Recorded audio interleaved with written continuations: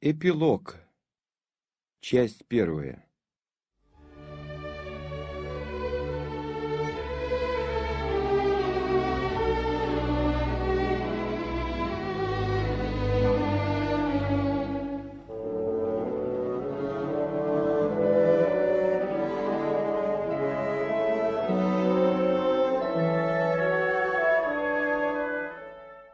Прошло семь лет после двенадцатого года. Взволнованное историческое море Европы улеглось в свои берега. Оно казалось затихшим, но таинственные силы, двигающие человечество, таинственные, потому что законы, определяющие их движение, неизвестны нам, продолжали свое действие.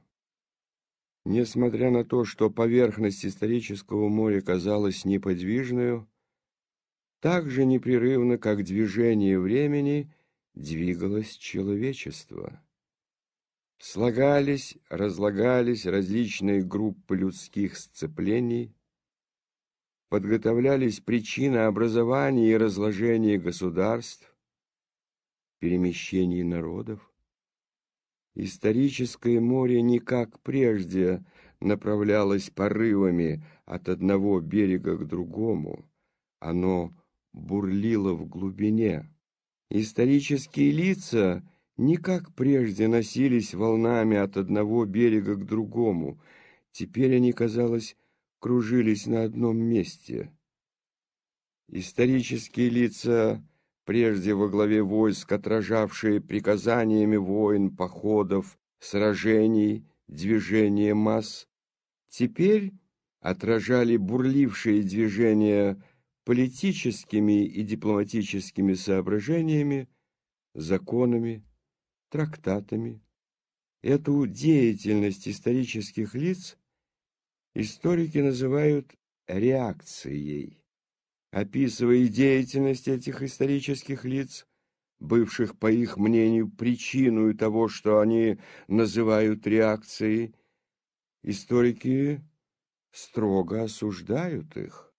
Все известные люди того времени, от Александра и Наполеона до мадам Сталь, Фотия, Шеллинга, Фихте, Шатабриана и прочее, проходят перед их строгим судом и оправдываются или осуждаются, смотря по тому, содействовали ли они прогрессу или реакции.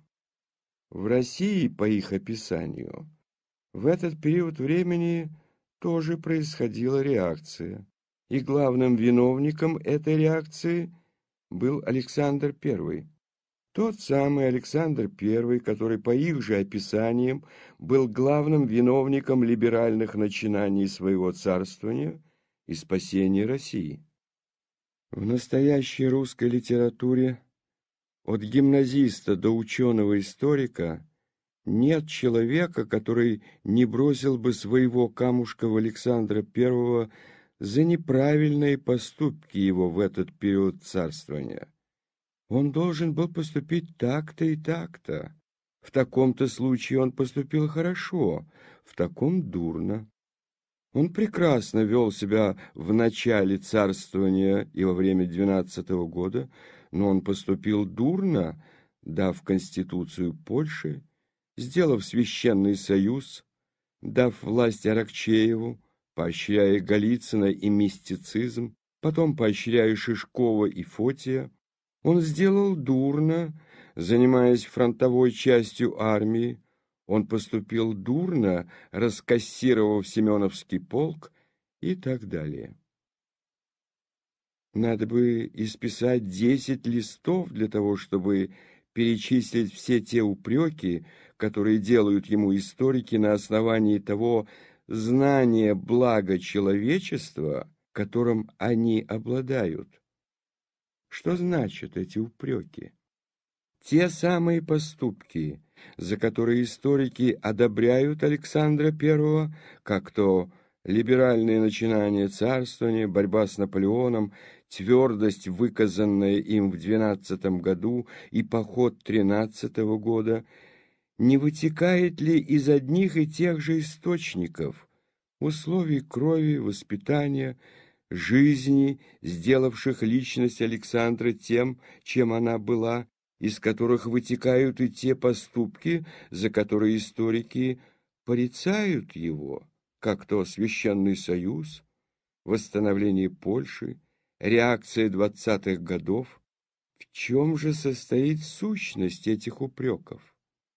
В том, что такое историческое лицо, как Александр I, лицо, стоявшее на высшей возможной ступени человеческой власти, как бы в фокусе ослепляющего света всех сосредоточившихся на нем исторических лучей. Лицо, подлежавшее тем сильнейшим в мире влиянием интриг, обманов, лести, самообольщения, которые неразлучны с властью. Лицо, чувствовавшее на себе всякую минуту своей жизни ответственность за все совершавшееся в Европе, и лицо не выдуманное, а живое, как и каждый человек со своими личными привычками, страстями, стремлениями к добру, красоте, истине, что это лицо пятьдесят лет тому назад не то что не было добродетельно, за это историки не упрекают, а не тех воззрений на благо человечества – которое имеет теперь профессор, с молоду занимающийся наукой, то есть читанием книжек, лекций и списыванием этих книжек и лекций в одну тетрадку. Но если даже предположить, что Александр I пятьдесят лет тому назад ошибался в своем воззрении на то, что есть благо народов, невольно должно предположить, что и историк, судящий Александра, точно так же по прошествии некоторого времени окажется несправедливым в своем воззрении на то, что есть благо человечества. Предположение это тем более естественно и необходимо, что, следя за развитием истории, мы видим, что с каждым годом, с каждым новым писателем изменяется воззрение на то, что есть благо человечества. Так что то, что казалось благом, через десять лет представляется злом, и наоборот. Мало того, Одновременно мы находим в истории совершенно противоположные взгляды на то, что было зло и что было благо. Одни данную Польше Конституцию и Священный Союз ставят в заслугу, другие в укор Александру. Про деятельность Александра и Наполеона нельзя сказать, чтобы она была полезна или вредна, ибо мы не можем сказать, для чего она полезна и для чего вредна. Если деятельность эта кому-нибудь не нравится, то она не нравится ему только вследствие несовпадения ее с ограниченным пониманием его о том, что есть благо. Представляется ли мне благом сохранение в двенадцатом году дома моего отца в Москве, или слава русских войск, или процветание Петербургского и других университетов, или свобода Польши, или могущество России, или равновесие Европы, или известного рода европейское просвещение, прогресс, я должен признать, что деятельность всякого исторического лица имела кроме этих целей – еще другие, более общие и недоступные мне цели. Но положим, что так называемая наука имеет возможность примирить все противоречия и имеет для исторических лиц и событий неизменное мерило хорошего и дурного.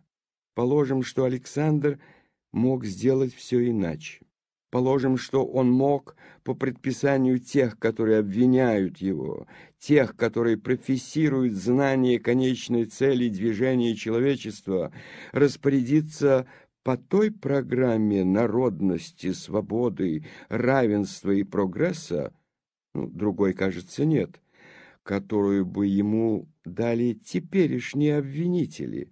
Положим, что эта программа была бы возможна и составлена, и что Александр действовал бы по ней. Что же сталось бы тогда с деятельностью всех тех людей, которые противодействовали тогдашнему направлению правительства, с деятельностью, которая, по мнению историков, хороша и полезна. Деятельности бы это не было, жизни бы не было, ничего бы не было. Если допустить, что жизнь человеческая может управляться разумом, то уничтожится возможность жизни. Если допустить, как то делают историки, что великие люди ведут человечество к достижению известных целей, состоящих или в величии России или Франции, или в равновесии Европы, или в разнесении идей революции, или в общем прогрессе, или в чем бы то ни было, то Невозможно объяснить явление истории без понятий о случае и гении.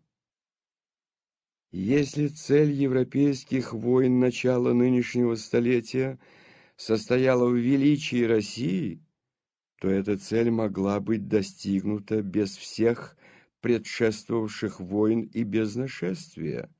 Если цель – величие Франции – то эта цель могла быть достигнута и без революции, и без империи. Если цель распространения идей, то книгопечатание исполнило бы это гораздо лучше, чем солдаты. Если цель – прогресс цивилизации, то весьма легко предположить, что кроме истребления людей и их богатств, есть другие, более целесообразные пути для распространения цивилизации. Почему же это случилось так, а не иначе? Потому что это так случилось. Случай сделал положение, гений воспользовался им, говорит история. Но что такое случай? что такое гений. Слова «случай» и «гений» не обозначают ничего действительно существующего и потому не могут быть определены.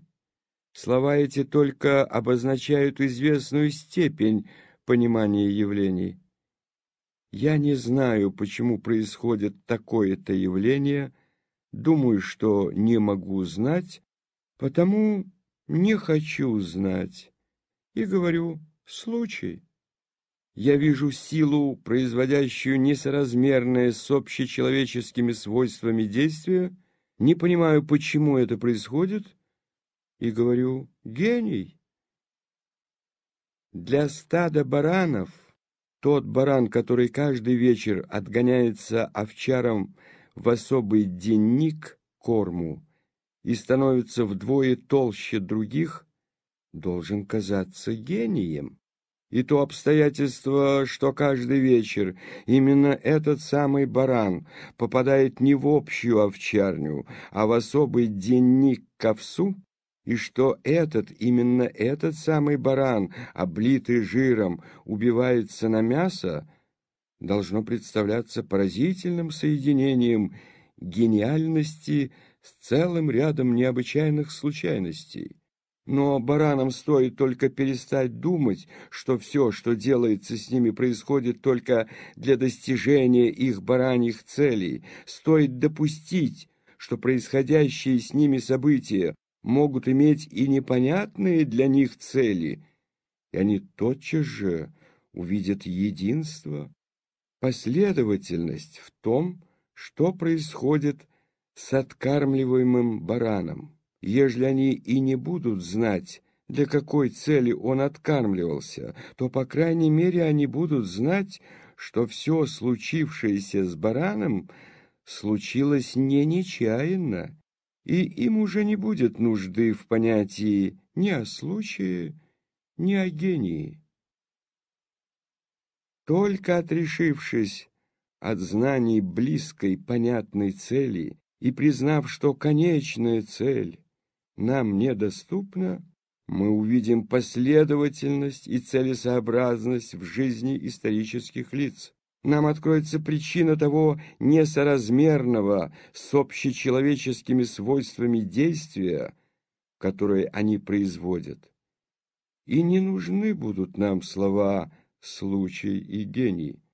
Стоит только признать, что цель волнений европейских народов нам неизвестна, а известны только факты, состоящие в убийствах сначала во Франции, потом в Италии, в Африке, в Пруссии, в Австрии, в Испании, в России, и что движение с запада на восток и с востока на запад составляют сущность и цель этих событий.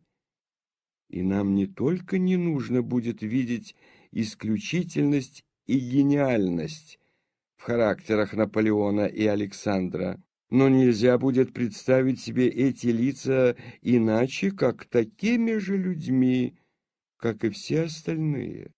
И не только не нужно будет объяснять случайностью тех мелких событий, которые сделали этих людей тем, чем они были, но будет ясно, что все эти мелкие события были необходимы.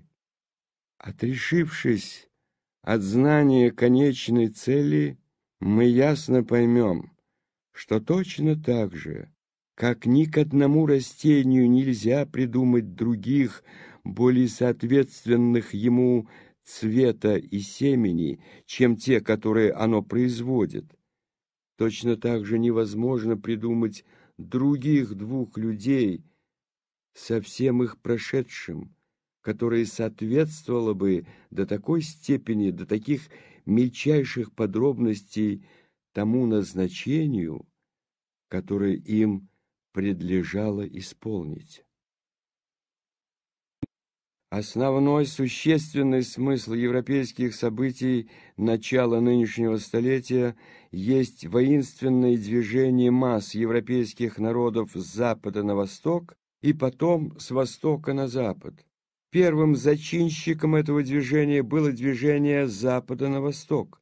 Для того, чтобы народы Запада могли совершить то воинственное движение до Москвы, которое они совершили, необходимо было, первое, чтобы они сложились в воинственную группу такой величины, которая была бы в состоянии вынести столкновение с воинственной группой Востока. Второе, чтобы они отрешились от всех установившихся преданий и привычек. И третье, чтобы, совершая свое воинственное движение, они имели во главе своей человека, который и для себя, и для них мог бы оправдать имеющие совершиться обманы, грабежи и убийства, которые сопутствовали этому движению. И начиная с французской революции разрушается старая, недостаточно великая группа, уничтожаются старые привычки и предания, вырабатывается шаг за шагом группа новых размеров, новые привычки и предания, и приготовляется тот человек, который должен стоять во главе будущего движения и нести на себе всю ответственность, имеющего совершиться. Человек без убеждений, без привычек, без преданий, без имени, даже не француз. Самыми, кажется, странными случайностями продвигается между всеми волнующими Францию партиями и, не приставая ни к одной из них, выносится на заметное место.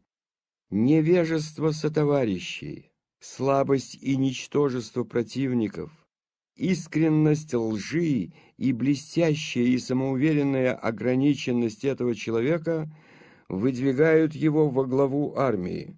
Блестящий состав солдат итальянской армии, нежелание драться противников, ребяческая дерзость и самоуверенность приобретают ему военную славу. Бесчисленное количество так называемых случайностей сопутствует ему везде. Немилость, в которую он впадает у правителей Франции, служит ему в пользу. Попытки его изменить предназначенный ему путь не удаются. Его не принимают на службу в Россию, и не удается ему определение в Турцию. Во время войн в Италии он несколько раз находится на краю гибели и всякий раз спасается неожиданным образом. Русские войска, те самые, которые могут разрушить его славу, по разным дипломатическим соображениям не вступают в Европу до тех пор, пока он там. По возвращении из Италии он находит правительство в Париже в том процессе разложения, в котором люди, попадающие в это правительство, неизбежно стираются и уничтожаются. И сам собой для него является выход из этого опасного положения, состоящий в бессмысленной, беспричинной экспедиции в Африку. Опять те же так называемые случайности сопутствуют ему. Неприступная Мальта сдается без выстрела. Самые неосторожные распоряжения увенчиваются успехом. Неприятельский флот, который не пропустит после ни одной лодки, пропускает целую армию. В Африке над безоружными почти жителями совершается целый ряд злодеяний, и люди, совершающие злодеяния эти, и в особенности их руководитель, уверяют себя, что это прекрасно, что это слава, что это похоже на Кесаря и Александра Македонского, и что это хорошо. Тот идеал славы и величия — состоящий в том, чтобы не только ничего не считать для себя дурным, но гордиться всяким своим преступлением, приписывая ему непонятное сверхъестественное значение. Этот идеал, долженствующий руководить этим человеком и связанными с ним людьми, на просторе вырабатывается в Африке. Все, что он не делает, удается ему. Чума не пристает к нему. Жестокость убийства пленных не ставится ему в вину. Ребячески неосторожный, беспричинный и неблагодарный отъезд его из Африки от товарищей в беде ставится ему в заслугу. И опять неприятельский флот два раза упускает его. В то время как он уже совершенно одурманенный совершенными им счастливыми преступлениями, готовый для своей роли без всякой цели приезжает в Париж, то разложение республиканского правительства, которое могло погубить его год тому назад, теперь дошло до крайней степени, и присутствие его, свежего от партии человека, теперь только может возвысить его. Он не имеет никакого плана, он всего боится, но партии ухватываются за него и требуют его участия. Он один, со своим выработанным в Италии и Египте идеалом славы и величия, со своим безумием самообожания, со своей дерзостью преступлений, со своей искренностью лжи, он один может оправдать то, что имеет совершиться. Он нужен для того места, которое ожидает его, и потому почти независимо от его воли, и несмотря на его нерешительность, на отсутствие плана, на все ошибки, которые он делает, он втягивается в заговор, имеющий целью овладение властью, и заговор увенчивается успехом. Его вталкивают в заседание правителей, Испуганный, он хочет бежать, считая себя погибшим, притворяется, что падает в обморок, говорит бессмысленные вещи, которые должны бы погубить его. Но правители Франции, прежде сметливые и гордые, теперь, чувствуя, что роль их сыграна, смущены еще более, чем он, говорят не те слова, которые им нужно бы было говорить, для того, чтобы удержать власть и погубить его. Случайность, миллионы случайностей дают ему власть, и все люди, как бы сговорившись, содействуют утверждению этой власти. Случайности делают характеры тогдашних правителей Франции подчиняющимися ему. Случайности делают характер Павла I, признающего его власть. Случайность делает против него заговор, не только не вредящий ему, но утверждающий его власть. Случайность посылает ему в руки Энгиенского и нечаянно заставляет его убить, тем самым сильнее всех других средств, убеждая толпу, что он имеет право, так как он имеет силу. Случайность делает то, что он напрягает все силы на экспедицию в Англию, которая, очевидно, погубила бы его, и никогда не исполняет этого намерения, а нечаянно нападает на Мака с австрийцами, которые сдаются без сражения.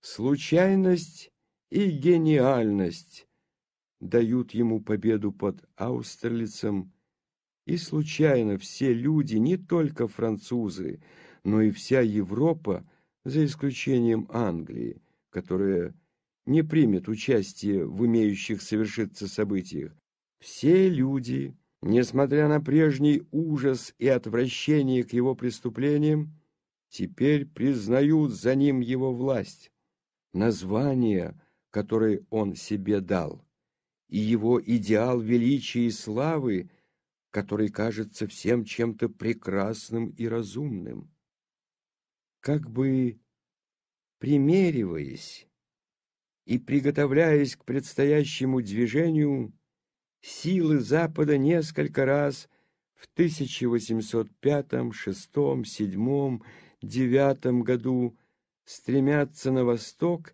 крепчая и нарастая. В 1811 году группа людей, сложившаяся во Франции, сливается в одну огромную группу с серединными народами. Вместе с увеличивающейся группой людей дальше развивается сила оправдания человека, стоящего во главе движения. В десятилетний приготовительный период времени, предшествующий большому движению, человек этот сводится со всеми коронованными лицами Европы. Разоблаченные владыки мира не могут противопоставить наполеоновскому идеалу славы и величия, не имеющего смысла, никакого разумного идеала. Один перед другим они стремятся показать ему свое ничтожество. Король прусский посылает свою жену заискивать милости великого человека. Император Австрии считает за милость то, что человек этот принимает в свое ложе дочь кесарей. Папа, блюститель святыни народов, служит своей религией возвышению великого человека. Не столько сам Наполеон приготовляет себя для исполнения своей роли, сколько все окружающее готовит его к принятию на себя всей ответственности того, что совершается и имеет совершиться. Нет поступка, нет злодеяния или мелочного обмана, который бы он совершил и который тотчас же в устах его окружающих не отразился бы в форме великого деяния. Лучший праздник, который могут придумать для него германцы, это празднование Иены и Ауэрштетта. Не только он велик, но великие его предки, его братья, его пасынки, зятья. Все совершается для того, чтобы лишить его последней силы разума и приготовить к его страшной роли. И когда он готов, готовы и силы. Нашествие стремится на восток, достигает конечной цели – Москвы. Столица взята, русское войско более уничтожено, чем когда-нибудь были уничтожены неприятельские войска в прежних войнах от Аустерлица до Ваграма. И вдруг, вместо тех случайностей и гениальности, которые так последовательно вели его до сих пор непрерывным рядом успехов к предназначенной цели, является бесчисленное количество обратных случайностей. От насморка в Бородине до морозов и искры, зажегшие Москву. И вместо гениальности является глупость и подлость, не имеющие примеров. Нашествие бежит, возвращается назад, опять бежит, и все случайности постоянно теперь уже не за, а против него. Совершается противодвижение с востока на запад с замечательным сходством с предшествовавшим движением с запада на восток. Те же попытки движения с востока на запад в 1805, 1807, 1809 годах предшествуют большому движению. Тоже сцепление в группу огромных размеров, тоже приставание серединных народов к движению, тоже колебание в середине пути и та же быстрота по мере приближения к цели.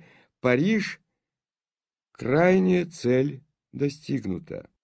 Наполеоновское правительство и войска разрушены. Сам Наполеон не имеет больше смысла.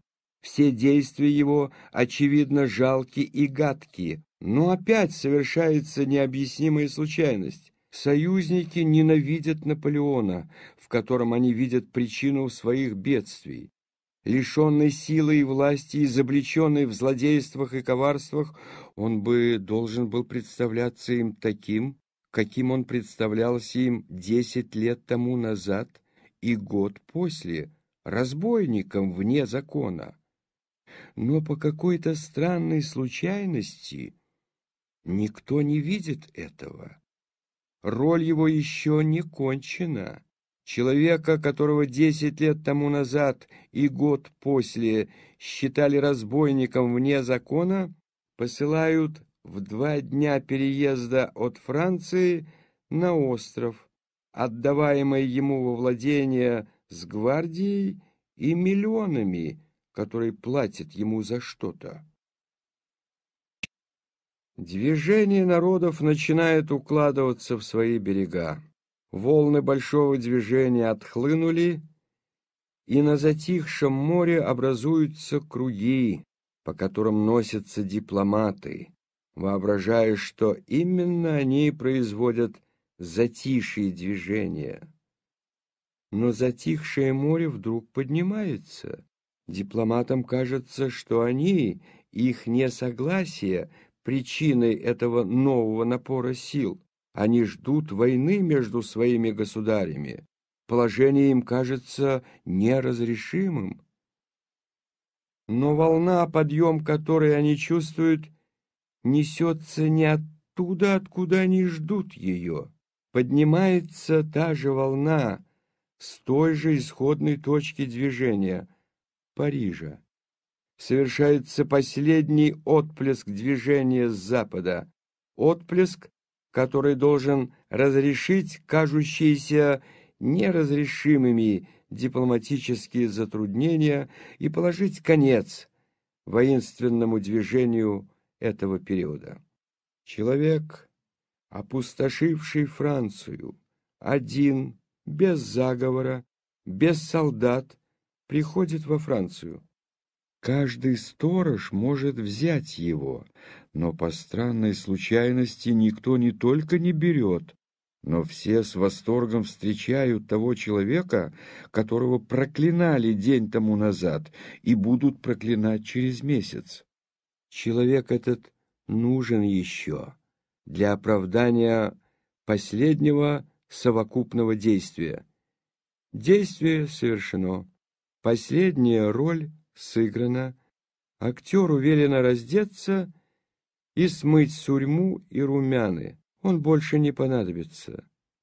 И проходит несколько лет в том, что этот человек в одиночестве на своем острове играет сам перед собой жалкую комедию, мелочно интригует и лжет, оправдывая свои деяния, когда оправдание это уже не нужно, и показывает всему миру, что такое было то, что люди принимали за силу, когда невидимая рука водила им. Распорядитель, окончив драму и раздев актера, показал его нам. Смотрите, чему вы верили. Вот он. Видите ли вы теперь, что не он, а я двигал вас. Но ослепленные силой движения люди долго не понимали этого. Еще большую последовательность и необходимость представляет жизнь Александра I, того лица, которое стояло во главе противодвижения с востока на запад. Что нужно для того человека, который бы, заслоняя других, стоял во главе этого движения с востока на запад. Нужно чувство справедливости, участие к делам Европы, но отдаленное, не затемненное мелочными интересами. Нужно преобладание высоты нравственной над сотоварищами, государями того времени. Нужна кроткая и привлекательная личность, нужно личное оскорбление против Наполеона. И все это есть в Александре Первом. Все это подготовлено бесчисленными так называемыми случайностями всей его прошедшей жизни и воспитанием, и либеральными начинаниями, и окружающими советниками, и Аустерлицем, и Тильзитом, и Эрфуртом. Во время народной войны лицо это бездействует, так как оно не нужно. Но как скоро является необходимость общей европейской войны, лицо это в данный момент является на свое место и, соединяя европейские народы, ведет их к цели. Цель достигнута. После последней войны 1815 года Александр находится на вершине возможной человеческой власти.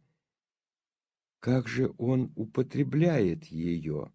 Александр I, умиротворитель Европы, человек с молодых лет, стремившийся только к благу своих народов, первый зачинщик либеральных нововведений в своем Отечестве, Теперь, когда, кажется, он владеет наибольшей властью и потому возможностью сделать благо своих народов, в то время как Наполеон в изгнании делает детские лживые планы о том, как бы он осчастливил человечество, если бы имел власть. Александр I, исполнив свое призвание и почуяв на себе руку Божью, вдруг признает ничтожность этой мнимой власти, отворачивается от нее, передает ее в руки презираемых им и презренных людей и говорит только «не нам, не нам, а имени Твоему. Я человек тоже, как и вы. Оставьте меня жить как человека и думать о своей душе и о Боге. Как солнце и каждый атом эфира есть шар, законченный в самом себе, и вместе с тем только атом недоступного человеку по огромности целого, Так и каждая личность носит в самой себе свои цели, и между тем носит их для того, чтобы служить недоступным человеку целям общим. Пчела, сидевшая на цветке, ужалила ребенка. И ребенок боится пчел и говорит, что цель пчелы состоит в том, чтобы жалить людей. Поэт любуется пчелой, впивающейся в чашечку цветка, и говорит, цель пчелы состоит во впивании в себя аромата цветов. Пчеловод, замечая, что пчела собирает цветочную пыль и приносит ее в улей, говорит, что цель пчелы состоит в собирании меда. Другой пчеловод, ближе изучив жизнь роя, говорит, что пчела собирает пыль для выкармливания молодых пчел и выведения матки, что цель ее состоит в продолжении рода. Ботаник замечает, что, перелетая с пылью двудомного цветка на пестик, пчела оплодотворяет его, и ботаник в этом видит цель пчелы – Другой, наблюдая переселение растений, видит, что пчела содействует этому переселению, и этот новый наблюдатель может сказать, что в этом состоит цель пчелы.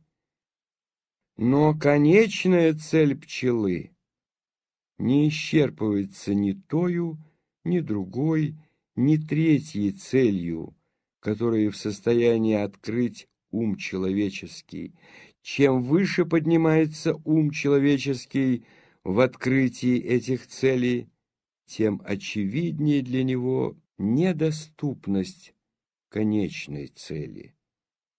Человеку доступно только наблюдение над соответственностью жизни пчелы с другими явлениями, тоже с целями исторических лиц и народов.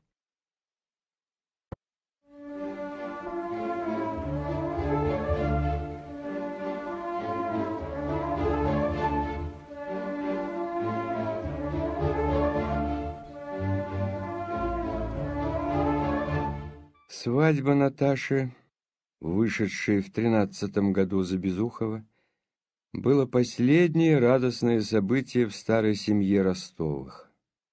В тот же год граф Илья Андреевич умер, и, как это всегда бывает, со смертью его распалась старая семья.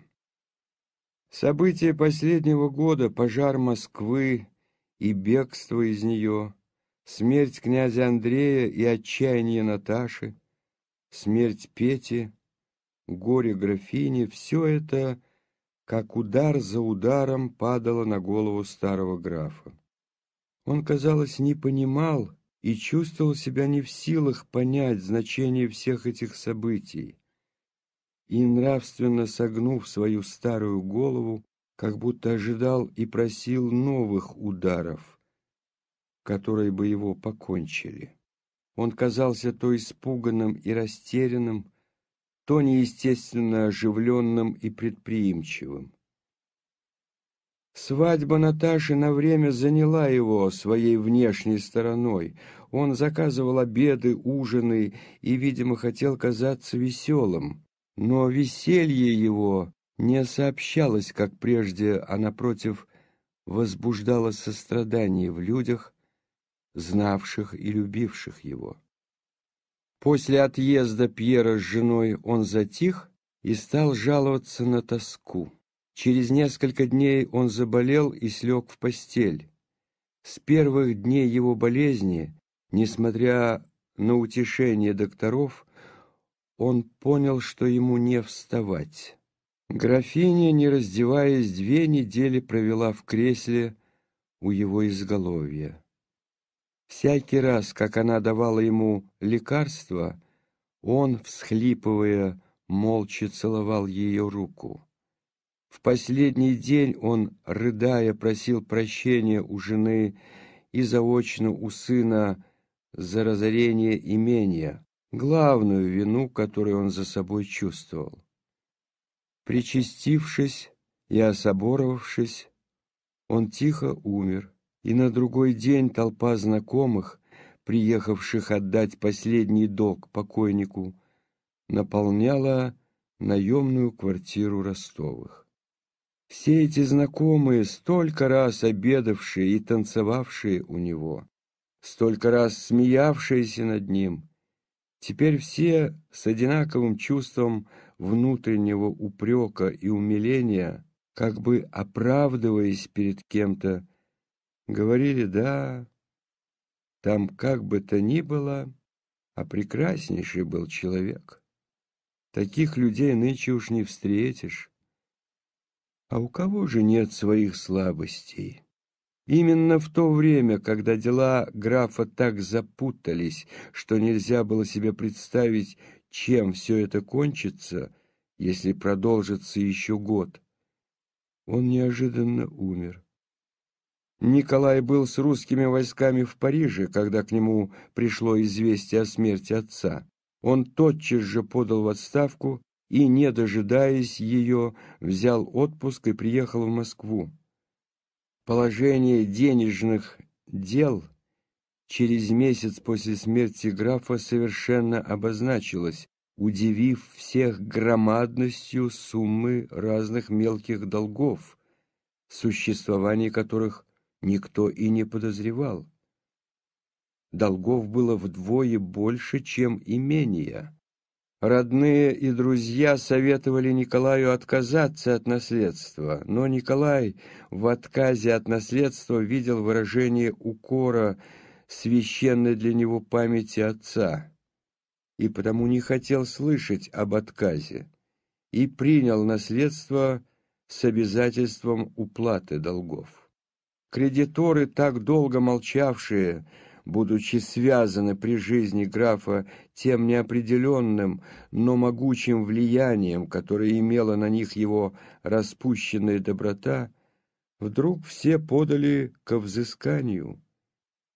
Явилось, как это всегда бывает, соревнование, кто прежде получит, и те самые люди, которые, как Митенька и другие, имели безденежные векселя, подарки, явились теперь самыми требовательными кредиторами.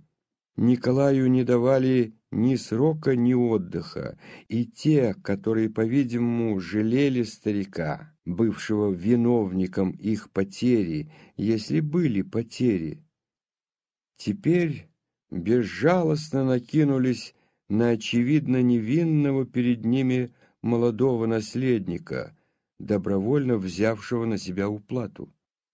Ни один из предполагаемых Николаем оборотов не удался. Имение с молотка было продано за полцены, а половина долгов оставалась все-таки неуплаченную. Николай взял предложенные ему зятем Безуховым тридцать тысяч для уплаты той части долгов, которые он признавал за денежные, настоящие долги, а чтобы за оставшиеся долги не быть посаженным в яму, чем ему угрожали кредиторы, он снова поступил на службу. Ехать в армию, где он был на первой вакансии полкового командира, нельзя было потому, что мать теперь держалась за сына как за последнюю приманку жизни, и потому Несмотря на нежелание оставаться в Москве в кругу людей, знавших его прежде, несмотря на свое отвращение к статской службе, он взял в Москве место по статской части и, сняв любимый им мундир, поселился с матерью и Соней на маленькой квартирке на Сивцевом вражке. Наташа и Пьер жили в это время в Петербурге, не имея ясного понятия о положении Николая. Николай, заняв у зятя деньги, старался скрыть от него свое бедственное положение. Положение Николая было особенно дурно потому, что своими тысячу двумястами рублями жалования он не только должен был содержать себя, Соню и мать, но он должен был содержать мать так, чтобы она не замечала, что они бедны. Графиня не могла понять возможности жизни без привычных ей с детства условий роскоши и беспрестанно, не понимая того, как это трудно было для сына, требовала то экипажа, которого у них не было, чтобы послать за знакомой, то дорогого кушанья для себя и вина для сына, то денег, чтобы сделать подарок-сюрприз Наташе, Соне и тому же Николаю. Соня вела домашнее хозяйство, ухаживала за теткой, читала ей вслух, переносила ее капризы и затаенное нерасположение и помогала Николаю скрывать от старой графини то положение нужды, в котором они находились. Николай чувствовал себя в неоплатном долгу благодарности перед Соней за все, что она делала для его матери, восхищался ее терпением и преданностью, но старался отдаляться от нее.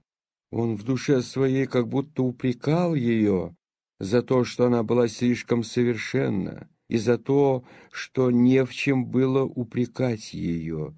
В ней было все, за что ценят людей. Но было мало того, чтобы заставило его любить ее. И он чувствовал, что чем больше он ценит, тем меньше любит ее. Он поймал ее на слове в ее письме, которым она давала ему свободу, и теперь держал себя с нею так, как будто все то, что было между ними, уже давным-давно забыто и ни в коем случае не может повториться. Положение Николая становилось хуже и хуже. Мысль о том, чтобы откладывать из своего жалования, оказалась мечтою. Он не только не откладывал, но, удовлетворяя требования матери, должал по мелочам. Выхода из его положения ему не представлялось никакого. Мысль о женитьбе на богатой наследнице, которую ему предлагали его родственницы, была ему противна. Другой выход из его положения — смерть матери — никогда не приходила ему в голову.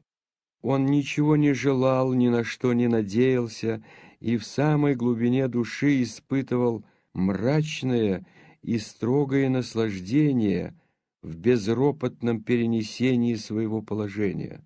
Он старался избегать прежних знакомых с их соболезнованием и предложениями оскорбительной помощи, избегал всякого рассеяния и развлечения, даже дома ничем не занимался, кроме раскладывания карт со своей матерью, молчаливыми прогулками по комнате и курением трубки за трубкой.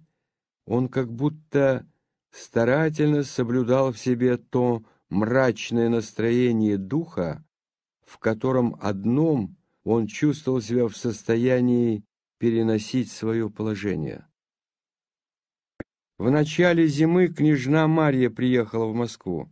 Из городских слухов она узнала о положении Ростовых и о том, как сын жертвовал собой для матери. Так говорили в городе.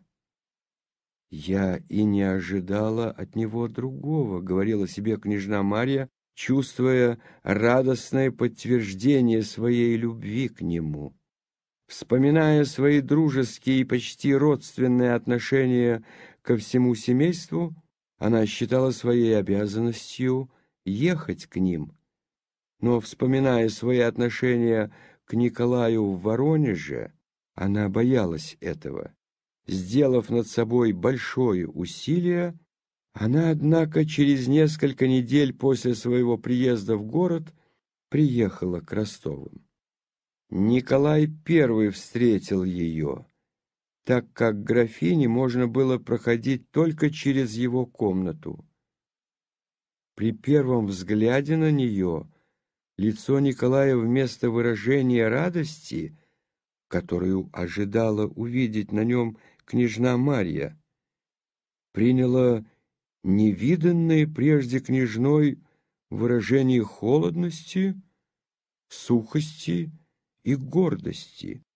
Николай спросил о ее здоровье, проводил к матери и, посидев минут пять, вышел из комнаты. Когда княжна выходила от графини, Николай опять встретил ее и особенно торжественно и сухо проводил до передней. Он ни слова не ответил на ее замечание о здоровье графини. «Вам какое дело? Оставьте меня в покое», — говорил его взгляд. «И что шляется? Чего ей нужно? Терпеть не могу этих барынь и все эти любезности», — сказал он вслух при Соне, видимо, не в силах удержать свою досаду после того, как карета княжны отъехала от дома. «Ах, как можно так говорить, Никола?» — сказала Соня, едва скрывая свою радость. «Она такая добрая, и маман так любит ее».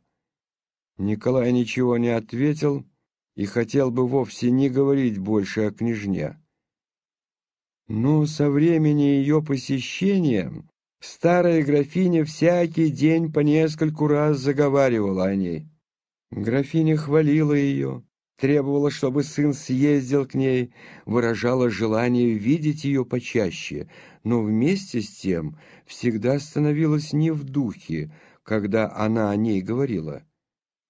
Николай старался молчать, когда мать говорила о княжне, но молчание его раздражало графиню.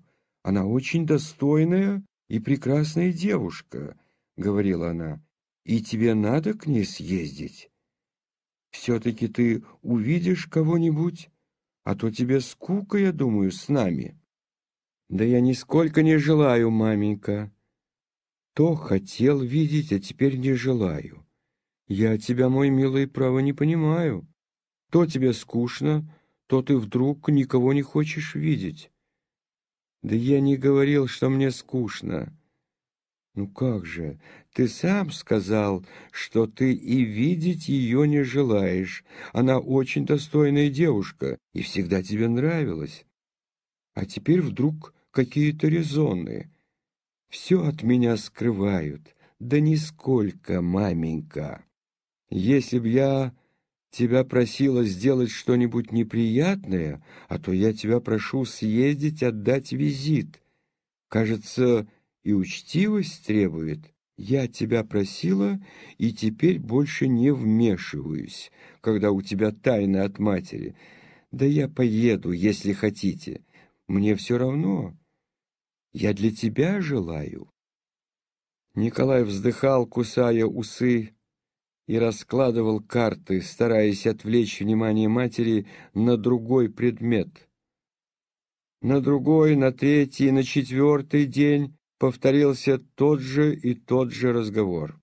После своего посещения Ростовых и того неожиданного холодного приема, сделанного ей Николаем, княжна Марья призналась себе, что она была права, не желая ехать первая к Ростовым. «Я ничего и не ожидала другого», — говорила она себе, призывая на помощь свою гордость. «Мне нет никакого дела до него. Я только хотела видеть старушку, которая была всегда добра ко мне и которой я многим обязана». Но она не могла успокоиться этими рассуждениями. Чувство, похожее на раскаяние, мучило ее, когда она вспоминала свое посещение. Несмотря на то, что она твердо решилась не ездить больше к Ростовым и забыть все это, она чувствовала себя беспрестанно в неопределенном положении. И когда она спрашивала себя, что же такое было то, что мучило ее, она должна была признаваться, что это были ее отношения к Ростову. Его холодный, учтивый тон — не вытекал из его чувства к ней, Она это знала, а тон этот прикрывал что-то. Это что-то ей надо было разъяснить, и до тех пор она чувствовала, что не могла быть покойна. В середине зимы она сидела в классной, следя за уроками племянника, когда ей пришли доложить о приезде Ростова. С твердым решением не выдавать своей тайны и не выказать своего смущения, она пригласила мадемуазель Бульен и с ней вместе вышла в гостиную. При первом взгляде на лицо Николая она увидала, что он приехал только для того, чтобы исполнить долг учтивости, и решилась твердо держаться в том самом тоне, в котором он обратился к ней. Они заговорили о здоровье графини, об общих знакомых, о последних новостях войны.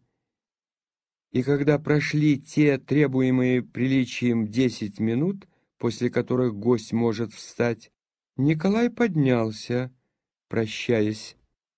Княжна с помощью мадемуазель Бурьен выдержала разговор очень хорошо. Но в самую последнюю минуту, в то время как он поднялся, она так устала говорить о том, до чего ей не было дела, и мысль о том, за что ей одной так мало дано радости в жизни, так заняла ее, что она в припадке рассеянности, устремив вперед себя свои лучистые глаза, сидела неподвижно, не замечая, что он поднялся.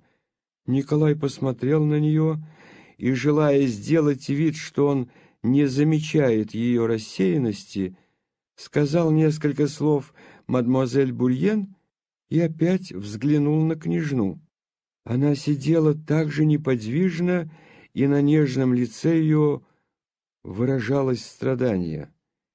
Ему вдруг стало жалко ее, и смутно представилось, что, может быть, он был причиной той печали, которая выражалась на ее лице. Ему захотелось помочь ей, сказать ей что-нибудь приятное, но он не мог придумать, что бы сказать ей. «Прощайте, княжна», — сказал он. Она опомнилась, вспыхнула и тяжело вздохнула. «Ах, виновата», — сказала она, как бы проснувшись. «Вы уже едете, граф, ну прощайте». «А подушку у графини?» «Постойте, я сейчас принесу ее», — сказала мадемуазель Бурьен и вышла из комнаты. Оба молчали, изредка взглядывая друг на друга. «Да, княжна», — сказал, наконец, Николай, грустно улыбаясь. Недавно, кажется, а сколько воды утекло с тех пор, как мы с вами в первый раз виделись в Богучарове.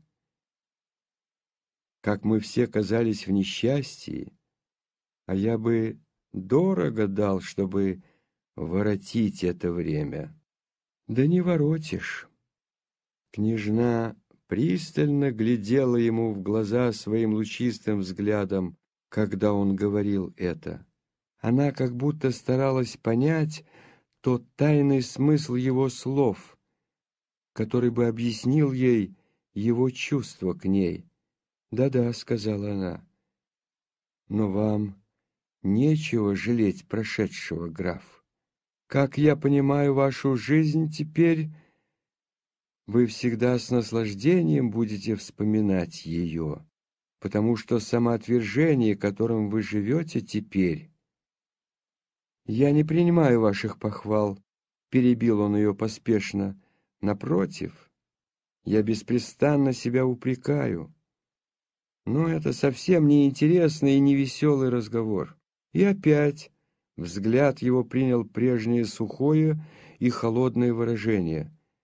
Но княжна уже увидала в нем опять того же человека, которого она знала и любила, и говорила теперь только с этим человеком. «Я думала, что вы позволите мне сказать вам это», — сказала она. Мы так сблизились с вами и с вашим семейством, и я думала, что вы не почтете неуместным мое участие. Но я ошиблась, — сказала она. Голос ее вдруг дрогнул. «Я не знаю, почему», — продолжала она, оправившись.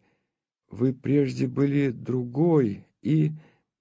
«Есть тысячи причин, почему». Он сделал особое ударение на слово «почему». «Благодарю вас, княжна», — сказал он тихо. «Иногда тяжело». «Так вот от чего, вот от чего», — говорил внутренний голос в душе княжны Марьи. «Нет, я ни один этот веселый, добрый и открытый взгляд, ни одну красивую внешность полюбила в нем. Я угадала его благородную, твердую, самоотверженную душу, говорила она себе. Да, он теперь беден, а я богата. Да, только от этого. Да, если б этого не было, и, вспоминая прежнюю его нежность, и теперь, глядя на его доброе и грустное лицо, она вдруг поняла причину его холодности. «Почему же, граф? Почему?» Вдруг вскликнула она, невольно подвигаясь к нему. «Почему, скажите мне? Вы должны сказать». Он молчал. «Я не знаю, граф, вашего почему». — продолжала она. «Но мне тяжело, мне... Я признаюсь вам в этом. Вы за что-то хотите лишить меня прежней дружбы, и мне это больно». У нее слезы были в глазах и в голосе. У меня так мало было счастья в жизни, что мне тяжела всякая потеря. Извините меня. Прощайте. Она вдруг заплакала и пошла из комнаты. «Княжна! Постойте ради Бога!» — вскрикнул он, стараясь остановить ее. «Княжна!» Она оглянулась. Несколько секунд они молча смотрели в глаза друг другу, и далекое, невозможное вдруг стало близким, возможным и неизбежным.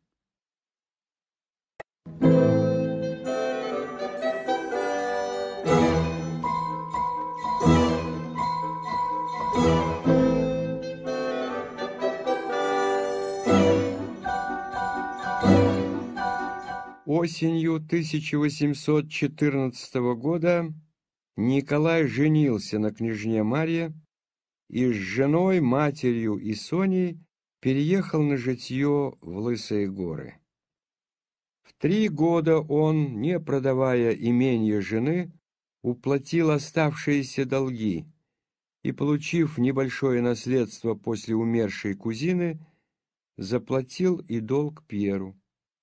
Еще через три года, к 1820 году, Николай так устроил свои денежные дела, что прикупил небольшое имение подле Лысых гор и вел переговоры о выкупе отцовского отрадного, что составляло его любимую мечту.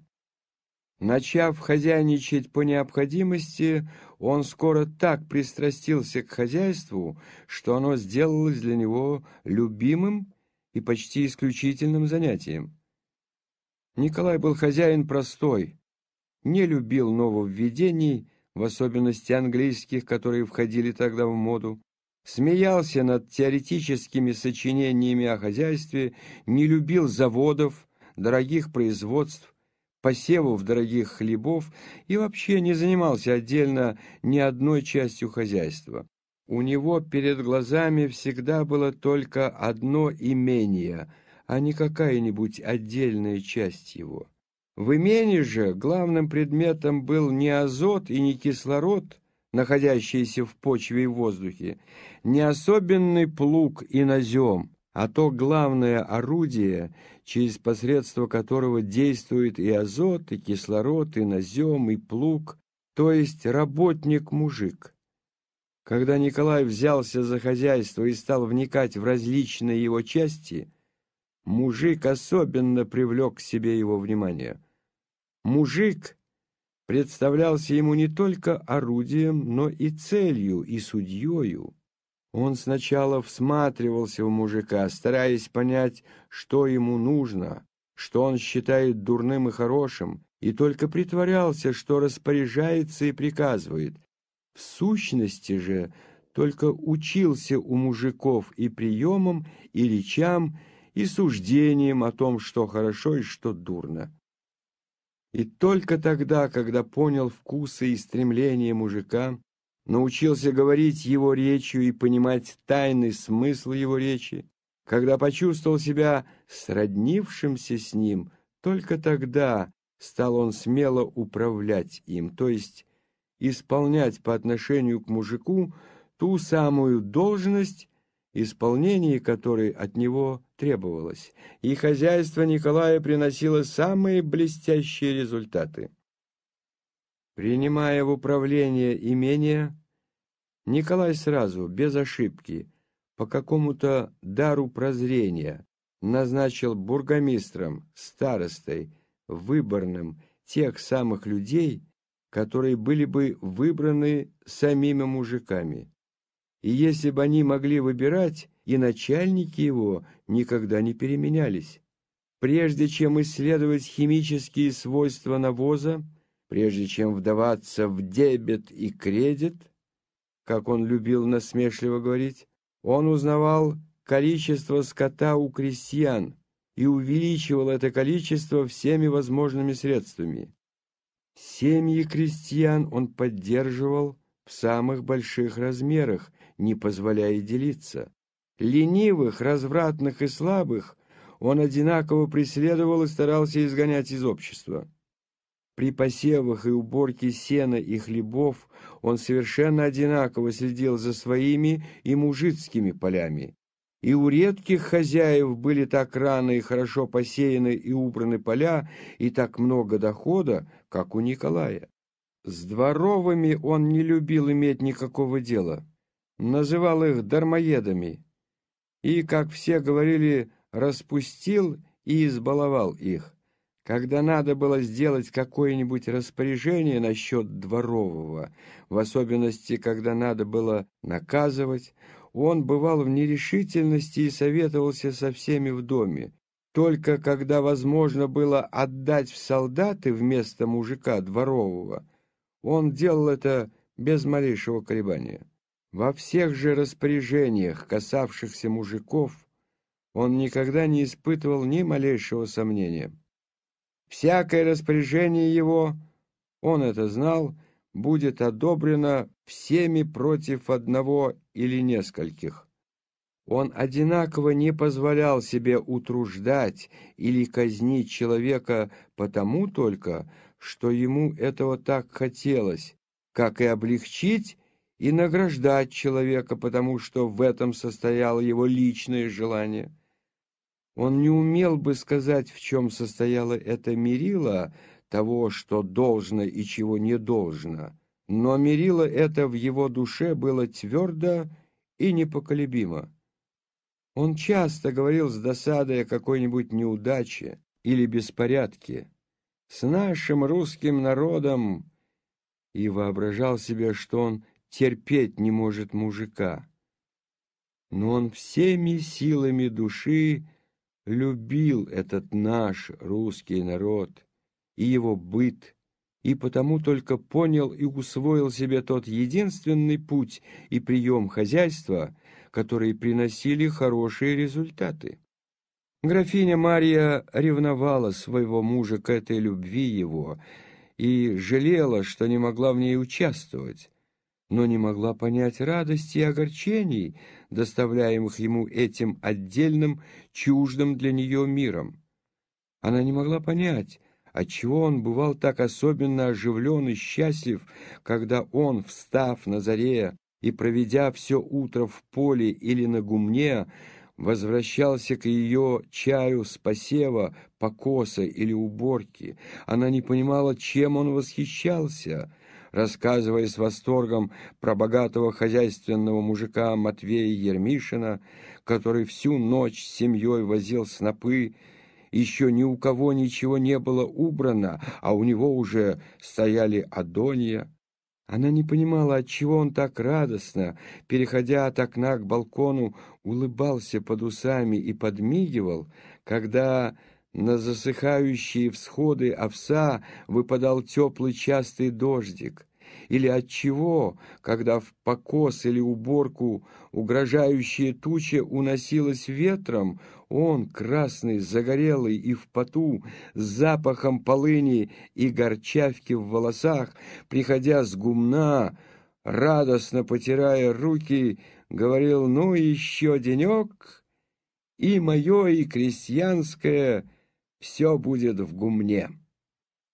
Еще менее могла она понять, почему он, с его добрым сердцем, с его всегдашней готовностью предупредить ее желание, приходил почти в отчаяние, когда она передавала ему просьбу каких-нибудь баб или мужиков, обращавшихся к ней, чтобы освободить их от работ.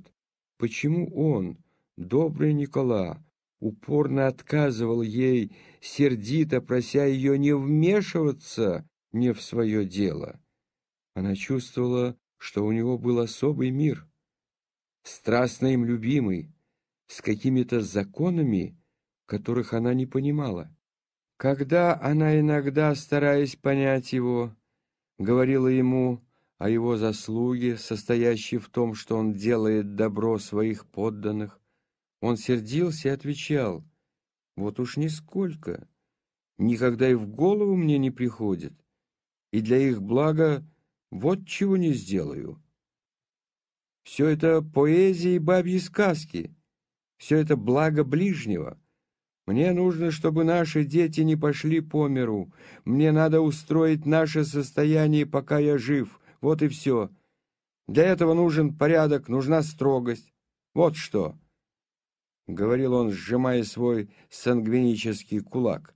«И справедливость, разумеется», — прибавлял он, «потому что если крестьянин гол и голоден, и лошаденка у него одна, так он ни на себя, ни на меня не сработает». И должно быть потому, что Николай не позволял себе мысли о том, что он делает что-нибудь для других, для добродетели, все, что он делал — было плодотворно. Состояние его быстро увеличивалось. Соседние мужики приходили просить его, чтобы он купил их, и долго после его смерти в народе хранилась набожная память об его управлении. Хозяин был, наперед мужицкое, потом свое, ну и по тачке не давал. Одно слово — хозяин. Одно, что мучило Николая по отношению к его хозяйничанию, это была его вспыльчивость в соединении со старой гусарской привычкой давать волю рукам. В первое время он не видел в этом ничего предосудительного, но на второй год своей женитьбы его взгляд на такого рода расправы вдруг изменился. Однажды летом из Богучарова был вызван староста, заменивший умершего дрона, обвиняемый в разных мошенничествах и неисправностях. Николай вышел к нему на крыльцо, из первых ответов старосты в сенях послышались крики и удары. Вернувшись к завтраку домой, Николай подошел к жене, сидевшей с низко опущенной над пяльцами головой, и стал рассказывать ей по обыкновению все то, что занимало его в это утро, и, между прочим, и про богучаровского старосту. Графиня Мария краснее, бледнее и, поджимая губы, сидела все так же, опустив голову, и ничего не отвечала на слова мужа. «Эдакой наглый мерзавец», — говорил он, горячась при одном воспоминании, — ну, сказал бы он мне, что был пьян, не видал. «Да что с тобой, Мари?» — вдруг спросил он. Графиня Мария подняла голову, хотела что-то сказать, но опять поспешно потупилась и собрала губы. «Что ты? Что с тобой, дружок мой?» Некрасивая графиня Марья всегда хорошела, когда плакала. Она никогда не плакала от боли или досады, но всегда от грусти и жалости. И когда она плакала, лучистые глаза ее приобретали неотразимую прелесть. Как только Николай взял ее за руку, она не в силах была удержаться и заплакала. «Никола, я видела, он виноват. Но ты, зачем ты, Никола?» И она закрыла лицо руками. Николай замолчал, багрово покраснел и, отойдя от нее, молча стал ходить по комнате. Он понял, о чем она плакала. Но вдруг он не мог в душе своей согласиться с ней, что то, с чем он сжился с детства, что он считал самым обыкновенным, было дурно. Любезности это, бабьи сказки, или она права? Спрашивал он сам себя. Не решив сам с собой этого вопроса, он еще раз взглянул на ее страдающее и любящее лицо и вдруг понял, что она была права, а он давно уже виноват сам перед собою. «Мари», — сказал он, тихо подойдя к ней, — «этого больше не будет никогда. Даю тебе слово». «Никогда». — повторил он дрогнувшим голосом, как мальчик, который просит прощения. Слезы еще чаще полились из глаз графини. Она взяла руку мужа и поцеловала ее. «Никола, когда ты разбил Каме?» Чтобы переменить разговор, сказала она, разглядывая его руку, на которой был перстень с головой Лаокоона. «Нынче». Все то же. Ах, Мари, не напоминай мне об этом. Он опять вспыхнул. Даю тебе честное слово, что этого больше не будет. И пусть это будет мне память навсегда, сказал он, указывая на разбитый перстень. С тех пор, как только при объяснениях со старостами и приказчиками кровь бросалась ему в лицо и руки начинали сжиматься в кулаки, Николай вертел разбитый перстень на пальце и опускал глаза перед человеком, рассердившим его. Однако же раза два в год он забывался, и тогда, придя к жене, признавался и опять давал обещание, что уже теперь это было последний раз. «Мари, ты, верно, меня презираешь», — говорил он ей, — «я стою этого». Ты уйди, уйди поскорее, ежели чувствуешь себя не в силах удержаться, — с грустью говорила графиня Марья, стараясь утешить мужа. В дворянском обществе губернии Николай был уважаем, но не любим. Дворянские интересы не занимали его. И за это-то одни считали его гордым, другие — глупым человеком. Все время его летом с весеннего посева и до уборки проходило в занятиях по хозяйству. Осенью он с той же деловой серьезностью, с которой занимался хозяйством, предавался охоте, уходя на месяц и на два в отъезд со своей охотой. Зимой он ездил по другим деревням и занимался чтением. Чтение его составляли книги преимущественно исторические, выписывавшиеся им ежегодно на известную сумму. Он составлял себе, как говорил, серьезную библиотеку и за правило поставлял прочитывать все те книги, которые он покупал. Он со значительным видом сиживал в кабинете за этим чтением, сперва возложенным на себя как обязанность, а потом сделавшимся привычным занятием, доставлявшим ему особого рода удовольствие и сознание того, что он занят серьезным делом. За исключением поездок по делам, большую часть времени зимой он проводил дома, сживаясь с семьей и входя в мелкие отношения между матерью и детьми. С женой он сходился все ближе и ближе, с каждым днем открывая в ней новые душевные сокровища. Соня со времени женитьбы Николая жила в его доме. Еще перед своей женитьбой Николай, обвиняя себя и хваля ее, рассказал своей невесте все, что было между ним и Соней. Он просил княжну Марию быть ласковой и доброй с его кузиной. Графиня Мария чувствовала вполне вину своего мужа, чувствовала и свою вину перед Соней, думала, что ее состояние имело влияние на выбор Николая, не могла ни в чем упрекнуть Соню, желала любить ее, но не только не любила, а часто находила против нее в своей душе злые чувства — и не могла преодолеть их.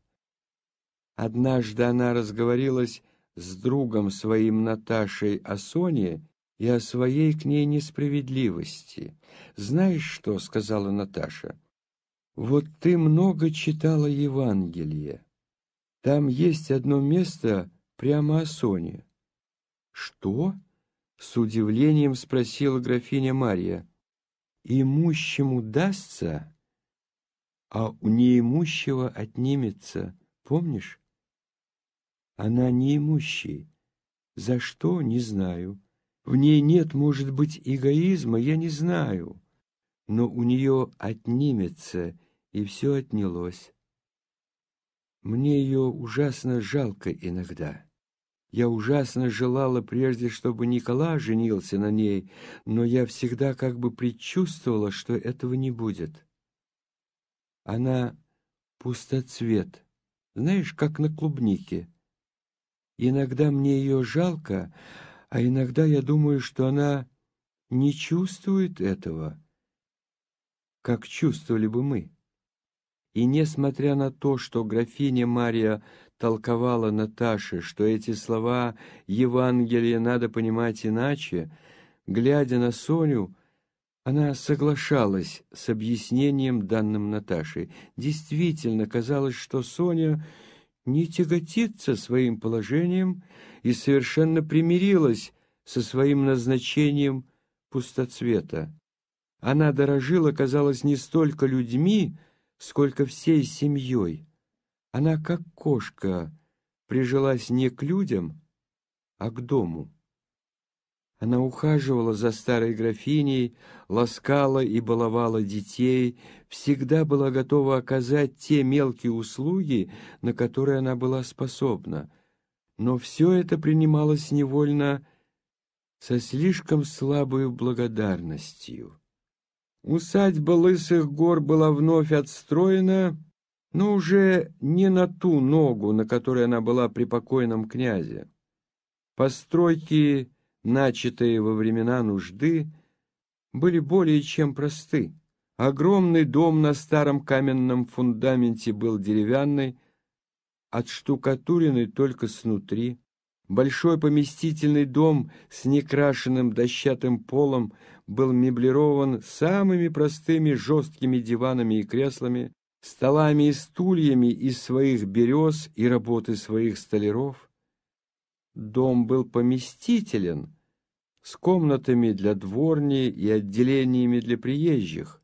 Родные Ростовых и Балконских иногда съезжались гостить в Лысые горы семьями на своих шестнадцати лошадях с десятками слуг и жили месяцами. Кроме того, четыре раза в год в именины и рождения хозяев съезжалось до ста человек гостей на один-два дня. Остальное время года шла ненарушимо правильная жизнь. с обычными занятиями, чаями, завтраками, обедами, ужинами из домашней провизии.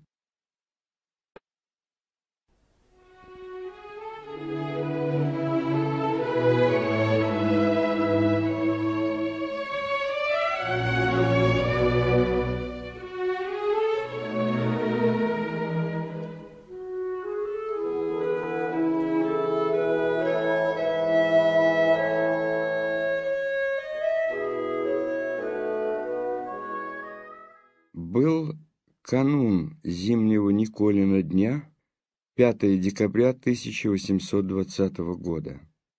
В этот год Наташа с детьми и мужем с начала осени гостила у брата. Пьер был в Петербурге, куда он поехал по своим особенным делам, как он говорил, на три недели, и где он теперь проживал уже седьмую. Его ждали каждую минуту. 5 декабря, кроме семейства Безуховых, у Ростовых гостил еще старый друг Николая, отставной генерал Василий Федорович Денисов. 6 числа, в день торжества, в который съедутся гости, Николай знал, что ему придется снять бешмет, надеть сюртук и с узкими носками узкие сапоги ехать в новую построенную им церковь, а потом принимать поздравления и предлагать закуски, и говорить о дворянских выборах и урожае. Но канун дня он еще считал себя вправе провести обычно.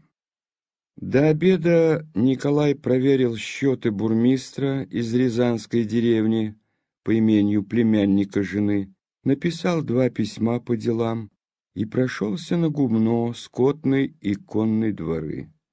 Приняв меры против ожидаемого на завтра общего пьянства по случаю престольного праздника, он пришел к обеду и, не успев с глазу на глаз переговорить с женою, сел за длинный стол в двадцать приборов, за который собрались все домашние. За столом были мать, жившая при ней старушка Белова, жена, трое детей, гувернантка, гувернер, племянник со своим гувернером, Соня, Денисов, Наташа, ее трое детей, их гувернантка и старичок Михаил Иванович, архитектор князя, живший в Лысых горах на покое. Графиня Мария сидела на противоположном конце стола. Как только муж сел на свое место, по тому жесту, с которым он, сняв салфетку, быстро передвинул стоявшие перед ним стакан и рюмку, графиня Мария решила, что он не в духе. Как это иногда с ним бывает, в особенности перед супом и когда он прямо с хозяйства придет к обеду. Графиня Мария знала очень хорошо это его настроение — и когда она сама была в хорошем расположении, она спокойно ожидала, пока он поест супу, и тогда уже начинала говорить с ним и заставляла его признаваться, что он без причины был не в духе. Но нынче она совершенно забыла это свое наблюдение. Ей стало больно, что он без причины на нее сердится, и она почувствовала себя несчастной. Она спросила его, где он был. Он отвечал. Она еще спросила, все ли в порядке по хозяйству.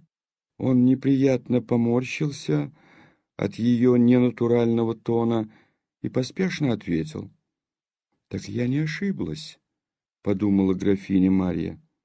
«И за что он на меня сердится?» В тоне, которым он отвечал ей, графиня Марья слышала недоброжелательство к себе и желание прекратить разговор. Она чувствовала, что ее слова были неестественны, но она не могла удержаться, чтобы не сделать еще несколько вопросов. Разговор за обедом благодаря Денисову скоро сделался общим и оживленным, и графиня Марья не говорила с мужем. Когда вышли из-за стола и пришли благодарить старую графиню, Графиня Мария поцеловала, подставляя свою руку мужа, и спросила, за что он на нее сердится. «У тебя всегда странные мысли, и не думал сердиться», — сказал он. Но слово «всегда» отвечала графиня Мария, «да, сержусь и не хочу сказать». Николай жил со своей женой так хорошо, что даже Соня и старая графиня, желавшие из ревности несогласия между ними, не могли найти предлога для упрека. Но и между ними бывали минуты враждебности. Иногда, именно после самых счастливых периодов, на них находило вдруг чувство отчужденности и враждебности. Это чувство являлось чаще всего во времена беременности графини Марии. Теперь она находилась в этом периоде. «Ну, мсье и мадам», — сказал Николай громко и как бы весело. Графине Марии казалось, что это нарочно, чтобы ее оскорбить. «Я с шести часов на ногах. Завтра уж надо страдать, а нынче пойти отдохнуть. И не сказав больше ничего графине Марии, он ушел в маленькую диванную и лег на диван. «Вот это всегда так», — думала графиня Мария. «Со всеми говорит, только не со мною. Вижу, вижу, что я ему противна, особенно в этом положении». Она посмотрела на свой высокий живот и в зеркало, на свое желто-бледное, исхудавшее лицо с более чем когда-нибудь большими глазами.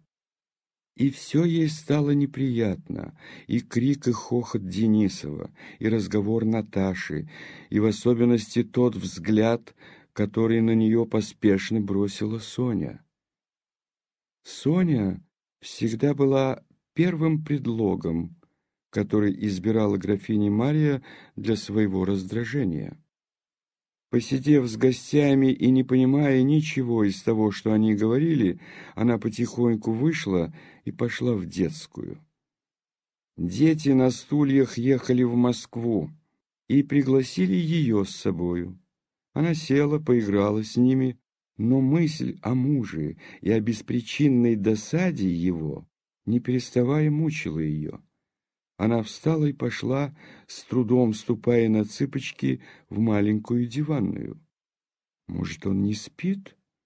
Я объяснюсь с ним», — сказала она себе. Андрюша, старший мальчик, подражая ей, пошел за ней на цыпочках.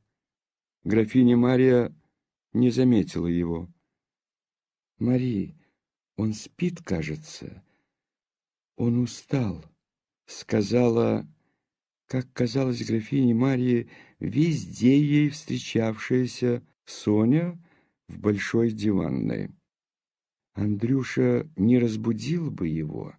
Графиня Мария оглянулась, увидала за собой Андрюшу, почувствовала, что Соня права, и именно от этого вспыхнула и, видимо, с трудом удержалась от жесткого слова. Она ничего не сказала, и, чтобы не послушаться ее, сделала знак рукой, чтобы Андрюша не шумел, а все-таки шел за ней, и подошла к двери. Соня прошла в другую дверь. Из комнаты, в которой спал Николай, слышалось его ровное, знакомое жене до малейших оттенков дыхания. Она, слыша это дыхание, видела перед собой его гладкий красивый лоб, усы, все лицо, на которое она так часто подолгу глядела, когда он спал в тишине ночи. Николай вдруг пошевелился и крякнул. И в то же мгновение Андрюша из-за двери закричал «Папенька! Маменька тут стоит!» Графиня Марья побледнела от испуга и стала делать знаки сыну. Он замолк и с минуту продолжалось страшное для графини Марии молчание. Она знала, как не любил Николай, чтобы его будили. Вдруг за дверью послышалось новое кряхтение, движение, и недовольный голос Николая сказал, «Ни минуты не дадут покоя». «Мари, ты? Зачем ты привела его сюда?» «Я подошла только посмотреть. Я не видала. Извини». Николай прокашлялся и замолк. Графиня Мария отошла от двери и проводила сына в детскую. Через пять минут маленькая черноглазая трехлетняя Наташа, любимица отца, узнав от брата, что папенька спит в маленькой диванной, незамеченной матерью, побежала к отцу. Черноглазая девочка смело скрипнула дверью, подошла энергическими шажками тупых ножек к дивану и, рассмотрев положение отца, спавшего к ней спиною, поднялась на цыпочки и поцеловала лежавшую под головой руку отца. Николай обернулся с умиленной улыбкой на лице. «Наташа! Наташа!» — слышался из двери испуганный шепот графини Марии. «Папенька спать хочет». «Нет, мама, он не хочет спать», — с убедительностью отвечала маленькая Наташа. «Он смеется». Николай спустил ноги, поднялся и взял на руки дочь. «Взойди, Маша», — сказал он жене. Графиня Мария вошла в комнату и села подле мужа. «Я и не видала, как он за мной прибежал», — робко сказала она. «Я так...» Николай, держа одной рукой дочь, поглядел на жену и, заметив виноватое выражение ее лица, другой рукой обнял ее и поцеловал в волоса. «Можно целовать, мама?» — спросил он у Наташи. Наташа застенчиво улыбнулась. «Опять!» — сказала она, с повелительным жестом указывая на то место, куда Николай поцеловал жену. «Я не знаю, от чего ты думаешь, что я не в духе», — сказал Николай, отвечая на вопрос, который он знал, был в душе его жены. «Ты не можешь себе представить, как я бываю несчастна, одинока, когда ты такой. Мне все кажется, Марии, полно, глупости. Как тебе не совестно?» — сказал он весело. «Мне кажется, что ты не можешь любить меня, что я так дурна и всегда...» А теперь в этом по... Ах, какая ты смешная! Не по хорошу мил, а по милу хорош. Это только Малвина и других любят за то, что они красивы. А жену разве я люблю? Я не люблю. А так, не знаю, как тебе сказать. Без тебя. И когда вот так у нас какая-то кошка пробежит, я как будто пропал и ничего не могу. Ну, что я люблю палец свой? Я не люблю, а попробуй, отрежь его. Нет, я не так, но я понимаю. Так ты на меня не сердишься? Ужасно сержусь, сказал он, улыбаясь, и, встав и оправив волосы, стал ходить по комнате. «Ты знаешь, Мария, о чем я думал?» Начал он теперь, когда примирение было сделано, тотчас же начиная думать вслух при жене. Он не спрашивал о том, готова ли она слушать его. Ему все равно было. Мысль пришла ему, стало быть, и ей, и он рассказал ей свое намерение уговорить Пьера остаться с ними до весны. Графиня Мария выслушала его, сделала замечание и начала, в свою очередь, думать вслух свои мысли. Ее мысли были о детях. «Как женщина видна уже теперь», — сказала она по-французски, указывая на Наташу. «Вы нас, женщин, упрекаете в нелогичности. Вот она, наша логика». Я говорю, папа хочет спать, а она говорит, нет, он смеется. И она права, сказала графиня Марья, счастливо улыбаясь. Да, да. И Николай, взяв на свою сильную руку дочь, высоко поднял ее, посадил на плечо, перехватив за ножки, и стал с ней ходить по комнате. У отца и у дочери были одинаково бессмысленно счастливые лица. А знаешь, ты, может быть, несправедлив, ты слишком любишь эту, шепотом по-французски сказала графиня Мария. Да, ну что ж делать? Я стараюсь не показать. В это время в сенях и передней послышались звуки блока и шагов, похожих на звуки приезда. Кто-то приехал. Я уверена, что Пьер. «Я пойду узнаю», — сказала графиня Мария и вышла из комнаты. В ее отсутствие Николай позволил себе галопом прокатить дочь вокруг комнаты. Запыхавшись, он быстро скинул смеющуюся девочку и прижал ее к груди. Его прыжки напоминали ему танцы, и он, глядя на детское круглое счастливое личико, думал о том, какую она будет, когда он начнет вывозить ее старичком. И как бывало покойник отец танцовывал с дочерью Данилу Купора, пройдется с нею мазурку. «Он, он, Никола!» — сказала через несколько минут графиня Мария, возвращаясь в комнату. Теперь ожила наша Наташа. Надо было видеть ее восторг и как ему досталось сейчас же за то, что он просрочил. «Ну, пойдем, скорее пойдем, расстаньтесь же, наконец», — сказала она, улыбаясь, глядя на девочку, сжавшуюся к отцу. Николай вышел, держа дочь за руку. Графиня Мария осталась в диванной. «Никогда, никогда не поверила бы», прошептала она сама с собой, что можно быть так счастливой. Лицо ее просияло улыбкой, но в то же самое время она вздохнула, и тихая грусть выразилась в ее глубоком взгляде, как будто кроме того счастья, которое она испытывала, было другое, недостижимое в этой жизни счастье, о котором она невольно вспомнила в эту минуту.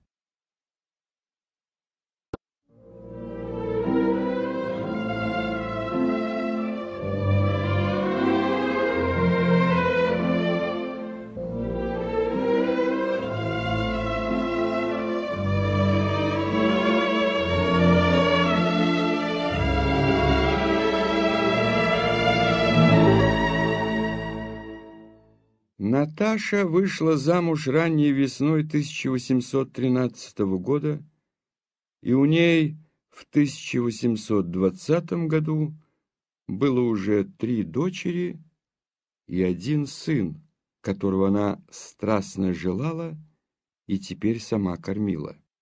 Она пополнела и поширела, так что трудно было узнать в этой сильной матери прежнюю тонкую, подвижную Наташу.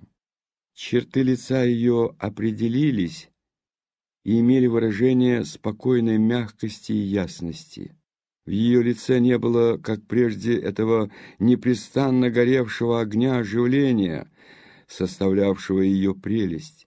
Теперь часто видно было одно ее лицо и тело, а души вовсе не было видно. Видна была одна сильная, красивая и плодовитая самка. Очень редко зажигался в ней теперь прежний огонь. Это бывало только тогда, когда, как теперь, возвращался муж, когда выздоравливал ребенок, или когда она с графиней Марией вспоминала о князе Андрее. С мужем она, предполагая, что он ревнует ее к памяти князя Андрея, никогда не говорила о нем. И очень редко, когда что-нибудь случайно вовлекало ее в пение, которое она совершенно оставила после замужества.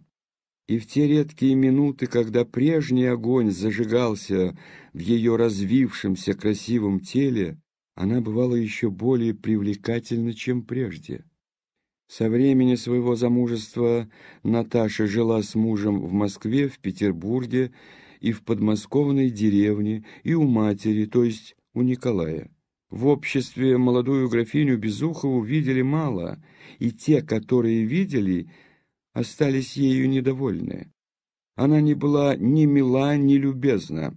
Наташа не то что любила уединение, она не знала, любила ли она или нет, ей даже казалось, что нет, но она, нося, рожая, кормя детей и принимая участие в каждой минуте жизни мужа, не могла удовлетворить этим потребностям иначе, как отказавшись от света. Все, знавшие Наташу до замужества, удивлялись происшедшей в ней перемене, как чему-то необыкновенному. Одна старая графиня, с материнским чутьем понявшая, что все порывы Наташи имели началом только потребность иметь семью, иметь мужа, как она не столько шутя, сколько взаправду кричала в отрадном.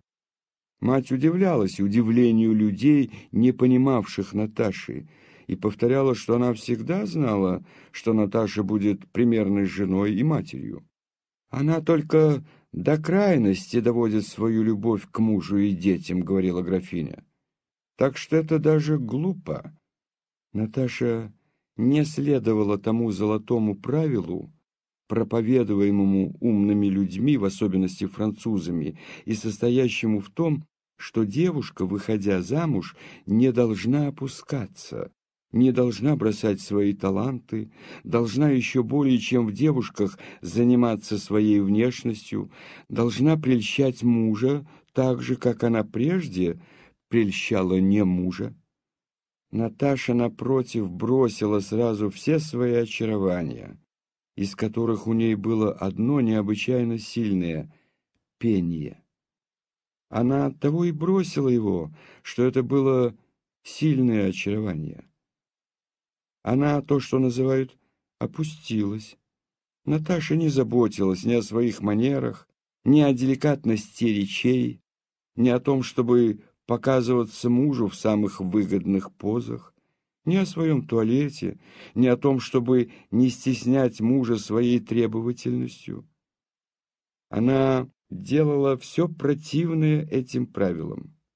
Она чувствовала, что те очарования, который инстинкт ее научал употреблять прежде, теперь были бы смешны в глазах ее мужа, которому она с первой минуты отдалась вся, то есть всей душой, не оставив ни одного уголка неоткрытым для него. Она чувствовала, что связь ее с мужем держалась не теми поэтическими чувствами, которые привлекали его к ней, а держалась чем-то другим, неопределенным, но твердым, как связь ее собственной души с ее телом. Взбивать локоны, надевать роброны и петь романсы для того, чтобы привлечь к себе своего мужа, показалось бы ей так же странным, как украшать себя для того, чтобы быть самой собою довольной. Украшать же себя для того, чтобы нравиться другим, может быть, теперь это и было бы приятно ей. Она не знала, но было совершенно некогда. Главная же причина, по которой она не занималась ни пением, ни туалетом, ни обдумыванием своих слов, состояла в том, что ей было совершенно некогда заниматься этим. Известно, что человек имеет способность погрузиться весь в один предмет, какой бы он ни казался ничтожный. И известно, что нет такого ничтожного предмета, который бы при сосредоточенном внимании, обращенном на него, не разросся до бесконечности.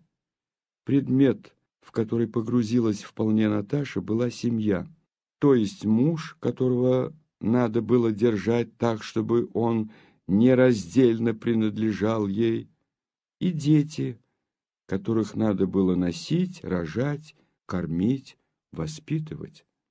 И чем больше она вникала не умом, а всей душой, всем существом своим в занимавший ее предмет, тем более предмет этот разрастался под ее вниманием, и тем слабее и ничтожнее казались ей ее силы, так что она их все сосредоточивала на одно и то же, и все-таки не успевала сделать всего того, что ей казалось нужно. Толки и рассуждения о правах женщин, об отношениях супругов, о свободе и правах их, хотя и не назывались еще, как теперь, вопросами, были тогда точно такие же, как и теперь. Но эти вопросы не только не интересовали Наташу, но она решительно не понимала их. Вопросы эти и тогда, и теперь существовали только для тех людей, которые в браке видят одно удовольствие, получаемое супругами друг от друга. То есть одно начало брака, а не все его значение, состоящее в семье. Рассуждения эти и теперешние вопросы, подобные вопросам о том, каким образом получить как можно более удовольствия от обеда, тогда, как и теперь, не существуют для людей, для которых цель обеда есть питание, и цель супружества – семья. Если цель обеда – питание тела, то тот, кто ест вдруг два обеда – достигнет, может быть, большего удовольствия, но не достигнет цели, ибо оба обеда не переварятся желудком. Если цель брака есть семья, то тот, кто захочет иметь много жен и мужей, может быть, получит много удовольствия, но ни в каком случае не будет иметь семьи. Весь вопрос, ежели цель обеда есть питание, а цель брака – семья, разрешается только тем, чтобы не есть больше того, что может переварить желудок, и не иметь больше жен и мужей, чем столько, сколько нужно для семьи, то есть одной и одного. Наташе нужен был муж. Муж был дан ей, и муж дал ей семью. И в другом, лучшем муже она не только не видела надобности, но так как все силы душевные ее были устремлены на то, чтобы служить этому мужу и семье, она и не могла себе представить, и не видела никакого интереса в представлении о том, что бы было, если было другое. Наташа не любила общество вообще, но она тем более дорожила обществом родных, графини Марии, брата, матери и Сони. Она дорожила обществом тех людей, которым она, растрепанная в халате, могла выйти большими шагами из детской с радостным лицом и показать пеленку с желтым вместо зеленого пятна и выслушать утешение о том, что теперь ребенку гораздо лучше. Наташа до такой степени опустилась, что ее костюмы ее прическа, ее не в попад сказанные слова, ее ревность, она ревновала к Соне, к гувернантке, ко всякой красивой и некрасивой женщине, были обычным предметом шуток всех ее близких. Общее мнение было то, что Пьер был под башмаком своей жены, и действительно это было так. С самых первых дней их супружества Наташа заявила свои требования – Пьер удивился очень этому совершенно новому для него воззрению жены, состоящую в том, что каждая минута его жизни принадлежит ей и семье. Пьер удивился требованиям своей жены, но был польщен ими и подчинился им.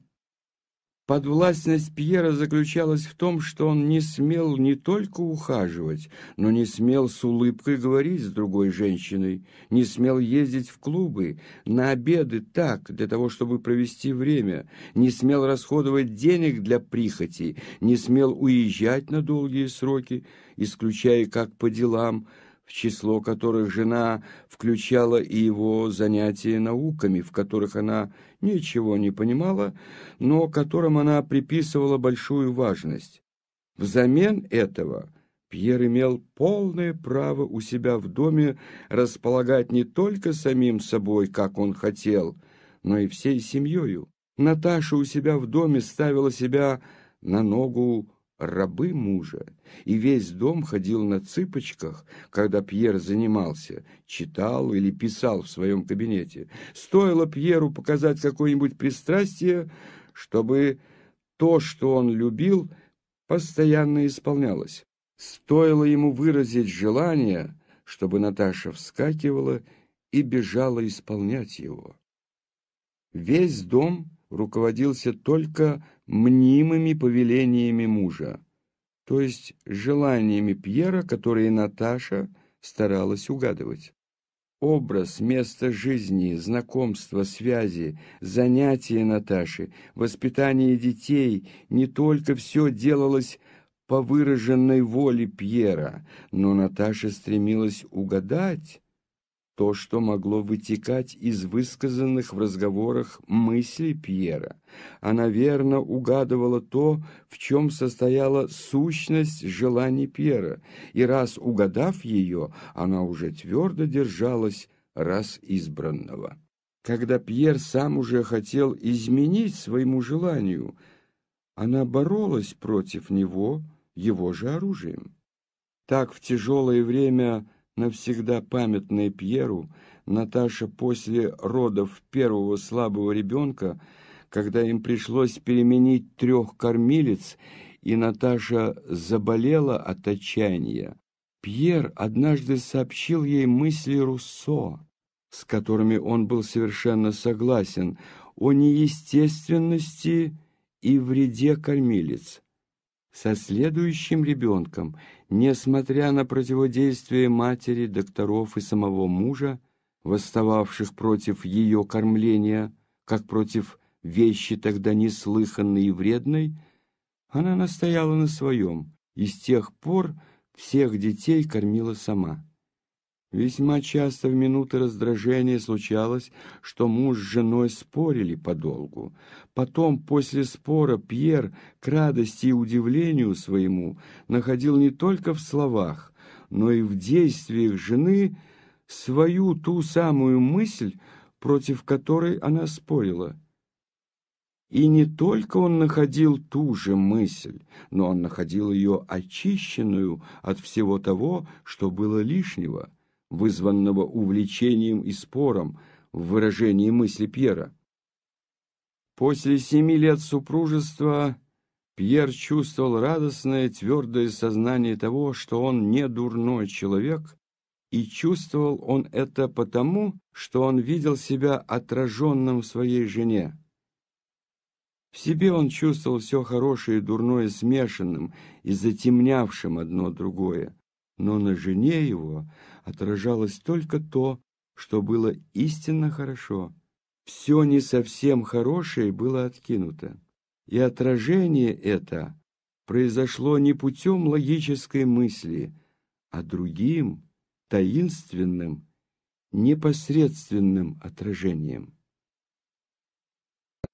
Два месяца тому назад Пьер, уже гостя у Ростовых, получил письмо от князя Федора, призывавшего его в Петербург для обсуждения важных вопросов, занимавших в Петербурге членов одного общества, которого Пьер был одним из главных основателей. Прочтя это письмо, Наташа, как она читала все письма мужа, несмотря на всю тяжесть для нее отсутствия мужа, сама предложила ему ехать в Петербург. Всему, что было умственным, отвлеченным делом мужа, она приписывала, не понимая его, огромную важность и постоянно находилась в страхе быть помехой в этой деятельности ее мужа. На робкий вопросительный взгляд Пьера после прочтения письма она отвечала просьбой, чтобы он ехал, но только определил бы ей верно время возвращения. И отпуск был дан на четыре недели. С того времени, как вышел срок отпуска Пьера, две недели тому назад, Наташа находилась в неперестававшем состоянии страха, грусти и раздражения. Денисов Отставной, недовольный настоящим положением дел генерал, приехавший в эти последние две недели, с удивлением и грустью, как на непохожий портрет когда-то любимого человека, смотрел на Наташу. Унылый, скучающий взгляд, не в попад ответы и разговоры о детской, было все, что он видел и слышал от прежней волшебницы. Наташа была все это время грустна и раздражена, в особенности тогда, когда, утешая ее, мать, брат или графиня Мария старались извинить Пьера и придумать причины его замедления. «Все глупости, все пустяки», — говорила Наташа.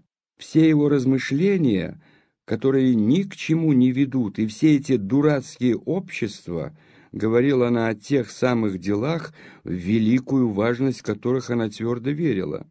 И она уходила в детскую кормить своего единственного мальчика Петю.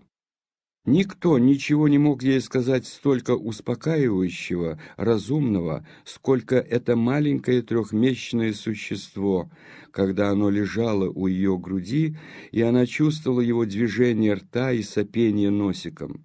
Существо это говорило, ты сердишься, ты ревнуешь, ты хотела бы ему отмстить, ты боишься, а я вот он, а я вот он. И отвечать нечего было. Это было больше, чем правда. Наташа в эти две недели беспокойства так часто прибегала к ребенку за успокоением, так возилась над ним, что она перекормила его, и он заболел. Она ужасалась его болезни, а вместе с тем этого-то ей и нужно было. Ухаживая за ним, она легче переносила беспокойство о муже. Она кормила, когда зашумел у подъезда вазок Пьера, и няня, знавшая, чем обрадовать барыню, неслышно, но быстро, сияющим лицом, вошла в дверь. «Приехал?» Быстрым шепотом спросила Наташа, боясь пошевелиться, чтобы не разбудить засыпавшего ребенка. «Приехали, матушка!» — прошептала няня. Кровь бросилась в лицо Наташи, и ноги невольно сделали движение, но вскочить и бежать было нельзя. Ребенок опять открыл глазки, взглянул. «Ты тут?» — как будто сказал он, и опять лениво зачмокал губами. Потихоньку отняв грудь, Наташа покачала его, передала няне и пошла быстрыми шагами в дверь. Но у двери она остановилась, как бы почувствовав упрек совести за то, что, обрадовавшись, слишком скоро оставила ребенка, и оглянулась. Няня, подняв локти, переносила ребенка за перильца кроватки. «Да уж идите, идите, матушка, будьте покойны, идите!»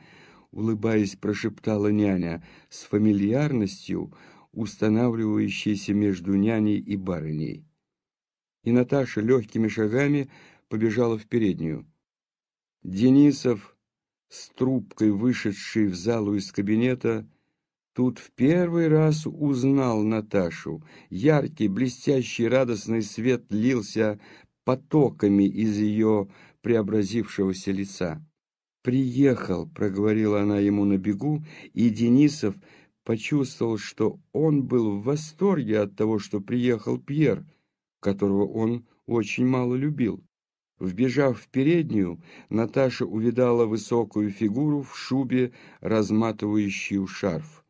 «Он, он, правда, вот он», — проговорила она сама с собой, — и, налетев на него, обняла, прижала к себе головой к груди и потом, отстранив, взглянула на заиндевевшее румяное и счастливое лицо Пьера. Да, это он, счастливый, довольный. И вдруг она вспомнила все те муки ожидания, которые она перечувствовала в последние две недели. Сияющая на ее лице радость скрылась, она нахмурилась, и поток упреков и злых слов излился на Пьера. «Да, тебе хорошо, ты очень рад, ты веселился, а каково мне? Хоть бы ты детей пожалел, я кормлю, у меня молоко испортилось. Петя был при смерти, а тебе очень весело, да, тебе весело. Пьер знал, что он не виноват, потому что ему нельзя было приехать раньше. Знал, что этот взрыв с ее стороны неприличен, и знал, что через две минуты это пройдет. Он знал, главное, что ему самому было весело и радостно. Он бы хотел улыбнуться, но не посмел подумать об этом. Он сделал жалкое испуганное лицо и согнулся. Я не мог, ей-богу. Но что, Петя? Теперь ничего, пойдем. Как тебе не совестно? Как бы ты мог видеть, какая я без тебя, как я мучилась. Ты здорова? «Пойдем, пойдем», — говорила она, не выпуская его руки, и они пошли в свои комнаты. Когда Николай с женою пришли отыскать Пьера, он был в детской и держал на своей огромной правой ладони проснувшегося грудного сына и тетешкал его. На широком лице его с раскрытым беззубым ртом остановилась веселая улыбка. Буря уже давно вылилась, и яркое радостное солнце сияло на лице Наташи, умиленно смотревшей на мужа и сына. «И хорошо все переговорили с князем Федором?» — говорила Наташа. «Да, отлично. Видишь, держит?» Голову разумела Наташа. «Ну, как он меня напугал! А княгиню видел?» Правда, что она влюблена в этого? Да, можешь себе представить. В это время вошли Николай с графиней Марьей. Пьер, не спуская с рук сына, нагнувшись, поцеловался с ними и отвечал на расспросы. Но, очевидно, несмотря на многое интересное, что нужно было переговорить, ребенок в колпачке с качающейся головой поглощал все внимание Пьера. «Как мил!» — сказала графиня Мария, глядя на ребенка и играя с ним. «Вот этого я не понимаю, Никола», — обратилась она к мужу. «Как ты не понимаешь прелесть этих чудо-прелестей?» «Не понимаю, не могу», — сказал Николай холодным взглядом, глядя на ребенка. «Кусок мяса. Пойдем, Пьер». «Ведь главное, он такой нежный отец», — сказала графиня Мария, оправдывая своего мужа. «Но только когда уже год, или это...» «Нет, Пьер отлично их нянчит», — сказала Наташа. «Он говорит, что у него рука как раз сделана по задку ребенка. Посмотрите». «Ну, только не для этого», — вдруг, смеясь, сказал Пьер, — перехватывая ребенка и передавая его няне.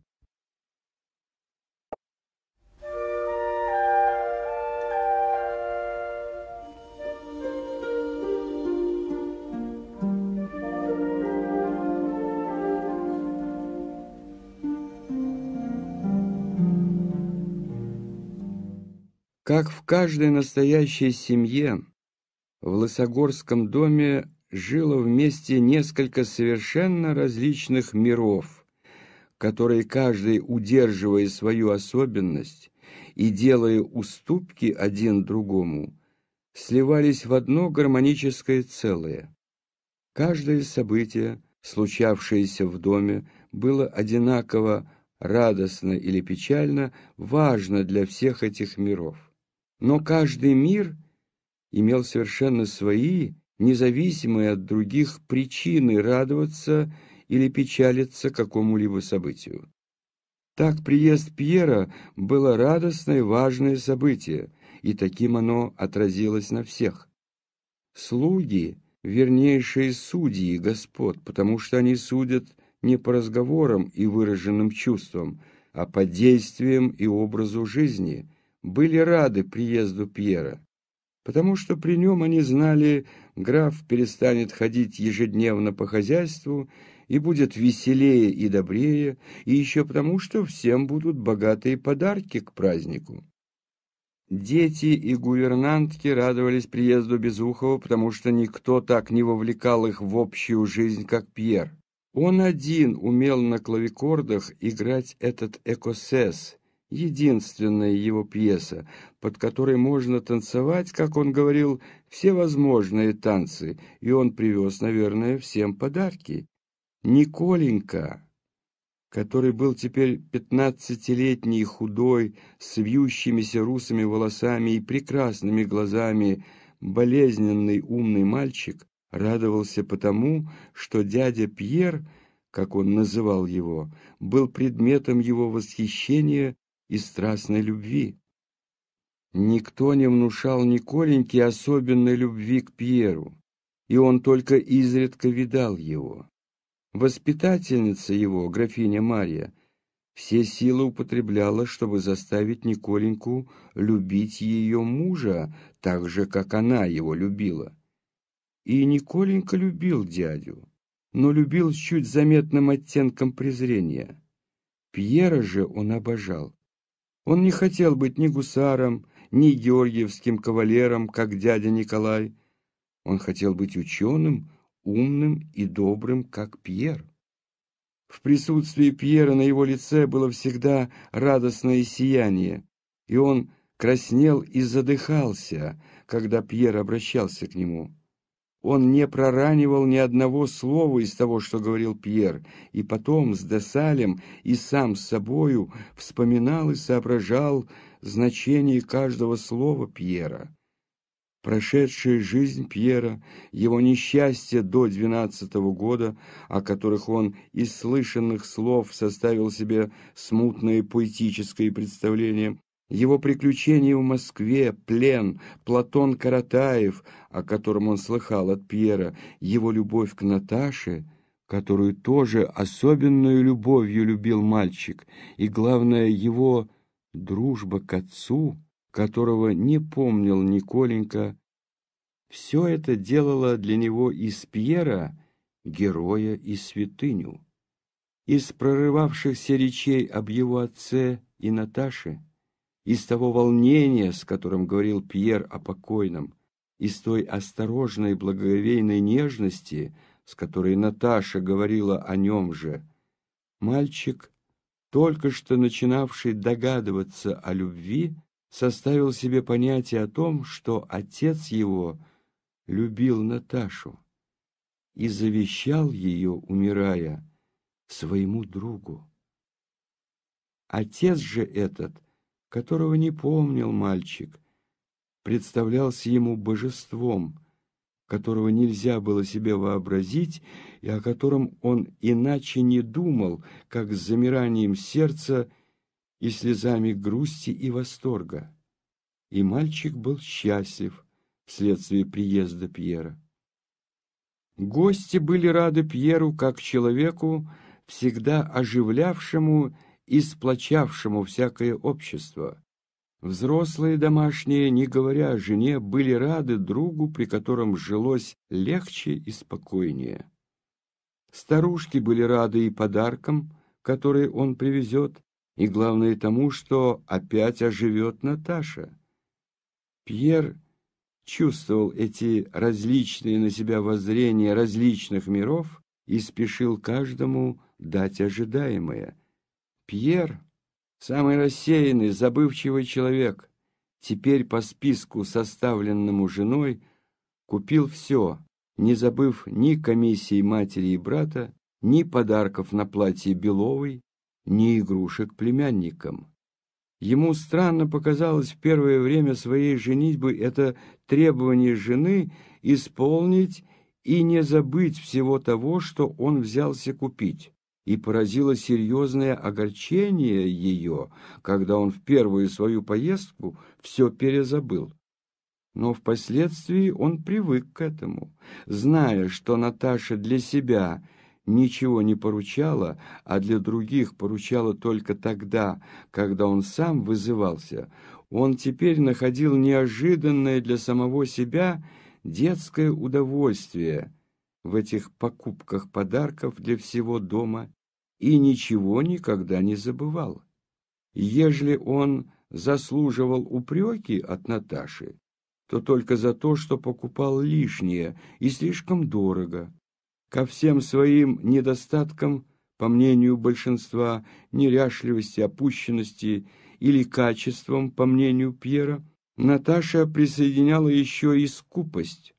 С того самого времени, как Пьер стал жить большим домом, семьей, требующих больших расходов, он, к удивлению своему, заметил, что он проживал вдвое меньше, чем прежде, что его расстроенные последнее время, в особенности долгами первой жены, дела стали поправляться.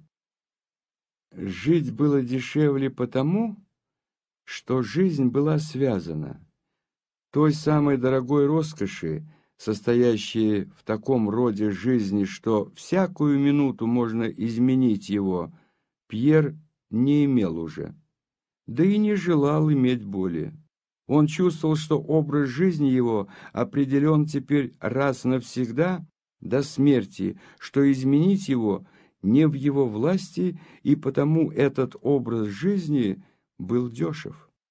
Пьер с веселым, улыбающимся лицом разбирал свои покупки. «Каково, — говорил он, развертывая, как лавочник, кусок ситца, — Наташа, держа на коленях старшую дочь и быстро переводя сияющие глаза с мужа на то, что он показывал, сидела против него.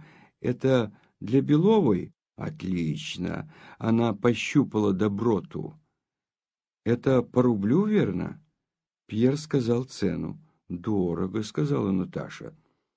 «Ну, как дети рады будут и маман!» «Только напрасно ты мне это купил», — прибавила она, не в силах удержать улыбку, любуясь на золотой с жемчугами гребень, которые тогда только стали входить в моду. «Меня Адель сбила купить да купить», — сказал Пьер. «Когда же я надену?» — Наташа вложила его в косу. «Это Машеньку вывозить. Может, тогда опять будут носить. Ну, пойдем» и, забрав подарки, они пошли сначала в детскую, потом к графине. Графиня по обычаю сидела с Беловой за гран-пасьянсом, когда Пьер и Наташа со свертками под мышками вошли в гостиную. Графине было уже за шестьдесят лет. Она была совсем седа и носила чепчик, обхватывавший все лицо рюшем. Лицо ее было сморщено, верхняя губа ушла, и глаза были тусклы. После так быстро последовавших одна за другой смертей сына и мужа, она чувствовала себя нечаянно забытым на этом свете существом, не имеющим никакой цели и смысла. Она ела, пила, спала, бодрствовала, но она не жила. Жизнь не давала ей никаких впечатлений. Ей ничего не нужно было от жизни, кроме спокойствия, и спокойствие это она могла найти только в смерти.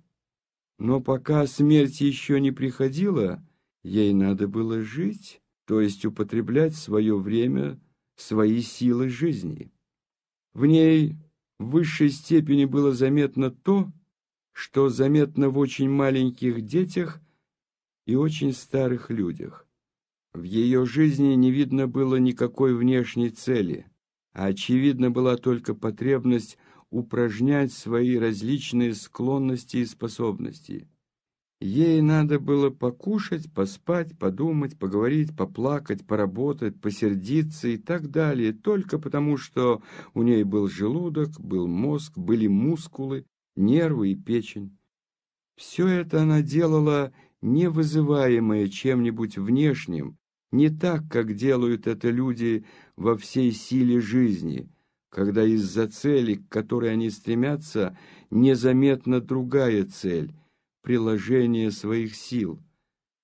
Она говорила только потому, что ей физически надо было поработать легкими языком. Она плакала, как ребенок, потому что ей надо было просморкаться и так далее. То, что для людей в полной силе представляется целью, для нее был, очевидно, предлог. Так поутру, в особенности, ежели накануне она покушала чего-нибудь жирного, в ней являлась потребность посердиться, и тогда она выбирала ближайший предлог — глухоту Беловой. Она с другого конца комнаты начинала говорить ей что-нибудь тихо. «Нынче, кажется, теплее, моя милая», — говорила она шепотом, и когда Белова отвечала «Как же, приехали», она сердито ворчала «Боже мой, как глуха и глупа». Другой предлог был нюхательный табак, который ей казался то сух, то сыр, то дурно растерт. После этих раздражений желчь разливалась у нее в лице, и горничные ее знали по верным признакам, когда будет опять глуха Белова, и опять табак сделается сыр, и когда будет желтое лицо. Так как ей нужно было поработать с желчью, так ей нужно было иногда поработать остававшимися способностями мыслить, и для этого предлогом был пасьянс. Когда нужно было поплакать, тогда предметом был покойный граф. Когда нужно было тревожиться, предлогом был Николай и его здоровье. Когда нужно было язвительно поговорить, тогда предлогом была графиня Мария. Когда нужно было дать упражнение органу голоса, это бывало большей частью в седьмом часу, после пищеварительного отдыха в темной комнате. Тогда предлогом были рассказы все одних и тех же историй и все одним и тем же слушателям. Это состояние старушки понималось всеми домашними, хотя никто никогда не говорил об этом – и всеми употреблялись всевозможные усилия для удовлетворения этих ее потребностей. Только в редком взгляде и грустной полуулыбке, обращенной друг к другу между Николаем, Пьером, Наташей и Марией, бывало выражаемо это взаимное понимание ее положения. Но взгляды эти, кроме того, говорили еще другое. Они говорили о том, что она сделала уже свое дело в жизни, что она не вся в том, что теперь видно в ней, о том, что и все мы будем такие же, и что радостно покоряться ей, сдерживать себя для этого когда-то дорогого, когда-то такого полного, как и мы, жизни, теперь жалкого существа. «Мементо мори», — говорили эти взгляды. Только совсем дурные и глупые люди да маленькие дети из всех домашних не понимали этого и чуждались ее.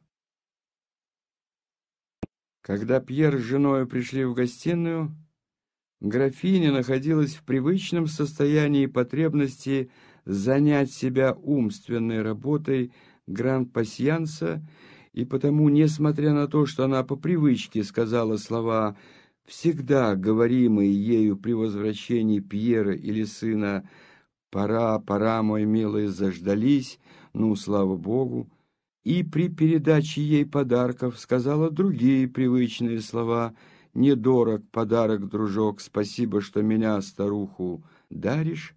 Видимо было, что приход Пьера был ей неприятен в эту минуту потому что отвлекал ее от недоложенного гран-пасьянса. Она окончила пасьянс и тогда только принялась за подарки.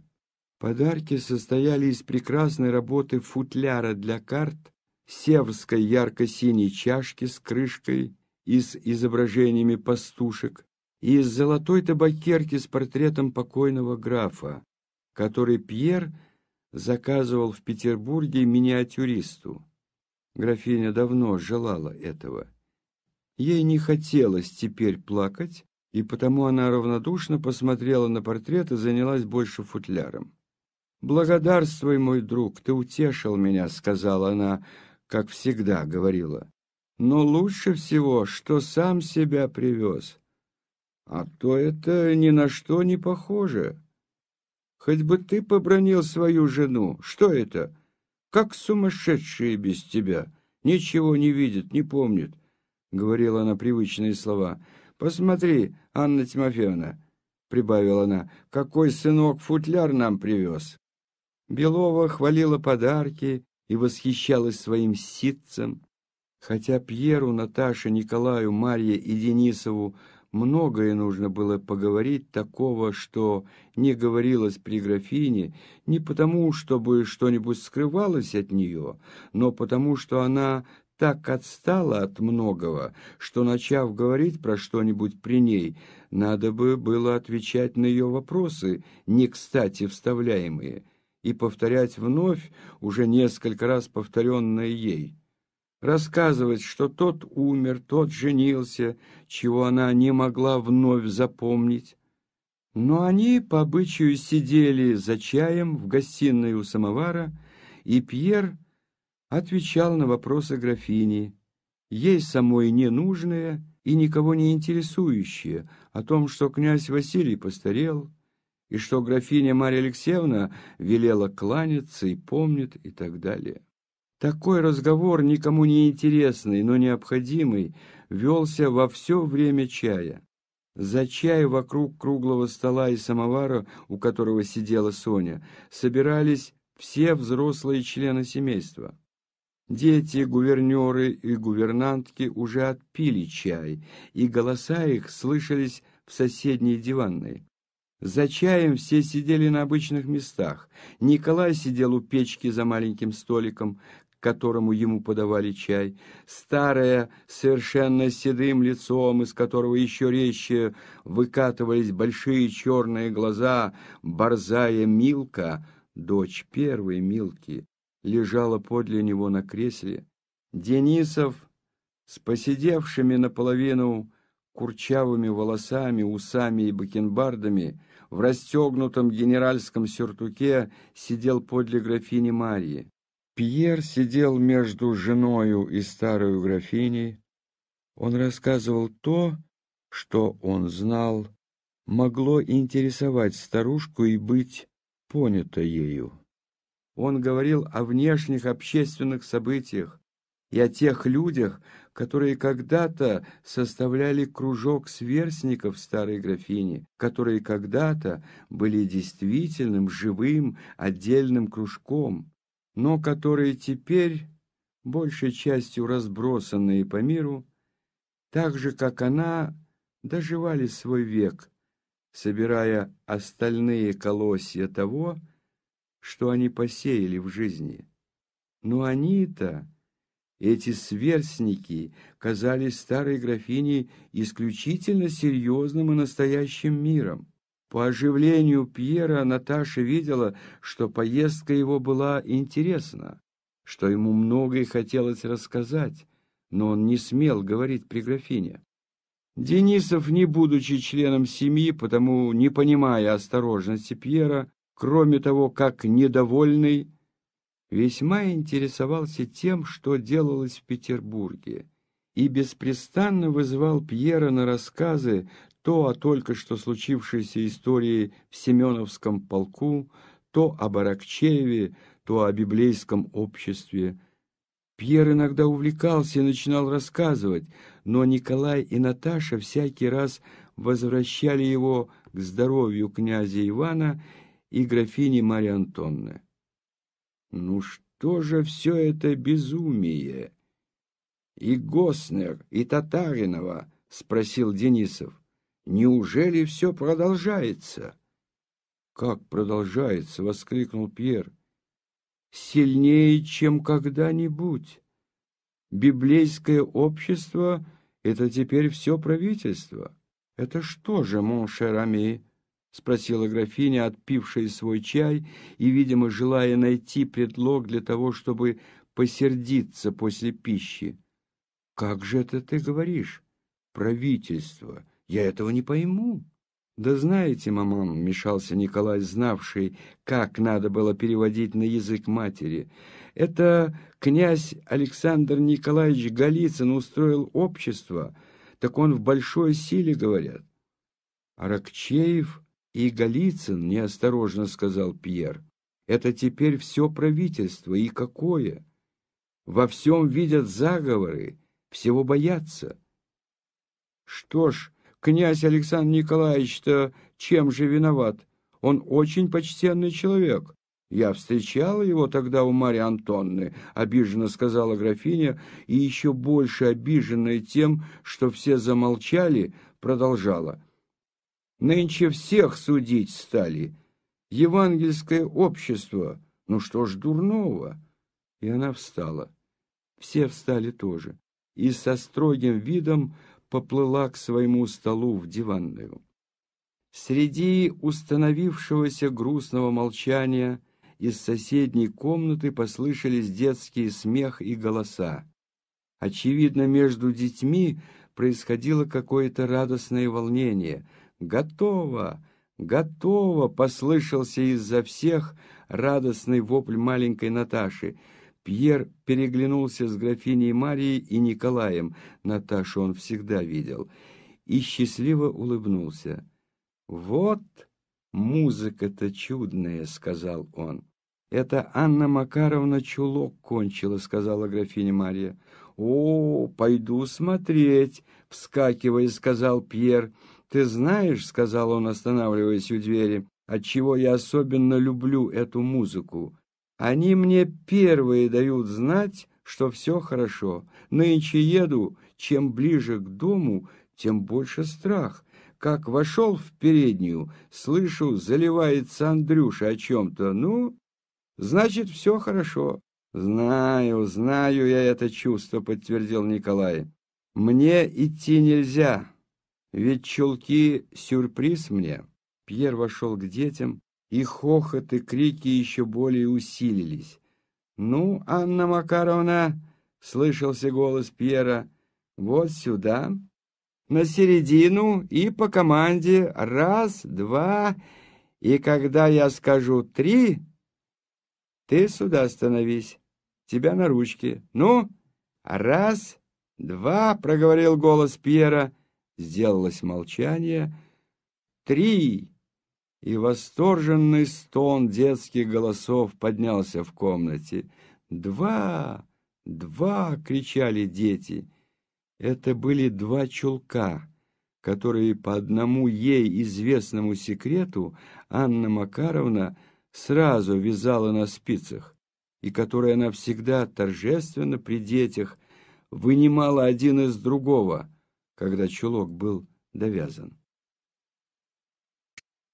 Вскоре после этого дети пришли прощаться. Дети перецеловались со всеми, гувернеры и гувернантки раскланялись и вышли. Оставался один Десаль со своим воспитанником. Гувернер шепотом приглашал своего воспитанника идти вниз. «Нет, мсье Десаль, я попрошусь у тетеньки остаться», отвечал также шепотом Николенька Балконский. «Тетенька, позвольте мне остаться», — сказал Николенька, подходя к тетке. Лицо его выражало мольбу, волнение и восторг. Графиня Мария поглядела на него и обратилась к Пьеру. «Когда вы тут, он оторваться не может», — сказала она ему. «Я сейчас приведу вам его, мсье Досаль. Покойной ночи», — сказал Пьер, подавая швейцарцу руку и, улыбаясь, обратился к Николеньке. «Мы совсем не видались с тобой». «Мария, как он похож становится», — прибавил он, обращаясь к графине Марье. «На отца?» — сказал мальчик, багрово вспыхнув и снизу вверх глядя на Пьера восхищенными блестящими глазами. Пьер кивнул ему головой, и продолжал прерванный детьми рассказ. Графиня Мария работала на руках по конве. Наташа, не спуская глаз, смотрела на мужа. Николай и Денисов вставали, спрашивая трубки, курили, брали чай у Сони, сидевшей уныло и упорно за самоваром, и расспрашивали Пьера. Кудрявый болезненный мальчик со своими блестящими глазами сидел никем не замечаемый в уголку и только поворачивая кудрявую голову на тонкой шее, выходившей из отложных воротничков, в ту сторону, где был Пьер. Он изредка вздрагивал и что-то шептал сам с собою, видимо, испытывая какое-то новое и сильное чувство. Разговор вертелся на той современной сплетне из высшего управления, в которой большинство людей видит обыкновенно самый важный интерес внутренней политики. Денисов, недовольный правительством за свои неудачи по службе, с радостью узнавал все глупости, которые, по его мнению, делались теперь в Петербурге, и в сильных и резких выражениях делал свои замечания на слова Пьера. «Прежде немцам надо было быть, теперь надо плясать с Татагиновой и мадам Крюднер, читать Экарсгаузена и братью». Ох, спустил бы опять молодца нашего Бонапарта. Он бы всю дурь повыбил. Ну, на что, похоже, солдату Шварцу дают Семеновский полк? — кричал он.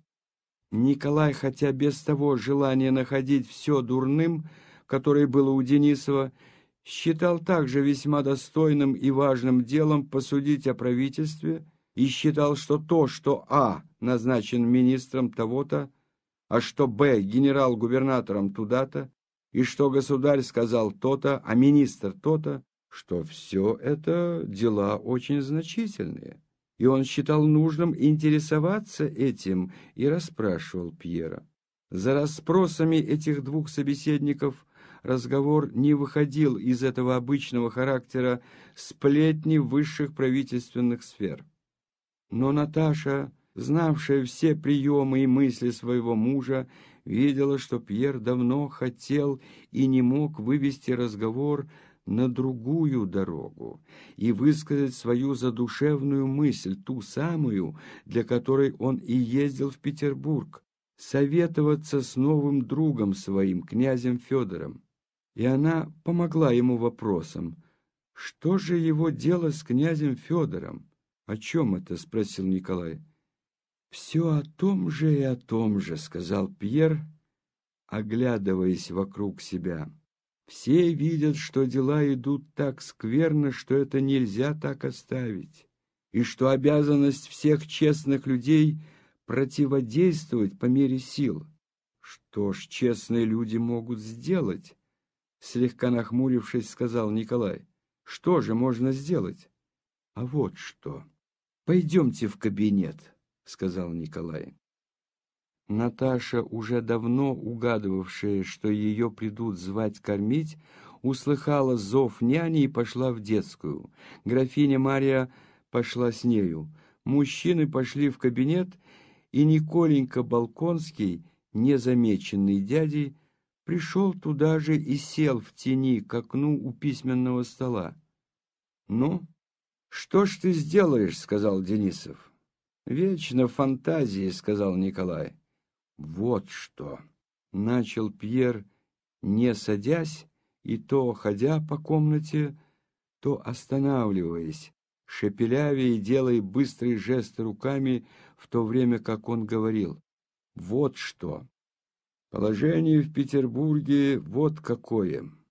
Государь ни во что не входит. Он весь предан этому мистицизму, Мистицизма Пьер никому не прощал теперь. Он ищет только спокойствия. И спокойствие ему могут дать только те люди, без совести и чести, которые рубят и душат все с плеча, Магнитский, Аракчеев и тому подобные. Ты согласен, что ежели бы ты сам не занимался хозяйством, а хотел только спокойствия, то чем жесточе бы был твой бурмистр, тем скорее ты бы достиг цели, — обратился он к Николаю.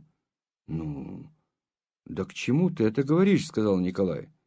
— Ну и все гибнет. В судах воровство. В армии одна палка, шагистика, поселение, мучат народ, просвещение душат. Что молодо, честно, то губят.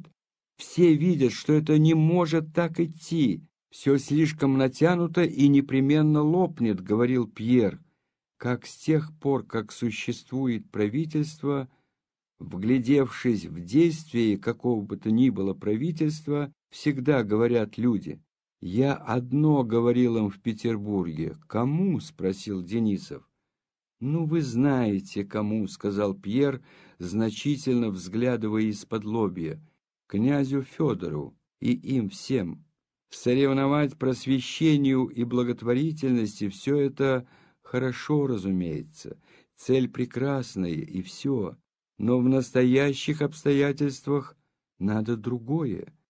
В это время Николай заметил присутствие племянника. Лицо его сделалось мрачно, он подошел к нему — Зачем ты здесь? Отчего? Оставь его, сказал Пьер, взяв за руку Николая и продолжал. Этого мало. Я им говорю, теперь нужно другое. Когда вы стоите и ждете, что вот-вот лопнет эта натянутая струна, когда все ждут неминуемого переворота, надо как можно теснее и больше народа взяться рука с рукой чтобы противостоять общей катастрофе. Все молодое и сильное притягивается туда и развращается. Одного соблазняют женщины, другого почести, третьего тщеславие, деньги, и они переходят в тот лагерь. Независимых, свободных людей, как вы и я, совсем не остается. Я говорю, расширьте круг общества, Лозунг пусть будет не одна добродетель, но независимость и деятельность. Николай, оставив племянника, сердито передвинул кресло, сел в него и, слушая Пьера, недовольно покашливал и все больше и больше хмурился. «Да с какой же целью деятельность?» — вскрикнул он. «И в какие отношения станете вы к правительству?» Вот в какие. В отношении помощников. Общество может быть не тайное, ежели правительство его допустит. Оно не только не враждебное правительству, но это общество настоящих консерваторов, общество джентльменов в полном значении этого слова. Мы только для того, чтобы завтра Пугачев не пришел зарезать и моих, и твоих детей, и чтобы Аракчеев не послал меня в военное поселение, мы только для этого беремся рука с рукой с одной целью общего блага и общей безопасности. Да, но тайное общество, следовательно, враждебное и вредное, которое может породить только зло, возвышая голос, сказал Николай. Отчего? Разве Тугенбунт, который спас Европу, тогда еще не смели думать, что Россия спасла Европу, произвел что-нибудь вредное? Тугенбунт — это союз добродетелей, это любовь, взаимная помощь. Это то, что на кресте проповедовал Христос. Наташа, вошедшая в середине разговора в комнату, радостно смотрела на мужа. Она не радовалась тому, что он говорил. Это даже не интересовало ее, потому что ей казалось, что все это было чрезвычайно просто, и что она все это давно знала. Ей казалось это, потому что она знала то, из чего все это выходило, всю душу Пьера. Но она радовалась, глядя на оживленную, восторженную фигуру. Еще более радостно восторженно смотрел на Пьера забытый всеми мальчик с тонкой шеей, выходивший из отложных воротничков. Всякое слово Пьера жгло его сердце, и он нервным движением пальцев ломал, сам не замечая этого, попадавшиеся ему в руки сургучи и перья на столе дяди совсем не то, что ты думаешь, а вот что такое был немецкий Тугенбунд и тот, который я предлагаю. Ну, брат, это колбасникам хорошо Тугенбунд, а я этого не понимаю, да и не выговорю. Послышался громкий решительный голос Денисова. Все скверное и мерзко, я согласен, только Тугенбунд я не понимаю. А не нравится, так бунт. Вот это так. Тогда я ваш. Пьер улыбнулся, Наташа засмеялась, но Николай еще более сдвинул брови и стал доказывать Пьеру, что никакого переворота не предвидится, и что вся опасность, о которой он говорит, находится только в его воображении. Пьер доказывал противное, и так как его умственные способности были сильнее и изворотливее, Николай почувствовал себя поставленным в тупик. Это еще больше рассердило его, так как он в душе своей не по рассуждению, а почему-то сильнейшему, чем рассуждение, знал несомненную справедливость своего мнения. «Я вот что тебе скажу», — проговорил он, вставая и нервным движением уставляя в угол трубку и, наконец, бросив ее. «Доказать я тебе не могу. Ты говоришь, что у нас все скверно и что будет переворот. Я этого не вижу. Но ты говоришь, что присяга — условное дело. И на это я тебе скажу, что ты лучший мой друг, ты это знаешь. Но составь вы тайное общество — Начни вы противодействовать правительству, какое бы оно ни было, я знаю, что мой долг повиноваться ему. И вели мне сейчас, Аракчеев, идти на вас с эскадроном и рубить, ни на секунду не задумаюсь и пойду, а там суди как хочешь. После этих слов произошло неловкое молчание. Наташа первая заговорила, защищая мужа и нападая на брата. Защита ее была слаба и неловка, но цель ее была достигнута. Разговор снова возобновился, и уже не в том неприятно враждебном тоне, в котором сказаны были последние слова Николая. Когда все поднялись к ужину, Николенька Балконский подошел к Пьеру, бледный, с блестящими лучистыми глазами. «Дядя Пьер, вы... Нет, ежели бы папа был жив, он бы согласен был с вами?» — спросил он. Пьер вдруг понял, какая особенная, независимая, сложная и сильная работа чувства и мысли должна была происходить в этом мальчике во время его разговора и, вспомнив все, что он говорил, ему стало досадно, что мальчик слышал это. Однако надо было ответить ему. «Я думаю, что да», — сказал он неохотно и вышел из кабинета. Мальчик нагнул голову, и тут в первый раз как будто заметил то, что он наделал на столе. Он вспыхнул и подошел к Николаю. «Дядя, извини меня». «Это я сделал нечаянно», — сказал он, показывая на поломанные сургучи и перья. Николай сердито вздрогнул. «Хорошо, хорошо», — сказал он, бросая под стол куски сургуча и перья. И, видимо, с трудом удерживая поднятый в нем гнев, он отвернулся от него. «Тебе вовсе тут и быть не следовало», — сказал он. За ужином разговор не шел более о политике и обществах, а, напротив, затеялся самый приятный для Николая, о воспоминаниях двенадцатого года, на который вызвал Денисов и в котором Пьер был особенно мил и забавен. И родные разошлись в самых дружеских отношениях. Когда после ужина Николай, раздевшись в кабинете и отдав приказание заждавшемуся управляющему, пришел в халате в спальню, он застал жену еще за письменным столом. Она что-то писала. «Что ты пишешь, Мари?» — спросил Николай. Графиня Мария покраснела. Она боялась, что то, что она писала, не будет понято и одобрено мужем. Она бы желала скрыть от него то, что она писала, но вместе с тем и рада была тому, что он застал ее и что надо сказать ему. «Это дневник Никола», — сказала она, подавая ему синенькую тетрадку, исписанную ее твердым крупным почерком. «Дневник?» С оттенком насмешливости сказал Николай и взял в руки тетрадку. Было написано по-французски. 4 декабря. Нынче Андрюша, старший сын, проснувшись, не хотел одеваться, и мадемуазель Луиза прислала за мной.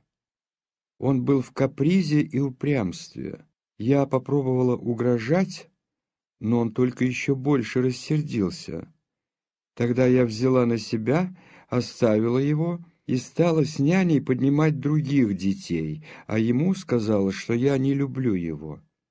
Он долго молчал, как бы удивившись. Потом в одной рубашонке выскочил ко мне и разрыдался так, что я долго его не могла успокоить.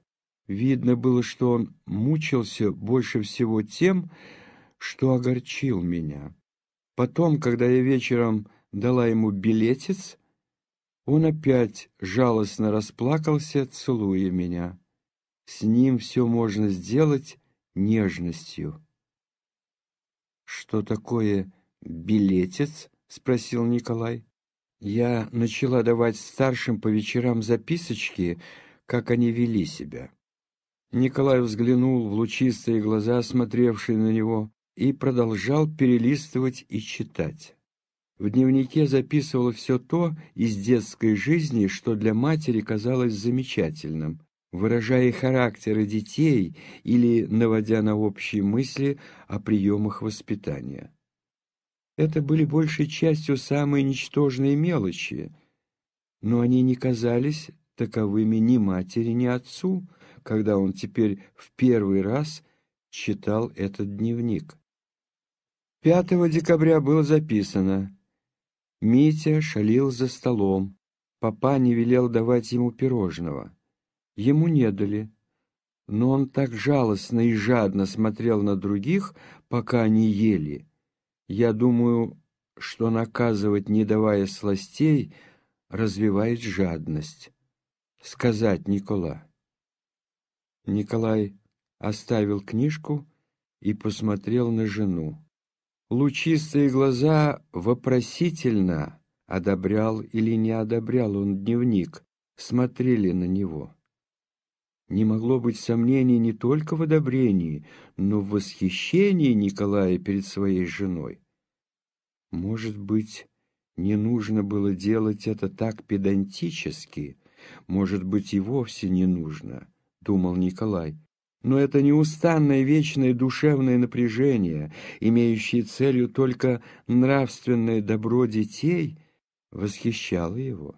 Ежели бы Николай мог сознавать свое чувство, то он нашел бы, что главное основание его твердой, нежной и гордой любви к жене имело основанием всегда это чувство удивления перед ее душевностью, перед тем почти недоступным для Николая возвышенным нравственным миром, в котором всегда жила его жена.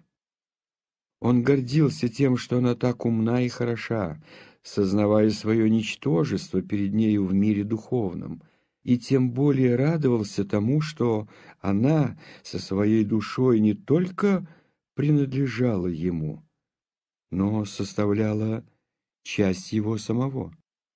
«Очень и очень одобряю, мой друг», — сказал он со значительным видом и, помолчав немного, он прибавил. «А я нынче скверно себя вел. Тебя не было в кабинете. Мы заспорили с Пьером, и я погорячился. Да невозможно, это такой ребенок. Я не знаю, что бы с ним было, ежели бы Наташа не держала его за узцы. Можешь себе представить, зачем ездил в Петербург? Они там устроили «Да, я знаю», — сказала графиня Мария. «Мне Наташа рассказала». «Ну так ты знаешь», — горячась при одном воспоминании о споре продолжал Николай. «Он хочет меня уверить, что обязанность всякого честного человека состоит в том, чтобы идти против правительства, тогда как присяга и долг... Я жалею, что тебя не было». А то на меня все напали, и Денисов, и Наташа. Наташа уморительно. Ведь как она его под башмаком держит? А чуть дело до рассуждений, у ней своих слов нет. Она так его словами и говорит, — прибавил Николай, поддаваясь тому непреодолимому стремлению, которое вызывает насуждение о людях самых дорогих и близких. Николай забывал, что слово в слово то же, что он говорил о Наташе, можно было сказать о нем в отношении его жены. «Да, я это замечала», — сказала графиня Мария. «Когда я ему сказал, что долг и присяга выше всего, он стал доказывать бог знает что. Жаль, что тебя не было. Что бы ты сказала?» «По-моему, ты совершенно прав». Я так и сказала Наташе. Пьер говорит, что все страдают, мучатся, развращаются, и что наш долг — помочь своим ближним. Разумеется, он прав, — говорила графиня Мария, но он забывает, что у нас есть другие обязанности ближе, которые сам Бог указал нам, и что мы можем рисковать собой, но не детьми.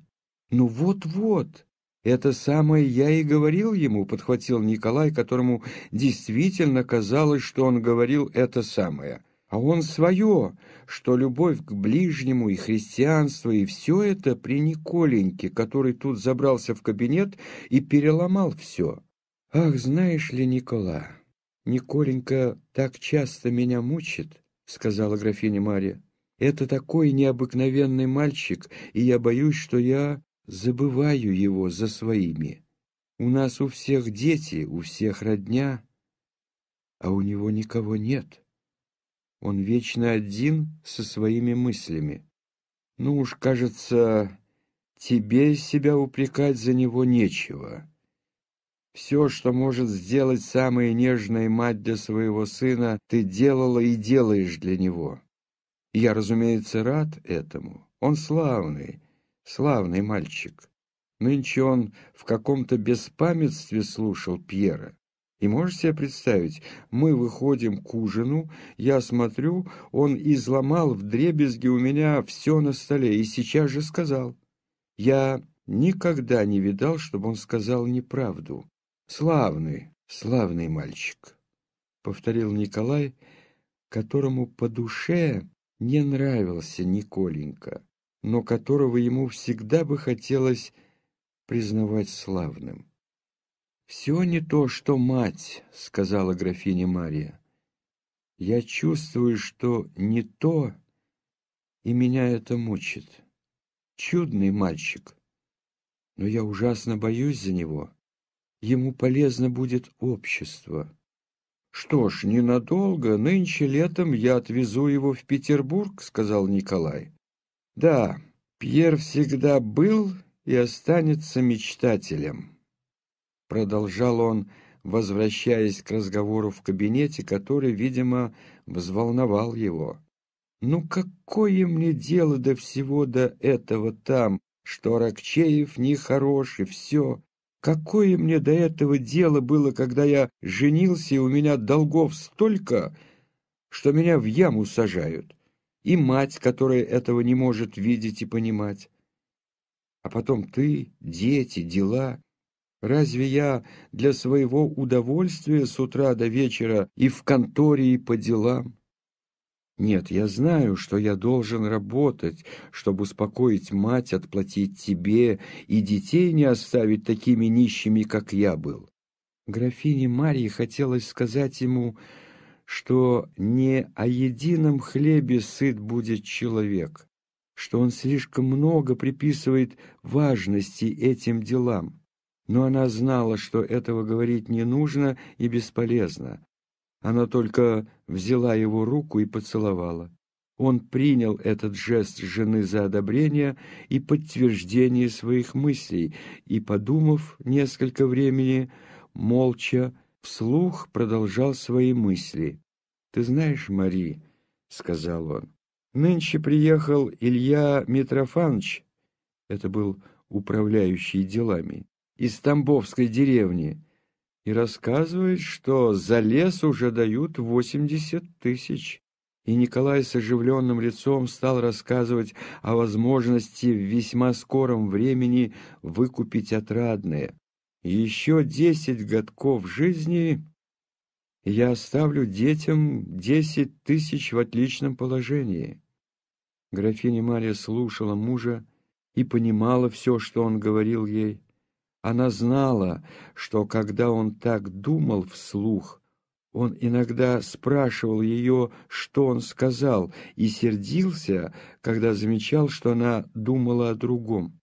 Но она делала для этого большие усилия, потому что ее нисколько не интересовало то, что он говорил. Она смотрела на него и не то что думала о другом, а чувствовала о другом. Она чувствовала покорную нежную любовь к этому человеку, который никогда не поймет всего того, что она понимает. И как бы от этого она еще сильнее, с оттенком страстной нежности, любила его. Кроме этого чувства, поглощавшего ее всю и мешавшего ей вникать в подробности планов мужа, в голове ее мелькали мысли, не имеющие ничего общего с тем, о чем он говорил. Она думала о племяннике. Рассказ мужа о его волнении при разговоре Пьера сильно поразил ее. Различные черты его нежного, чувствительного характера представлялись ей, и она, думая о племяннике, думала и о своих детях. Она не сравнивала племянника и своих детей, но она сравнивала свое чувство к ним и с грустью находила, что в чувстве ее к Николеньке чего-то недоставало. Иногда ей приходила мысль, что различие это происходит от возраста, но она чувствовала, что была виновата перед ним, и в душе своей обещала себе исправиться и сделать невозможное, то есть в этой жизни любить и своего мужа, и детей, и Николеньку, и всех ближних так, как Христос любил человечество. Душа графини Марии всегда стремилась к бесконечному, вечному и совершенному, и потому никогда не могла быть покойна. На лице ее выступило строгое выражение затаенного высокого страдания души, тяготящейся телом. Николай посмотрел на нее. «Боже мой, что с нами будет, если она умрет, как это мне кажется, когда у нее такое лицо?» — подумал он. И, став перед образом, он стал читать вечерние молитвы. Наташа, оставшись с мужем одна, тоже разговаривала так, как только разговаривает жена с мужем, то есть с необыкновенной ясностью и быстротой познавая и сообщая мысли друг друга путем противным всем правилам логики, без посредства суждений, умозаключений и выводов, а совершенно особенным способом. Наташа до такой степени привыкла говорить с мужем этим способом, что верным признаком того, что что-нибудь было неладно между ей и мужем, для нее служил логический ход мысли Пьера, когда он начинал доказывать, говорить рассудительно и спокойно, и когда она, увлекаясь его примером, начинала делать то же, она знала, что это непременно поведет к ссоре. С того самого времени, как они остались одни, и Наташа с широко раскрытыми счастливыми глазами подошла к нему тихо и вдруг, быстро схватив его за голову, прижала ее к своей груди и сказала «Теперь весь, весь мой, мой, не уйдешь. С этого времени Начался этот разговор, противный всем законам логики, противный уже потому, что в одно и то же время говорилось о совершенно различных предметах. Это одновременное обсуждение многого не только не мешало ясности понимания, но, напротив, было вернейшим признаком того, что они вполне понимают друг друга. Как в сновидении все бывает неверно, бессмысленно и противоречиво, кроме чувства, руководящего сновидением, так и в этом общении, противном всем законам рассудка, последовательны и ясны не речи, а только чувства, которые руководит ими. Наташа рассказывала Пьеру о житье-бытие брата, о том, как она страдала, а не жила без мужа, и о том, как она еще больше полюбила Мари, и о том, как Мари во всех отношениях лучше ее. Говоря это, Наташа признавалась искренне в том, что она видит превосходство Мари, но вместе с тем она, говоря это, требовала от Пьера, чтобы он все-таки предпочитал ее, Мари и всем другим женщинам. И теперь вновь, особенно после того, как он видел много женщин в Петербурге, повторил бы ей это. Пьер, отвечая на слова Наташи, рассказал ей, как невыносимо было для него в Петербурге бывать на вечерах и обедах с дамами. «Я совсем разучился говорить с дамами», — сказал он. «Просто скучно. Особенно я так был занят». Наташа пристально посмотрела на него и продолжала. «Мари — это такая прелесть», — сказала она. «Как она умеет понимать детей! Она как будто только душу их видит. Вчера, например, Митенька стал капризничать. «Ах, как он похож на отца!» — перебил Пьер. Наташа поняла, почему он сделал это замечание о сходстве Митеньки с Николаем. Ему неприятно было воспоминание о его споре с Шурином, и хотелось знать об этом мнение Наташи. У Николеньки есть эта слабость, что если что не принято всеми, он ни за что не согласится, а я понимаю, что ты именно дорожишь тем, чтобы открыть поприще, сказала она, повторяя слова, раз сказанные Пьером. Нет, главное для Николая, сказал Пьер, мысли и рассуждения — забава, почти препровождение времени. Вот он собирает библиотеку и за правило поставил не покупать новые книги, не прочтя купленной и Сисмонди, и Руссо, и Монтескье, — с улыбкой прибавил Пьер. Ты ведь знаешь, как я его... Начал был он смягчать свои слова, но Наташа перебила его, давая чувствовать, что это не нужно. «Так ты говоришь, для него мысли забава?» «Да, а для меня все остальное забава. Я все время в Петербурге, как во сне всех видел. Когда меня занимает мысль, то все остальное забава. Ах, как жаль, что я не видала, как ты здоровался с детьми, сказала Наташа. Которой больше всех обрадовалась? Верно, Лиза? Да, сказал Пьер и продолжал то, что занимало его. Николай говорит, что мы не должны думать. Да я не могу. Не говоря уже о том, что в Петербурге я чувствовал это, я тебе могу сказать, что без меня все это распадалось, каждый тянул в свою сторону. Но мне удалось всех соединить, и потом моя мысль так проста и ясна. Ведь я не говорю, что мы должны противодействовать тому-то и тому-то. Мы можем ошибаться. А я говорю, Возьмемтесь рука с рукою, те, которые любят добро, и пусть будет одно знамя — деятельный добродетель. Князь Сергий славный человек и умен. Наташа не сомневалась бы в том, что мысль Пьера была великая мысль, но одно смущало ее.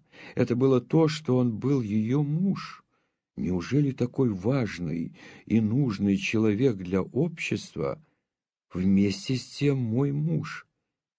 Отчего это так случилось? Ей хотелось выразить ему это сомнение.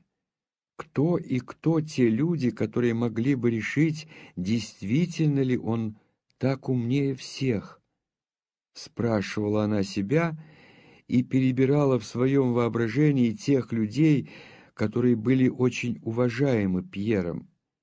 Никого из всех людей, судя по его рассказам, он так не уважал, как Платона Каратаева. «Ты знаешь, о чем я думаю?» — сказала она. «О Платоне Каратаеве.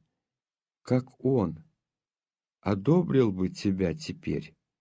Пьер нисколько не удивлялся этому вопросу. Он понял ход мыслей жены. «Платон Каратаев?» — сказал он и задумался, видимо, искренне стараясь представить себе суждение Каратаева об этом предмете. Он не понял бы. А, впрочем, я думаю, что да. «Я ужасно люблю тебя», — сказала вдруг Наташа. «Ужасно, ужасно». «Нет, не одобрил бы», — сказал Пьер, подумав. «Что он одобрил бы? Это нашу семейную жизнь. Он так желал видеть во всем благообразие, счастье, спокойствие, и я с гордостью показал бы ему нас. Вот ты говоришь «разлука», а ты не поверишь, какое особенное чувство я к тебе имею после разлуки. Да, вот еще, — начала была Наташа, — нет, не то. Я никогда не перестаю тебя любить и больше любить нельзя. А это особенно... Ну да. Он не договорил, потому что встретившийся взгляд их договорил остальное. «Какие глупости!» — сказала вдруг Наташа. «Медовый месяц, и что самое счастье в первое время, напротив, теперь самое лучшее» ежели бы ты только не уезжал. Помнишь, как мы ссорились? И всегда я была виновата, всегда я. И о чем мы ссорились, я не помню даже. «Все об одном», — сказал Пьер, улыбаясь. «Ревно не говори, терпеть не могу», — вскрикнула Наташа. И холодный злой блеск засветился в ее глазах. Ты видел ее?» Прибавила она, помолчав. «Нет, да и видел бы, не узнал». Они помолчали. «Ах, знаешь, когда ты в кабинете говорил, я смотрела на тебя», — заговорила Наташа, видимо, стараясь отогнать набежавшее облако. «Ну, две капли воды ты на него похож, на мальчика». Она так называла сына. Ах, пора к нему идти. Пришло, а жалко уходить. Они замолчали на несколько секунд. Потом вдруг в одно и то же время повернулись друг к другу и начали что-то говорить. Пьер начал с самодовольствием и увлечением, Наташа с тихой счастливой улыбкой. Столкнувшись они оба остановились, давая друг другу дорогу. «Нет, ты что? Говори, говори!» «Нет, ты скажи. Я так, глупости», — сказала Наташа. Пьер сказал то, что он начал. Это было продолжение его самодовольных рассуждений об его успехе в Петербурге.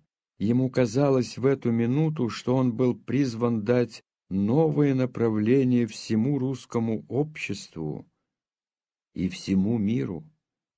Я хотел сказать только, что все мысли, которые имеют огромные последствия, всегда просты. Вся моя мысль в том, что ежели люди порочные связаны между собой и составляют силу, то людям честным надо сделать только то же самое. Ведь как просто? Да. А ты что хотела сказать? Я так, глупости. Нет, все-таки. Да ничего, пустяки, сказала Наташа, еще светлее просияв улыбкой. Я только хотела сказать про Петю. Нынче няня подходит взять его от меня. Он засмеялся, зажмурился и прижался ко мне, верно думал, что спрятался. Ужасно мил. Вот он кричит. Ну, прощай. И она пошла из комнаты.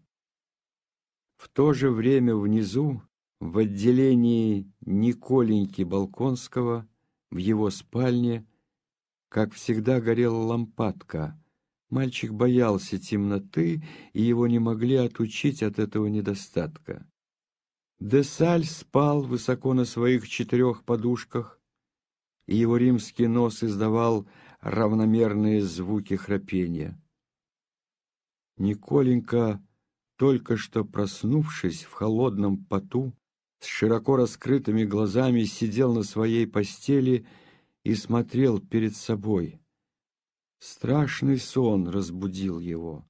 Он видел во сне себя и Пьера в касках, таких, которые были нарисованы в издании Плутарха. Они с дядей Пьером шли впереди огромного войска. Войско это было составлено из белых косых линий, наполнявших воздух подобно тем паутинам, которые летают осенью и которые Десаль называл нитями Богородицы. Впереди была слава, такая же, как и эти нити, но только несколько плотнее. Они, он и Пьер, неслись легко и радостно, все ближе и ближе к цели. Вдруг нити, которые двигали их, стали ослабевать, путаться, Стало тяжело, и дядя Николай Ильич остановился перед ними в грозной и строгой позе. «Это вы сделали?» — сказал он, указывая на поломанные сургучи и перья. «Я любил вас, но Аракчеев велел мне, и я убью первого, кто двинется вперед». Николенька оглянулся на Пьера но Пьера уже не было. Пьер был отец, князь Андрей, и отец не имел образа и формы, но он был. И, видя его, Николенька почувствовал слабость любви. Он почувствовал себя бессильным, бескостным и жидким. Отец ласкал и жалел его. Но дядя Николай Ильич все ближе и ближе надвигался на них. Ужас обхватил Николеньку, и он проснулся. «Отец», — думал он, — «отец». Несмотря на то, что в доме было два похожих портрета, Николенька никогда не воображал князя Андрея в человеческом образе. Отец был со мною и ласкал меня. Он одобрял меня, он одобрял дядю Пьера, что бы он ни говорил, я сделаю это. Муций Сцевола сжег свою руку. Но отчего ж и у меня в жизни не будет того же? Я знаю, они хотят, чтобы я учился, и я буду учиться, но когда-нибудь я перестану, и тогда я сделаю. Я только об одном прошу Бога, чтобы было со мною то, что было с людьми Плутарха, и я сделаю то же. Я сделаю лучше. Все узнают, все полюбят меня, все восхитятся мною. И вдруг Николенька почувствовал рыдание, захватившее его грудь, и заплакал. «Вы нездоровы?» — послышался голос Десаля. «Нет», отвечал Николенька и лег на подушку. Он добрый и хороший. Я люблю его, думал он о Десале. А дядя Пьер, о, какой чудный человек! А отец? Отец? Отец, да, я сделаю то, чем бы даже он был доволен. Часть вторая.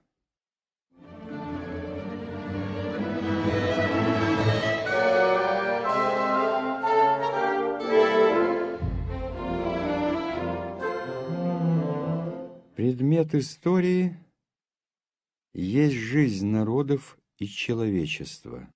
Непосредственно уловить и обнять словом, описать жизнь не только человечества, но одного народа, представляется невозможным. Все древние историки употребляли один и тот же прием для того, чтобы описать и уловить кажущуюся неуловимой жизнь народа. Они описывали деятельность единичных людей, правящих народом, и эта деятельность выражала для них деятельность всего народа. На вопросы о том, каким образом единичные люди заставляли действовать народы по своей воле и чем управлялась сама воля этих людей, древние отвечали на первый вопрос признанием воли божества, подчинявшей народы воле одного избранного человека, и на второй вопрос признанием того же божества, направляющего эту волю избранного к предназначенной цели. Для древних вопросы эти разрешались верою в непосредственное участие божества в делах человечества. Новая история в теории своей отвергла оба эти положения. Казалось бы, что отвергнув верование древних о подчинении людей божеству и об определенной цели, к которой ведутся народы, новая история должна бы была изучать не проявление власти, а причины, образующие ее. Но новая история не сделала этого. Отвергнув теории воззрения древних, она следует им на практике. Вместо людей, одаренных божественной властью и непосредственно руководимых волею божества, новая история поставила или героев, одаренных необыкновенными нечеловеческими способностями, или просто людей самых разнообразных свойств, от монархов до журналистов, руководящих массами. Вместо прежних угодных божеству целей народов, иудейского, греческого, римского, которые древним представлялись целями движения человечества, новая история поставила свои цели – благо французского, германского, английского и в самом своем высшем отвлечении цели блага цивилизации всего человечества – под которым разумеются обыкновенно народы, занимающие маленький северо-западный уголок большого материка. Новая история отвергла верование древних, не поставив на место их нового воззрения. И логика положения заставила историков, мнимо отвергавших божественную власть царей и фатум древних, прийти другим путем, к тому же самому, к признанию того, что первое – народы руководятся единичными людьми, и второе – что существует известная цель, которой движутся народы и человечество. Во всех сочинениях новейшей истории, от Гиббона до Бокля, несмотря на их кажущиеся разногласия и на кажущуюся новизну их воззрений, лежат в основе эти два старые неизбежные положения. Во-первых, историк описывает деятельность отдельных лиц, по его мнению, руководивших человечеством. Один считает таковыми одних монархов, полководцев, министров, другой, кроме монархов и ораторов, ученых, реформаторов, философов и поэтов.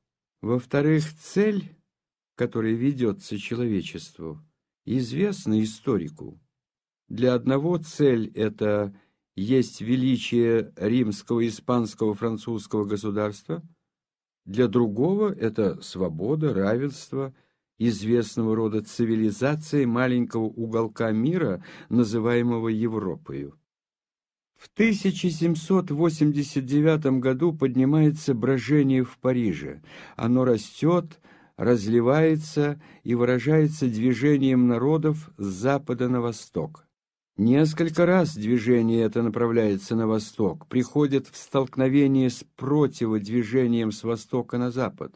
В двенадцатом году оно доходит до своего крайнего предела Москвы и с замечательной симметрией совершается противодвижение с востока на запад, точно так же, как и в первом движении, увлекая за собой серединные народы. Обратное движение доходит до точки исхода движения на западе до Парижа и затихает. И в этот двадцатилетний период времени огромное количество полей не паханы, дома сожжены, торговля переменяет направление, миллионы людей беднеют, богатеют, переселяются, и миллионы людей-христиан, исповедующих закон любви ближнего, убивают друг друга. Что такое все это значит? От чего произошло это? Что заставляло этих людей сжигать дома и убивать себе подобных? Какие были причины этих событий? Какая сила заставила людей поступать таким образом? Вот невольные, простодушные и самые законные вопросы, которые предлагает себе человечество, натыкаясь на памятники и предания прошедшего периода движения. За разрешением этих вопросов здравый смысл человечества обращается к науке истории, имеющей целью самопознание народов и человечества. Ежели бы история удержала воззрение древних, она бы сказала, божество в награду или в наказание своему народу дало Наполеону власть и руководило его волей для достижения своих божественных целей и ответ был бы полный и ясный. Можно было веровать или не веровать в божественное значение Наполеона, но для верующего в него во всей истории этого времени все было бы понятно, и не могло бы быть ни одного противоречия. Но новая история не может отвечать таким образом.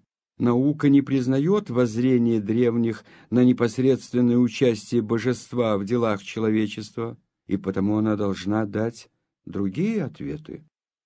Новая история, отвечая на эти вопросы, говорит, вы хотите знать, что значит это движение, от чего оно произошло и какая сила произвела эти события?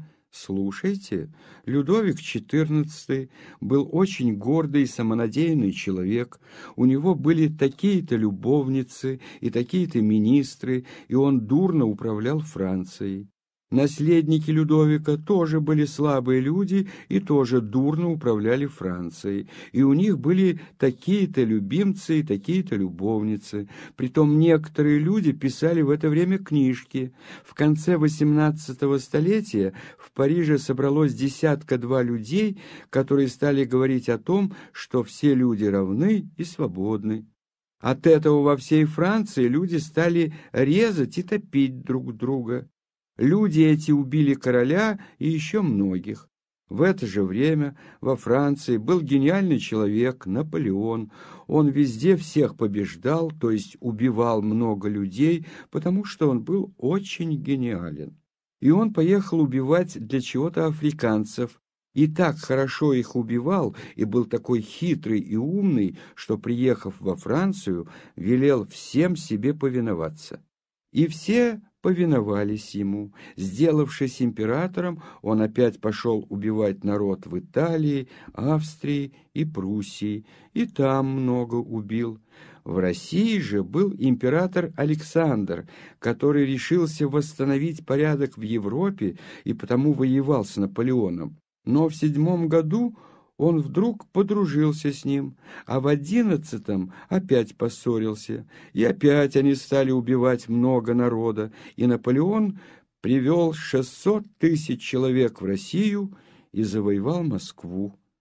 А потом он вдруг убежал из Москвы, и тогда император Александр с помощью советов Штейна и других соединил Европу для ополчения против нарушителей ее спокойствия.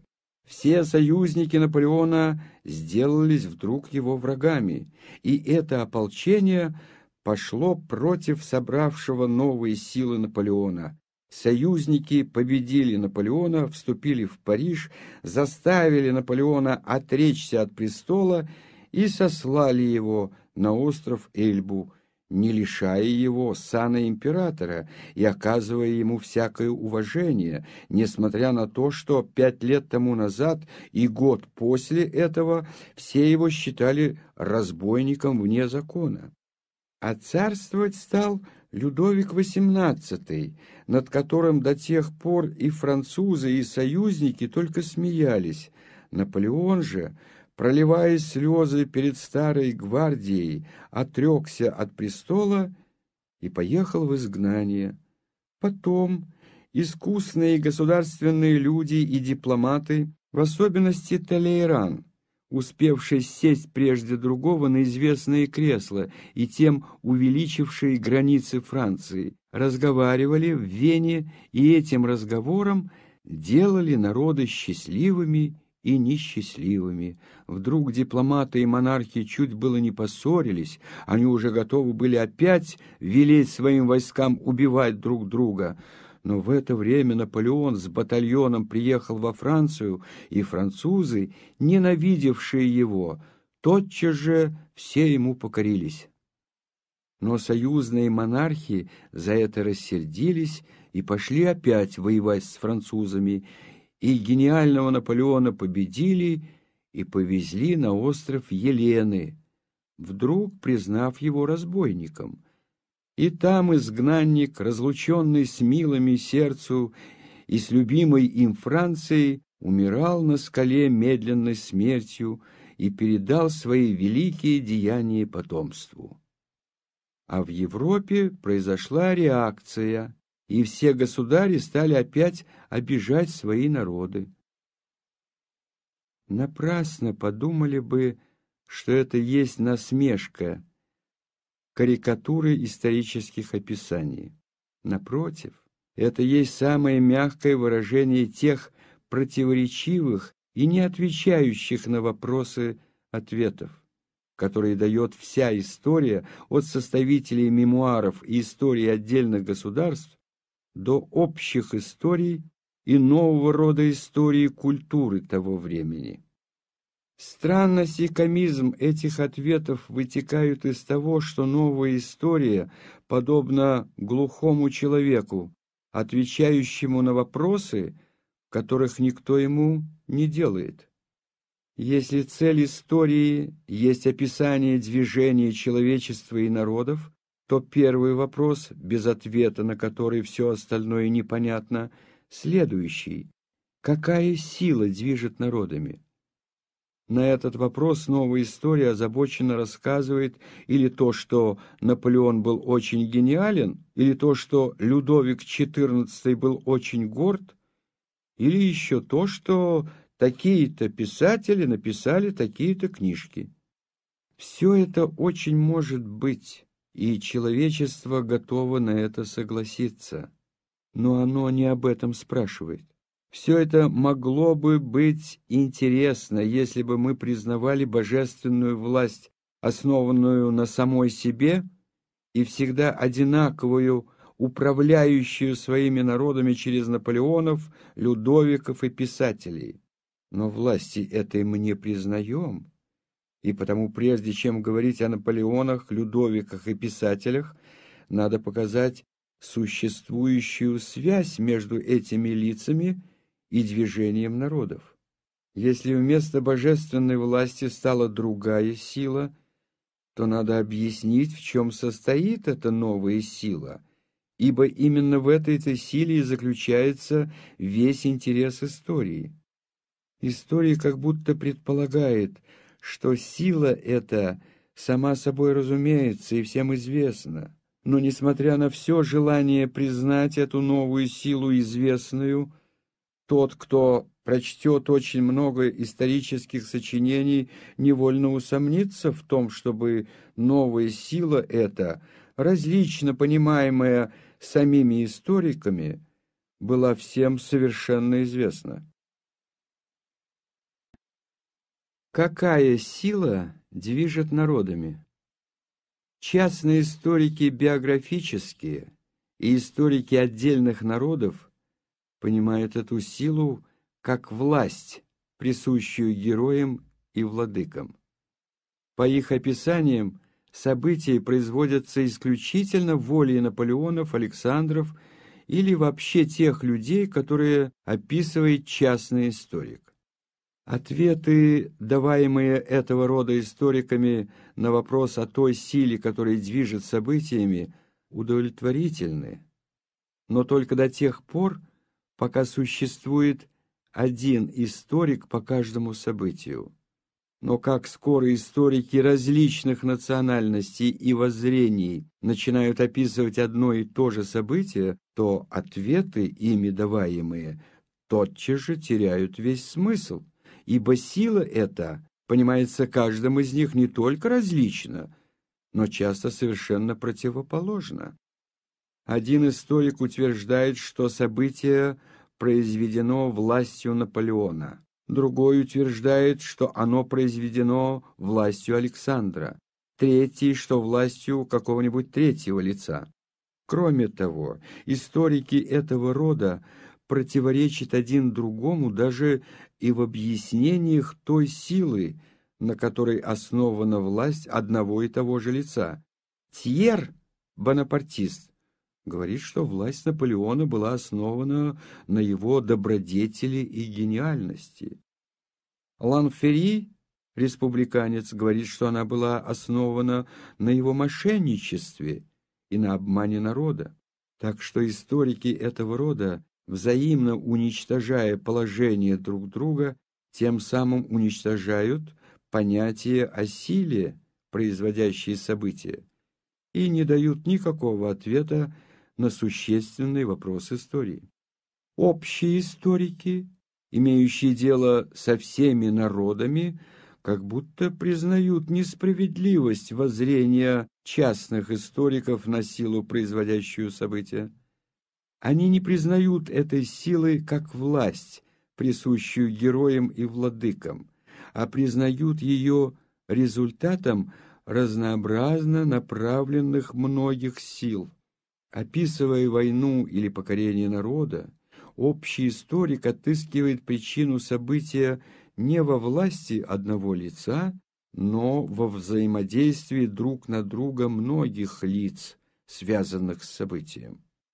Поэтому воззрению власть исторических лиц, представляясь произведением многих сил, казалось бы, не может уже быть рассматриваема как сила, сама себе производящая события.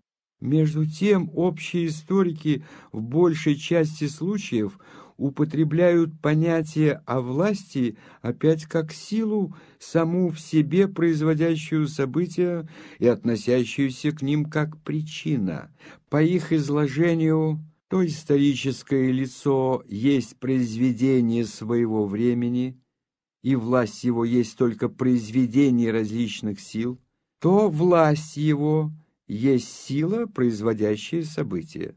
Гервинус, Шлоссер, например, и другие то доказывают, что Наполеон есть произведение революции, идей 1789 года и так далее – то прямо говорят, что поход 12 -го года и другие не нравящиеся им события суть только произведения ложно направленной воли Наполеона, и что самые идеи 1789 года были остановлены в своем развитии вследствие произвола Наполеона.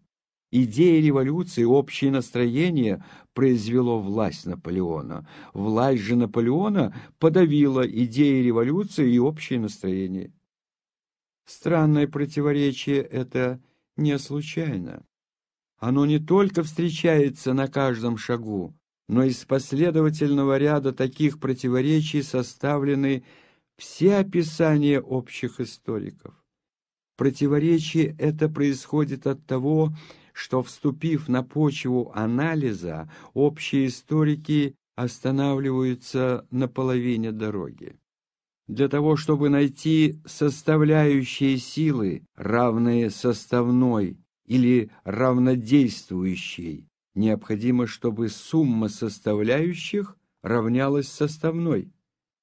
Это-то условие никогда не соблюдено общими историками, и потому, чтобы объяснить силу равнодействующую, они необходимо должны допускать, кроме недостаточных составляющих, еще необъясненную силу, действующую по составной.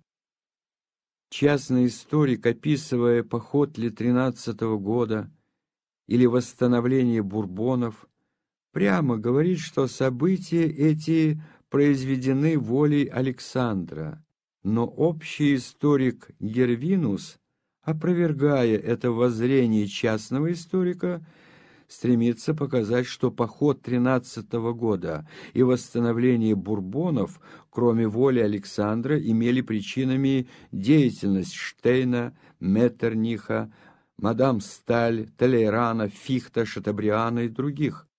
Историк, очевидно, разложил власть Александра на составные, Толерана, Шатабриана и так далее. Сумма этих составных, то есть воздействие друг на друга Шатабриана, Толерана, Мадам Стали других, очевидно, не равняется всей равнодействующей, то есть тому явлению, что миллионы французов покорились бурбонам. Из того, что Шатабриан, мадам Сталь и другие сказали друг другу такие слова, вытекает только их отношения между собой, но не покорение миллионов. И потому, чтобы объяснить, каким образом из этого их отношения вытекло покорение миллионов, то есть из составных, равных одному А, вытекло равнодействующее, равное тысяче А, историк необходимо должен допустить опять ту же силу власти, которую он отрицает, признавая ее результатом сил, то есть он должен допустить необъясненную силу, действующую по составной. Это самое и делают общие историки, и вследствие того не только противоречат частным историкам, но и сами себе. Деревенские жители, которые, смотря по тому, хочется ли им дождя или ведра, не имея ясного понятия о причинах дождя, говорят «ветер разогнал тучи, и ветер нагнал тучи». Так точно общие историки иногда, когда им этого хочется, когда это подходит к их теории, говорят, что власть есть результат событий. А иногда, когда нужно доказать другое, они говорят, что власть производит события. Третьи историки, называющиеся историками культуры, следуя по пути, проложенному общими историками, признающими иногда писателей и дам силами, производящими события, еще совершенно иначе понимают эту силу. Они видят ее в так называемой культуре, в умственной деятельности. Историки культуры совершенно последовательны по отношению к своим родоначальникам, общим историкам, ибо если исторические события можно объяснить тем, что некоторые люди так-то и так-то относились друг к другу, то почему не объяснять их тем, что такие-то люди – писали такие-то книжки. Эти историки из всего огромного числа признаков, сопровождающих всякое живое явление, выбирают признак умственной деятельности и говорят, что этот признак есть причина. Но, несмотря на все их старания показать, что причина события лежала в умственной деятельности, только с большой уступчивостью можно согласиться с тем, что между умственной деятельностью и движением народов есть что-то общее. Но уже ни в коем случае нельзя допустить, чтобы умственная деятельность руководила деятельностью людей, ибо такие явления, как жесточайшее убийство французской революции, вытекающие из проповедей о равенстве человека, и злейшие войны и казни, вытекающие из проповеди о любви, не подтверждают этого предположения. Но допустив даже, что справедливы все хитросплетенные рассуждения, которыми наполнены эти истории, допустив, что народы управляются какой-то неопределимой силой, называемой идеей, существенный вопрос истории все-таки или остается без ответа, или к прежней власти монархов и к вводимому общими историками влиянию советчиков и других лиц присоединяется еще новая сила идеи, связь которой с массами требует объяснения. Возможно понять, что Наполеон имел власть, и потому совершилось событие. С некоторой уступчивостью можно еще понять, что Наполеон вместе с другими влияниями был причиной события. Но каким образом книга «Общественный договор» сделала то, что французы стали топить друг друга? Не может быть понято без объяснений причинной связи этой новой силы с событием. Несомненно, существует связь между всем одновременно живущим, и потому есть возможность найти некоторую связь между умственной деятельностью людей и их историческим движением, точно так же, как эту связь можно найти между движением человечества и торговлей, ремеслами, садоводством и чем хотите.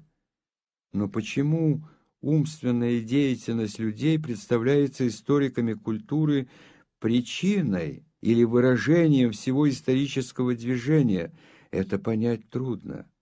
К такому заключению историков могли привести только следующие соображения.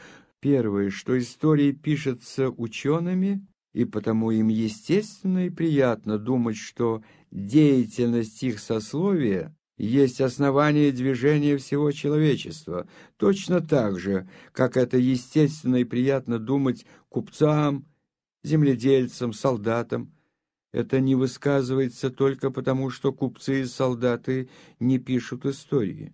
И второе, что духовная деятельность, просвещение, цивилизация, культура, идея – все это понятия неясные, неопределенные, под знаменем которых весьма удобно употреблять слова, имеющие еще менее ясного значения и потому легко подставляемые под всякие теории.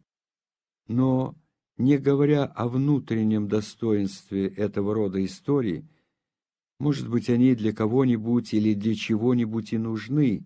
Истории культуры, которым начинают более и более сводиться все общие истории, знаменательны тем, что они подробно и серьезно разбирая различные религиозные, философские, политические учения как причины событий, всякий раз, как им только приходится описать действительное историческое событие, как, например, поход 12 -го года, описывают его невольно как произведение власти, прямо говоря, что поход этот есть произведение воли Наполеона. Говоря таким образом, историки культуры невольно противоречат самим себе и доказывают, что та новая сила, которую они придумали, не выражает исторических событий, а что единственное средство понимать историю – есть та власть, которой они будто бы не признают. Идет паровоз. Спрашивается, а чего он движется? Мужик говорит, это черт движет его. Другой говорит, что паровоз идет от того, что в нем движутся колеса. Третий утверждает, что причина движения заключается в дыме, относимом ветром. Мужик неопровержим. Для того, чтобы его опровергнуть, надо, чтобы кто-нибудь доказал ему, что нет черта, или чтобы другой мужик объяснил, что не черт, а немец движет паровоз. Только тогда из противоречий они увидят, что они оба неправы. Но тот, который говорит, что причина есть движение колес, сам себя опровергает, ибо если он вступил на почву анализа, он должен идти дальше и дальше. Он должен объяснить причину движения колес. И до тех пор, пока он не придет к последней причине движения паровоза, к сжатому в паровике пару, он не будет иметь права остановиться в отыскивании причины. Тот же, который объяснял движение паровоза относимым назад дымом, заметив, что объяснение о колесах не дает причины, взял первый попавшийся признак и с своей стороны выдал его за причину. Единственное понятие, которое может объяснить движение паровоза, есть понятие силы, равной видимому движению. Единственное понятие, посредством которого может быть объяснено движение народов, есть понятие силы, равной всему движению народов. Между тем, под понятием этим разумеются различными историками совершенно различные и все неравные видимому движению силы. Одни видят в нем силу, непосредственно присущую героям, как мужик чертов в паровозе. Другие силу, производимую из других некоторых сил, как движение колес, третий — умственное влияние, как относимый дым. До тех пор, пока пишутся истории отдельных лиц, будь они Кесари, Александры или Лютеры или Вольтеры, они истории всех, без одного исключения всех людей, принимающих участие в событии, нет никакой возможности описывать движение человечества без понятия о силе, заставляющей людей направлять свою деятельность к одной цели. И единственное известное историкам такое понятие есть власть. Понятие это есть единственная ручка, посредством которой можно владеть материалом истории при теперешнем ее изложении, и тот, кто отломил бы эту ручку, как то сделал Бокль, не узнав другого приема обращения с историческим материалом, только лишил бы себя последней возможности обращаться с ним. Неизбежность понятия о власти для объяснения исторических явлений лучше всего доказывают сами общие историки и историки культуры, мнимо отрешающиеся от понятия о власти и неизбежно на каждом шагу употребляющие его. Историческая наука до сих пор по отношению к вопросам человечества подобна обращающимся деньгам, ассигнациям и звонкой монете. Биографические частные народные истории подобны ассигнациям. Они могут ходить и обращаться, удовлетворяя своему назначению, без вреда кому бы то ни было и даже с пользой, до тех пор, пока не возникнет вопрос о том, чем они обеспечены. Стоит только забыть про вопрос о том, каким образом воля героев производит события, и истории Тьеров будут интересны, поучительны, и, кроме того, будут иметь оттенок поэзии. Но точно так же, как сомнение в действительной стоимости бумажек возникнет или из того, что, так как их делать легко, то начнут их делать много, или из того, что захотят взять за них золото, точно так же возникает сомнение в действительном значении истории этого рода или из того, что их является слишком много, или из того, что кто-нибудь в простоте души спросит, какой уже силой сделал это Наполеон, то есть захочет разменять ходячую бумажку на чистое золото действительного понятия. Общие же историки и историки культуры подобны людям, которые, признав неудобство ассигнаций, решили бы вместо бумажки сделать звонкую монету из металла, не имеющего плотности золота. И монета действительно вышла бы звонкая, но только звонкая. Бумажка еще могла обманывать незнающих, а монета, звонкая, но не ценная, не может обмануть никого. Так же, как золото только тогда золото, когда оно может быть употреблено не для одной мены, а и для дела, так же и общие историки только тогда будут золотом, когда они будут в силах ответить на существенный вопрос истории «Что такое власть?». Общие историки отвечают на этот вопрос противоречиво, а историки культуры вовсе отстраняют его, отвечая на что-то совсем другое. И как жетоны, похожие на золото, могут быть только употребляемы между собранием людей, согласившихся признавать их за золото, и между теми, которые не знают свойства золота, так и общие историки, историки культуры, не отвечая на существенные вопросы человечества, для каких-то своих целей служат ходячей монетой университетам и толпе читателей, охотников до серьезных книжек, как они это называют. Отрешившись от воззрения древних на божественное подчинение воли народа одному избранному и на подчинение этой воли божеству, история не может сделать ни одного шага без противоречия, не выбрав одного из двух, или возвратиться к прежнему верованию в непосредственное участие божества в делах человечества, или определенно объяснить, значение той силы, производящей исторические события, которая называется властью. Возвратиться к первому невозможно. Верование разрушено, и потому необходимо объяснить значение власти. Наполеон приказал собрать войска и идти на войну. Представление это до такой степени нам привычно, до такой степени мы сжились с этим взглядом, что вопрос о том, почему 600 тысяч человек идут на войну, когда Наполеон сказал такие-то слова, кажется нам бессмысленным. Он имел власть, и потому было исполнено то, что он велел. Ответ этот совершенно удовлетворителен, если мы верим, что власть дана была ему от Бога. Но как скоро мы не признаем этого, необходимо определить, что такое эта власть одного человека над другими.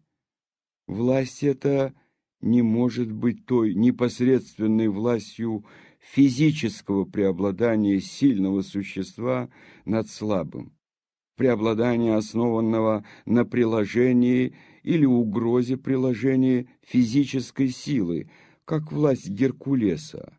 Она не может быть также основана на преобладании нравственной силы, как то в простоте душевной думают некоторые историки, говоря, что исторические деятели — суть герои, то есть люди, одаренные особенной силой души и ума и называемой гениальностью.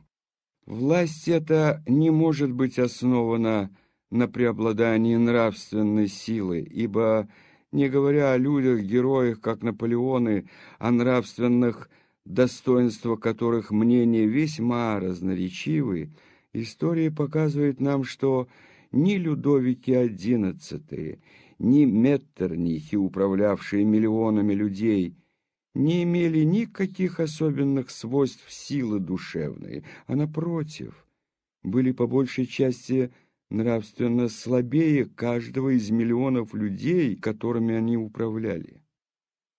Если источник власти лежит не в физических и не в нравственных свойствах лица, ею обладающего, то очевидно, что источник этой власти должен находиться вне лица, в тех отношениях к массам, в которых находится лицо, обладающее властью. Так точно и понимает власть наука о праве.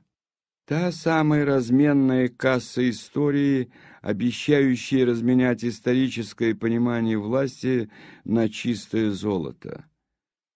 Власть есть совокупность воль масс, перенесенная выраженным или молчаливым согласием на избранных массами правителей.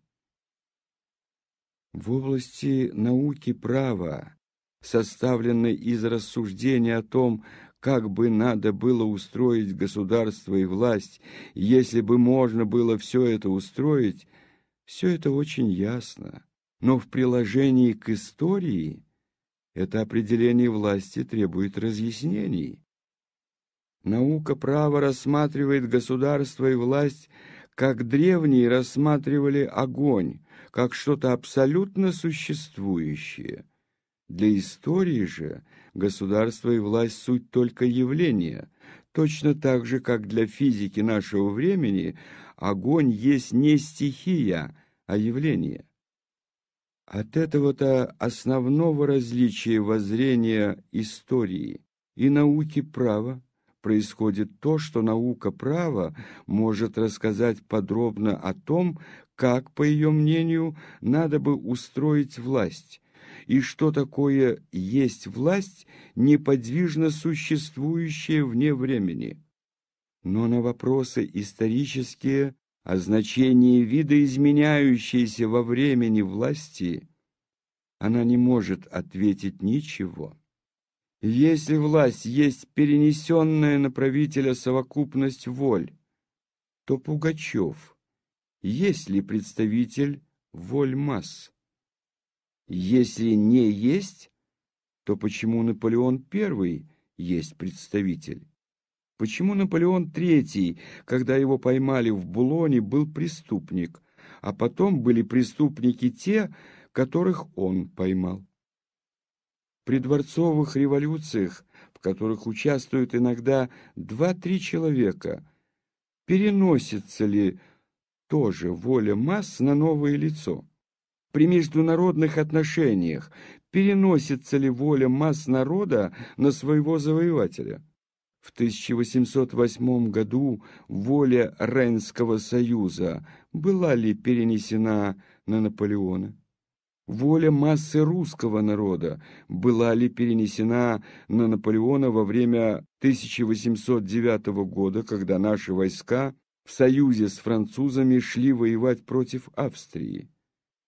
На эти вопросы можно отвечать трояко. Или, первое, признать, что воля масс всегда безусловно передается тому или тем правителям, которых они избрали, и что поэтому всякое возникновение новой власти, всякая борьба против раз переданной власти должна быть рассматриваема только как нарушение настоящей власти.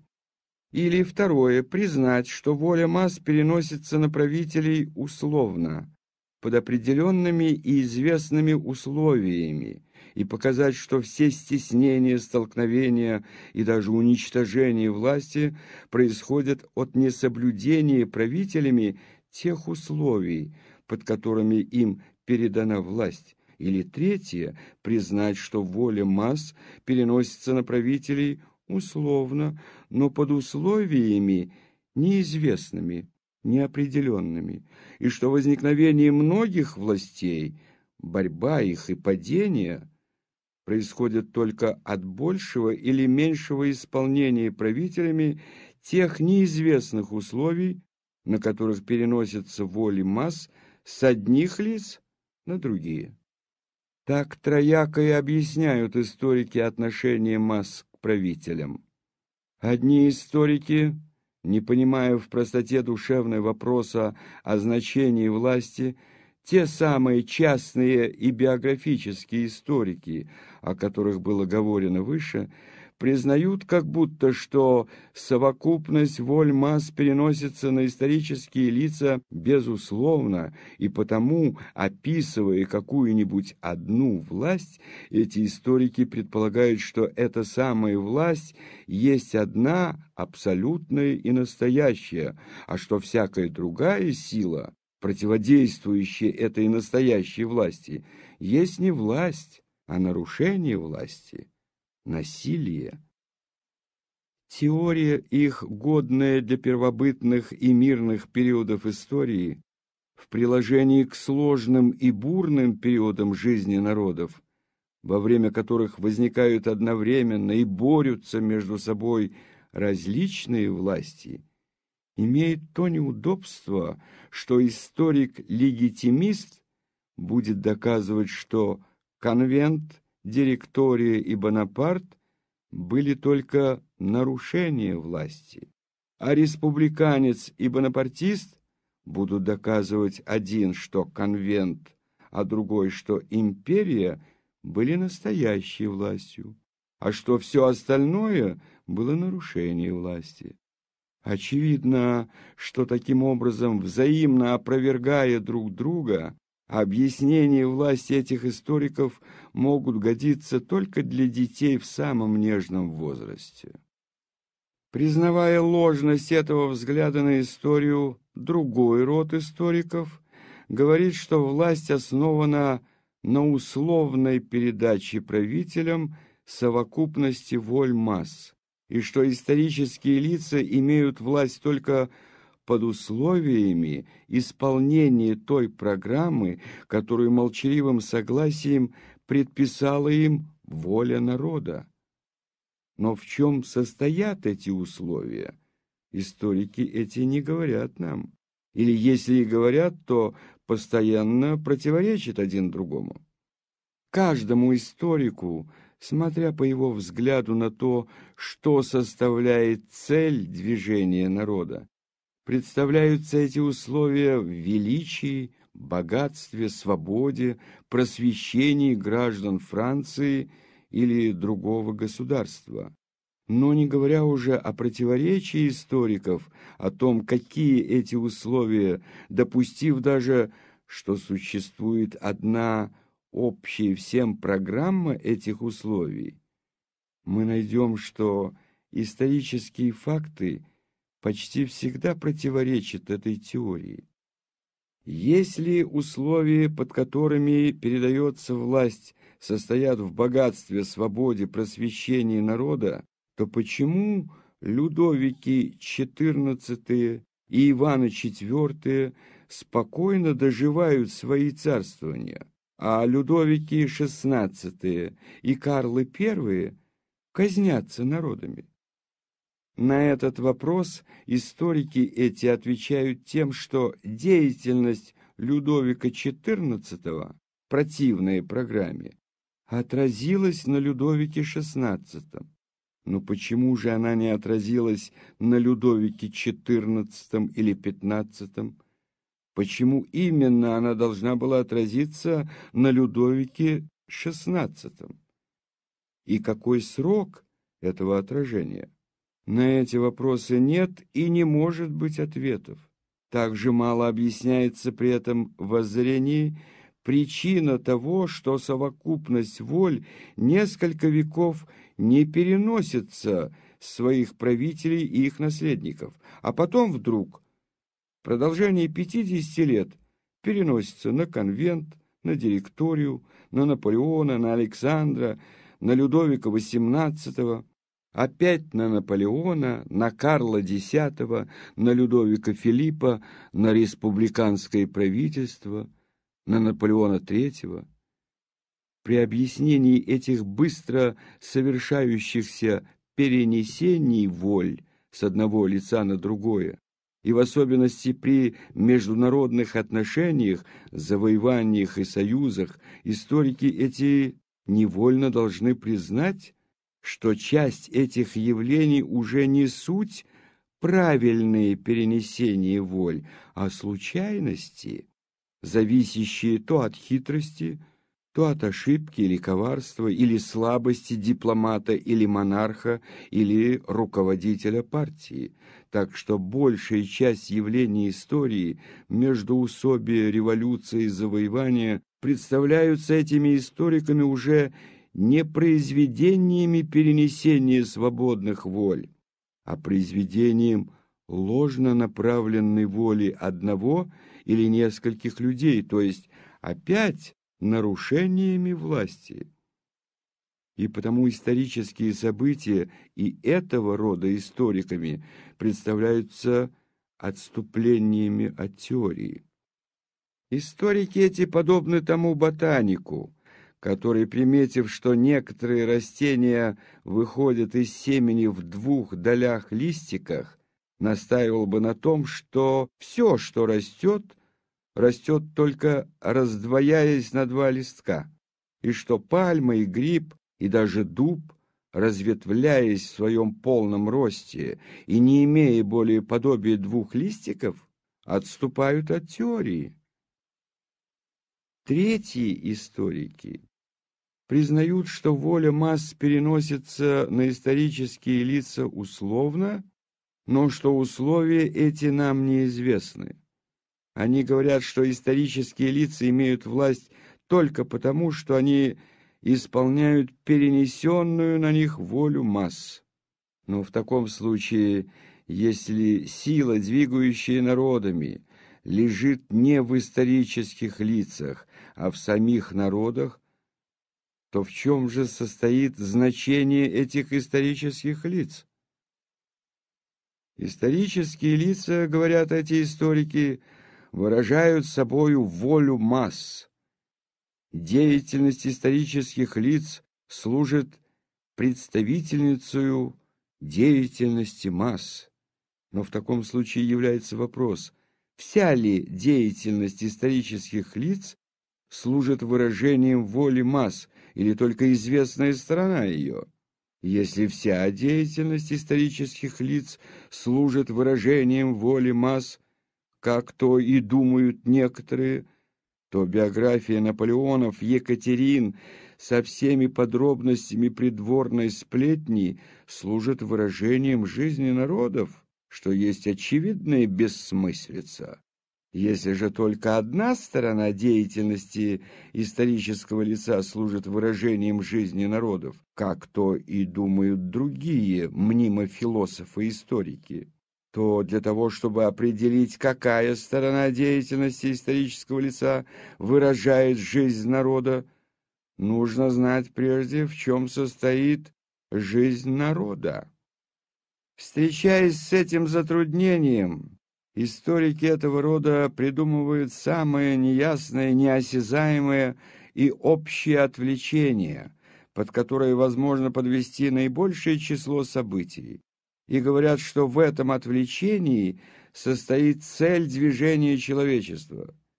Самые обыкновенные, принимаемые почти всеми историками общие отвлечения – суть свобода, равенство, просвещение, прогресс, цивилизация, культура. Поставив за цель движения человечества какое-нибудь отвлечение – Историки изучают людей, оставивших по себе наибольшее число памятников. Царей, министров, полководцев, сочинителей, реформаторов, пап, журналистов. По мере того, как все эти лица, по их мнению, содействовали или противодействовали известному отвлечению.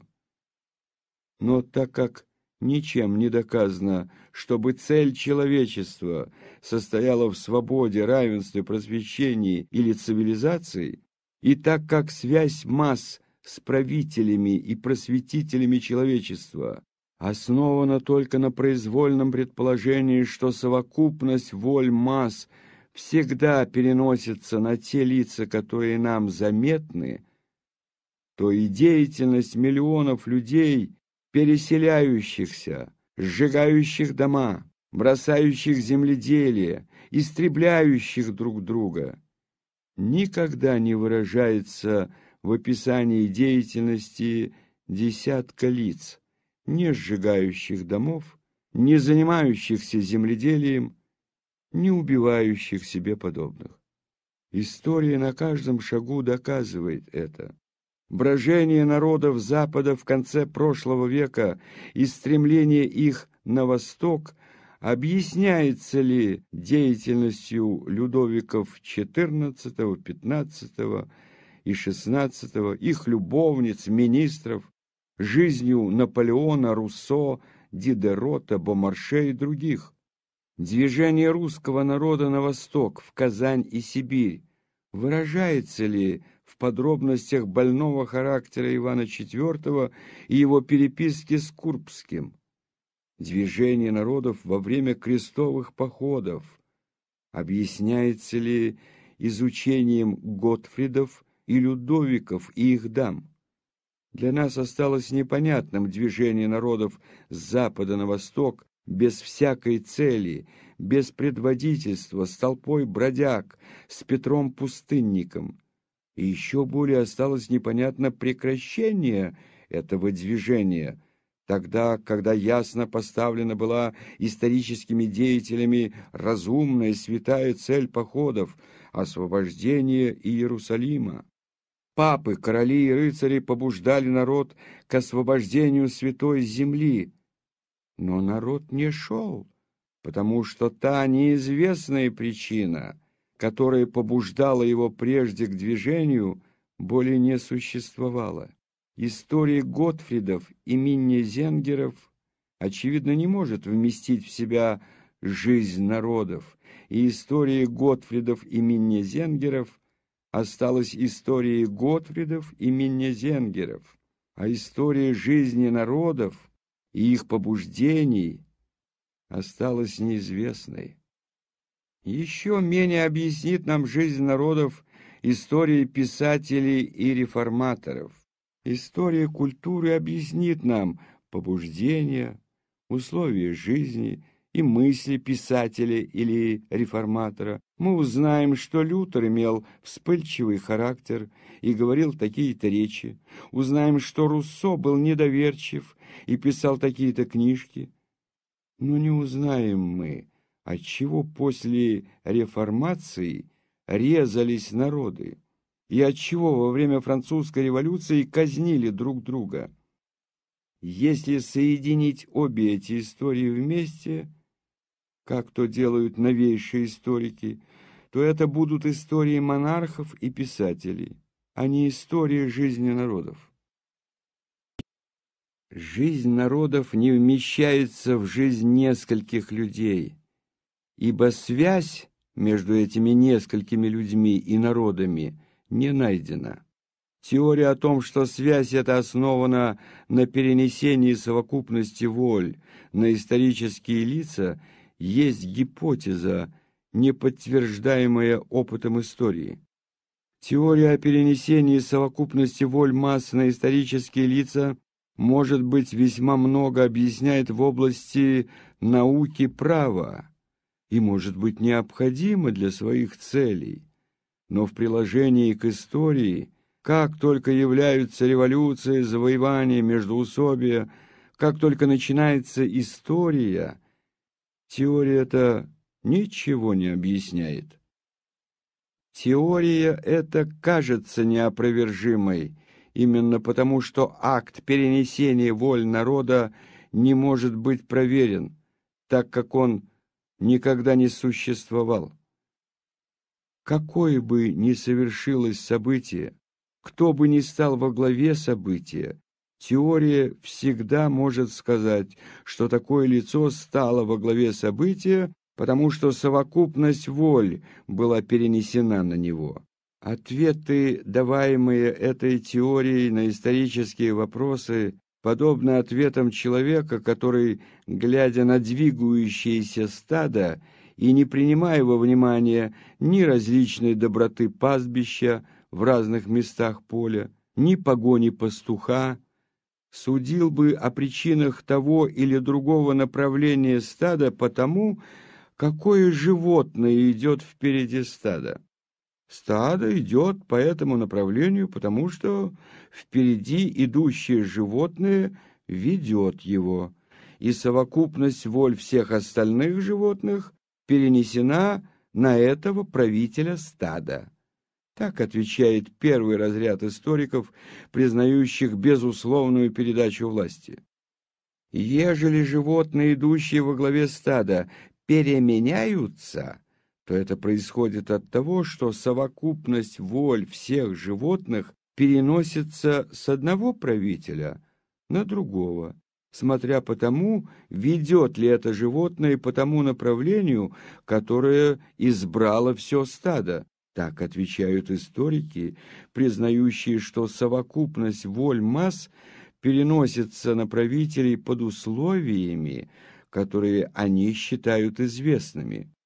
При таком приеме наблюдения весьма часто бывает, что наблюдатель, соображаясь с избранным им направлением, считает вожаками тех, которые по случаю перемены направления масс не суть уже передовые, а боковые, а иногда задние.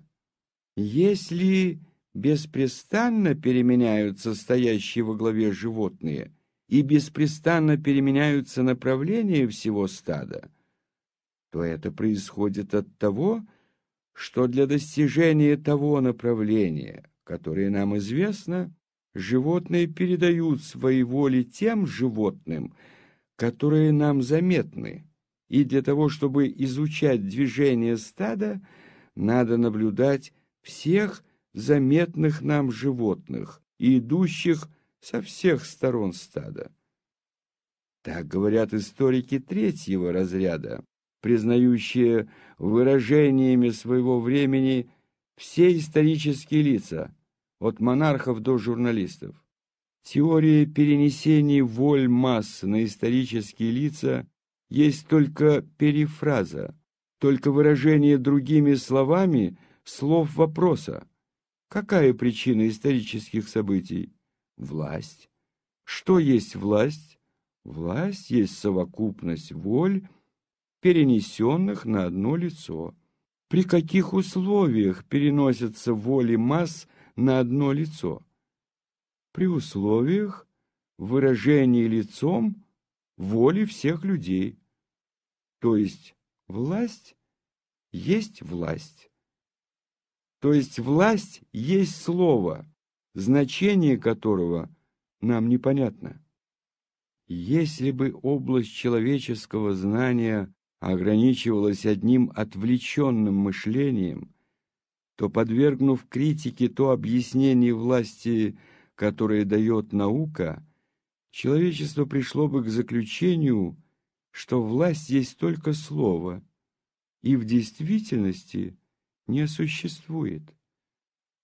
Но для познания явлений, кроме отвлеченного мышления, человек имеет орудие опыта, на котором он проверяет результаты мышления. И опыт говорит, что власть не есть слово но действительно существующее явление. Не говоря о том, что без понятия власти не может обойтись ни одно описание совокупной деятельности людей, существование власти доказывается как историей, так и наблюдением современных событий. Всегда, когда совершается событие, является человек – или люди, по воле которых событие представляется совершившимся.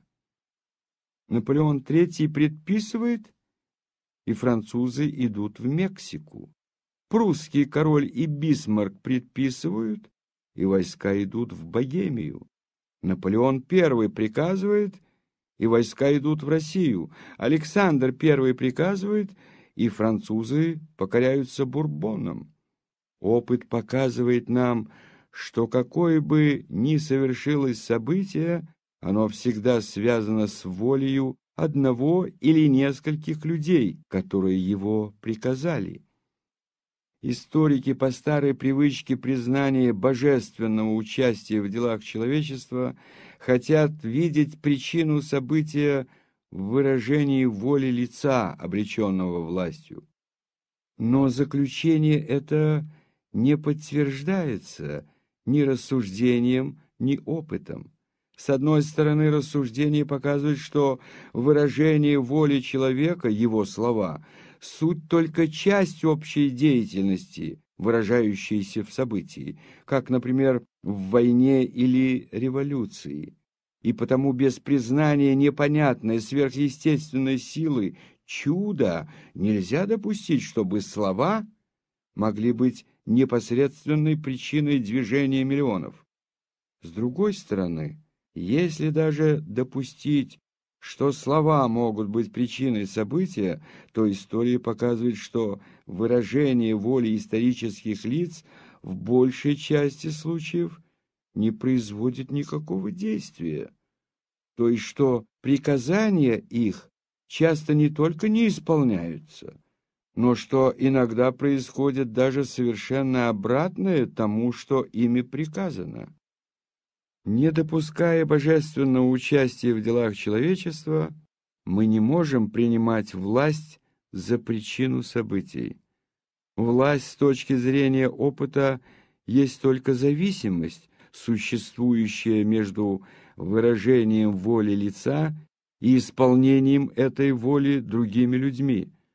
Для того, чтобы объяснить себе условия этой зависимости, мы должны восстановить прежде всего понятие выражения воли, относя его к человеку, а не к божеству. Ежели божество отдает приказания, выражая свою волю, как то нам показывает история древних, то выражение этой воли не зависит от времени и ничем не вызвано, так как божество ничем не связано с событием.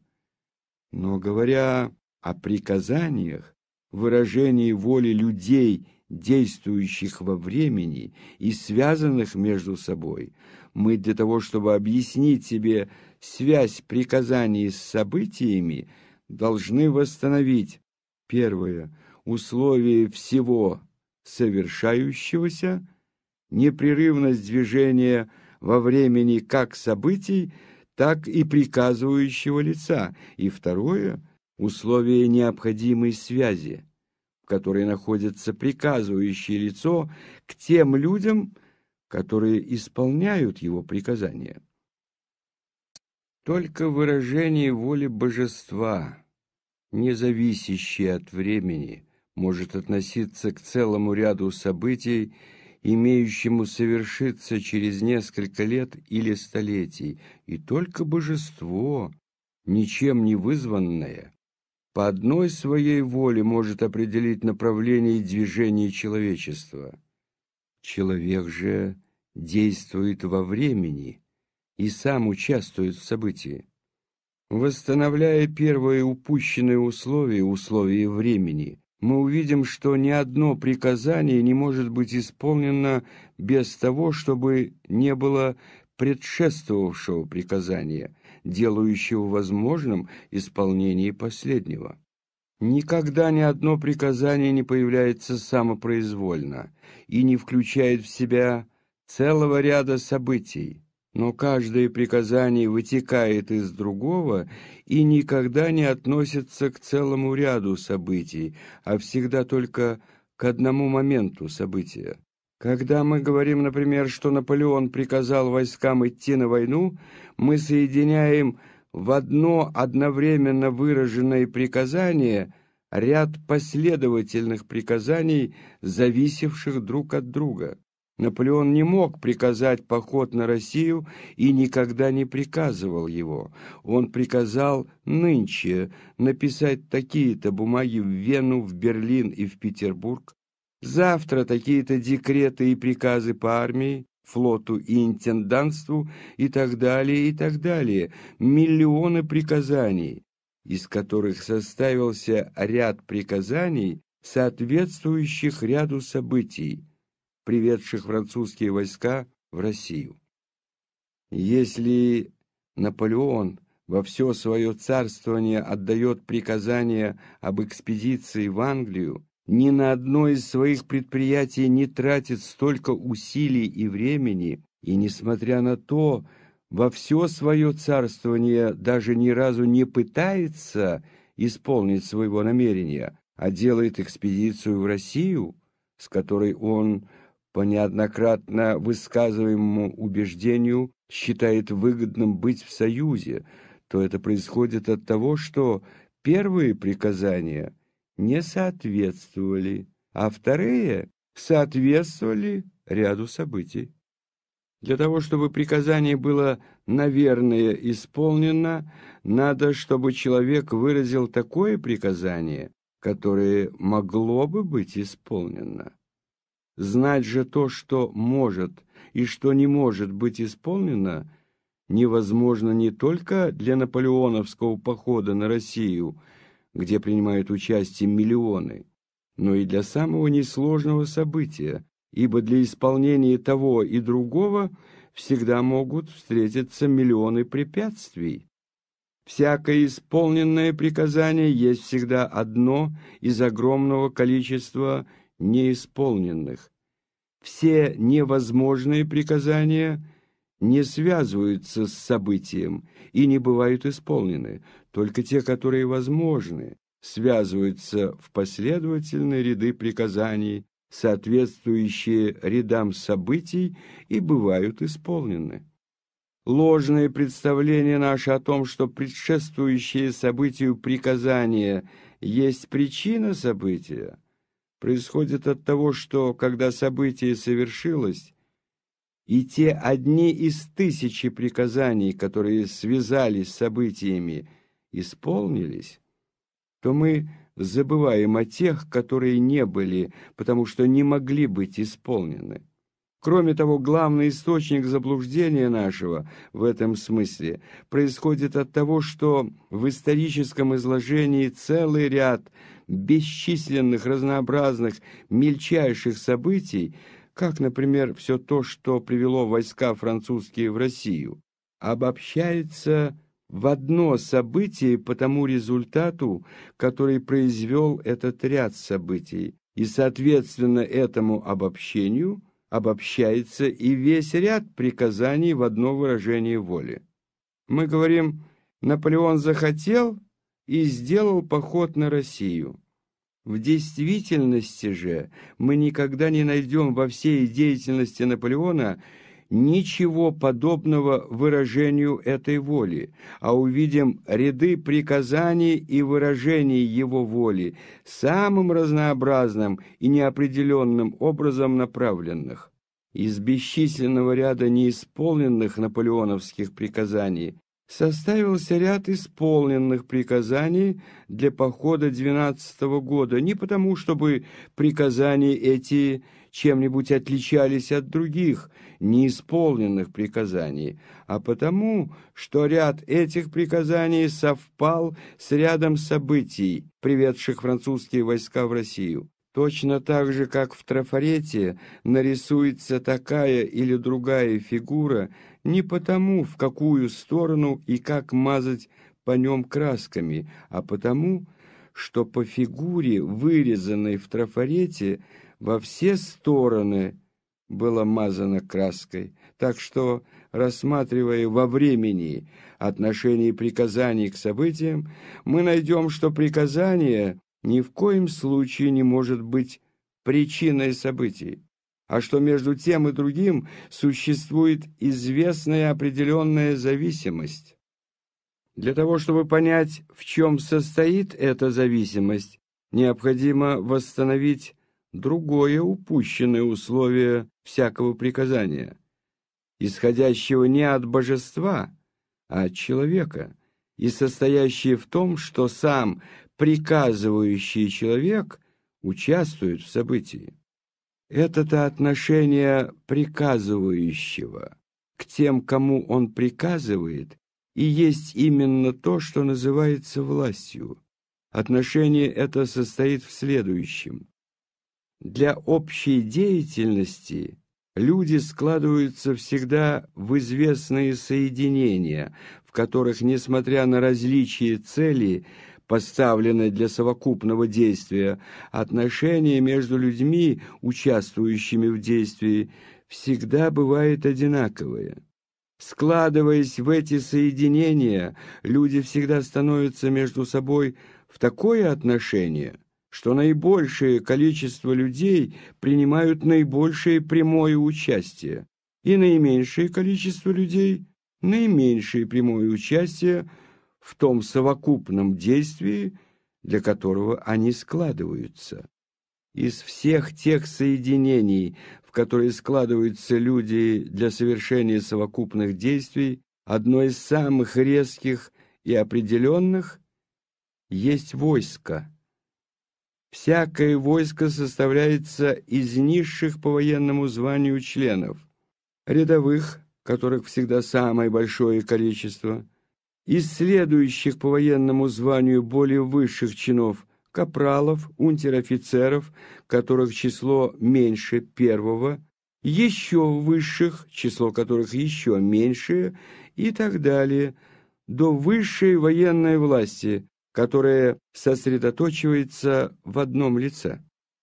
Военное устройство может быть совершенно точно выражено фигурой конуса, в котором основания самым большим диаметром будут составлять рядовые, высшие, меньшие основания, высшие чины армии и так далее, до вершины конуса, точку которой будет составлять полководец. Солдаты, которых наибольшее число, составляют низшие точки конуса и его основания.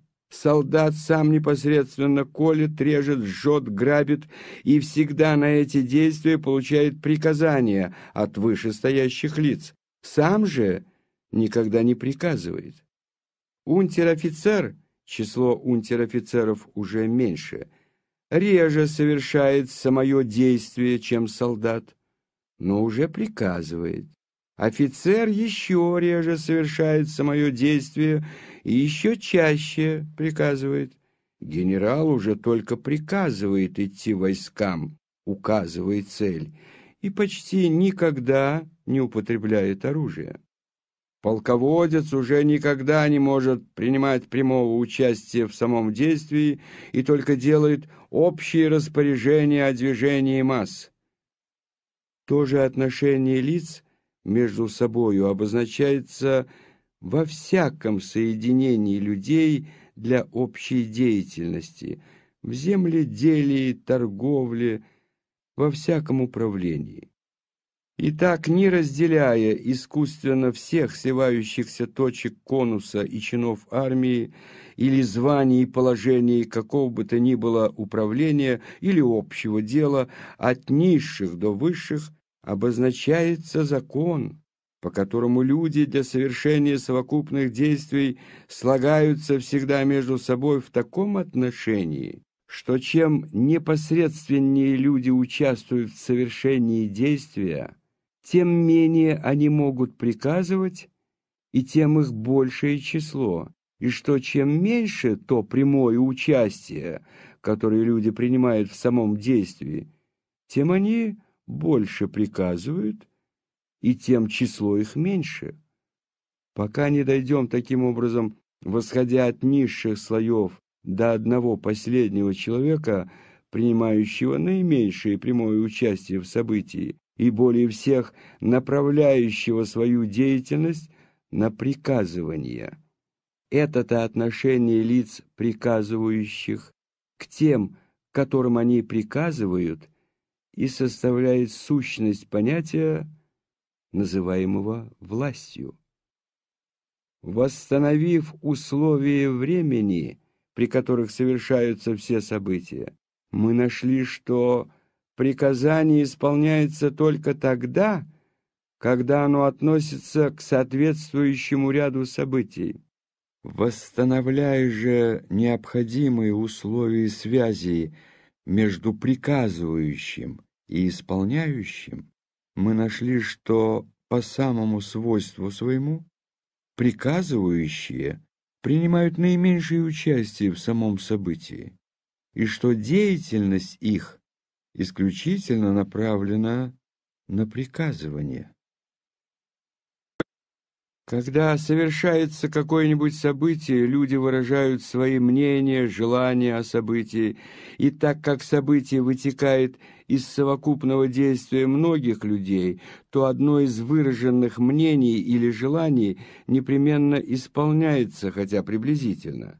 Когда одно из выраженных мнений исполнено, мнение это связывается с событием как предшествовавшее ему приказание.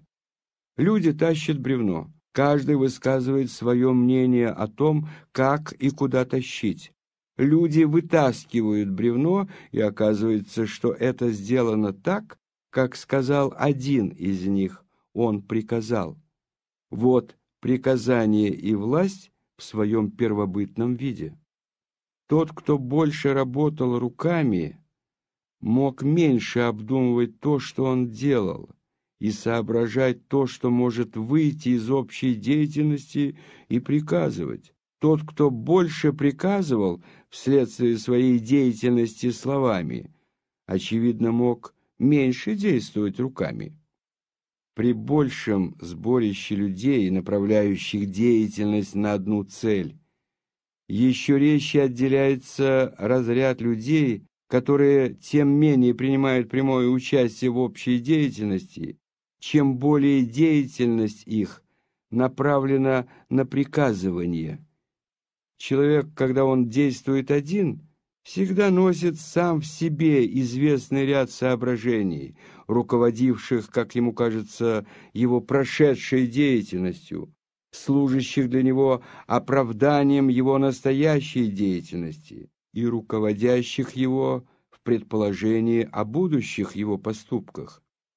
Точно то же делают сборища людей, предоставляя тем, которые не участвуют в действии, придумывать соображения, оправдания и предположения об их совокупной деятельности. По известным или неизвестным нам причинам французы начинают топить и резать друг друга, и, соответственно, событию ему сопутствуют его оправдания – выраженных волях людей о том, что это необходимо для блага Франции, для свободы, для равенства. Люди перестают резать друг друга, и событию этому сопутствует оправдание необходимости единства власти, отпора Европе и так далее. Люди идут с запада на восток, убивая себе подобных и событию этому сопутствуют слова о славе Франции, низости Англии и так далее. История показывает нам, что эти оправдания события не имеют никакого общего смысла, противоречат сами себе, как убийство человека вследствие признания его прав и убийство миллионов в России для уничтожения Англии но оправдания эти в современном смысле имеют необходимое значение. Оправдания эти снимают нравственную ответственность с людей, производящих события. Временные цели эти подобны щеткам, идущим для очищения пути по рельсам впереди поезда.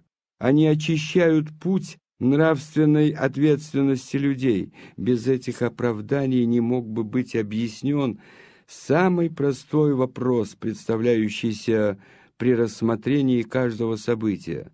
Каким образом миллионы людей совершают совокупные преступления, войны, убийства и так далее? При настоящих усложненных формах государственной и общественной жизни в Европе возможно ли придумать какое бы то ни было событие, которое бы не было предписано, указано, приказано государями, министрами, парламентами, газетами? Есть ли какое-нибудь совокупное действие, которое не нашло бы себе оправдания в государственном единстве, в национальности, в равновесии Европы в цивилизации, так что всякое совершившееся событие неизбежно совпадает с каким-нибудь выраженным желанием и, получая из себя оправдание, представляется как произведение воли одного или нескольких людей. Куда бы ни направлялся движущийся корабль, впереди его всегда будет видна струя рассекаемых им волн. Для людей, находящихся на корабле, движение этой струи будет единственно заметное движение.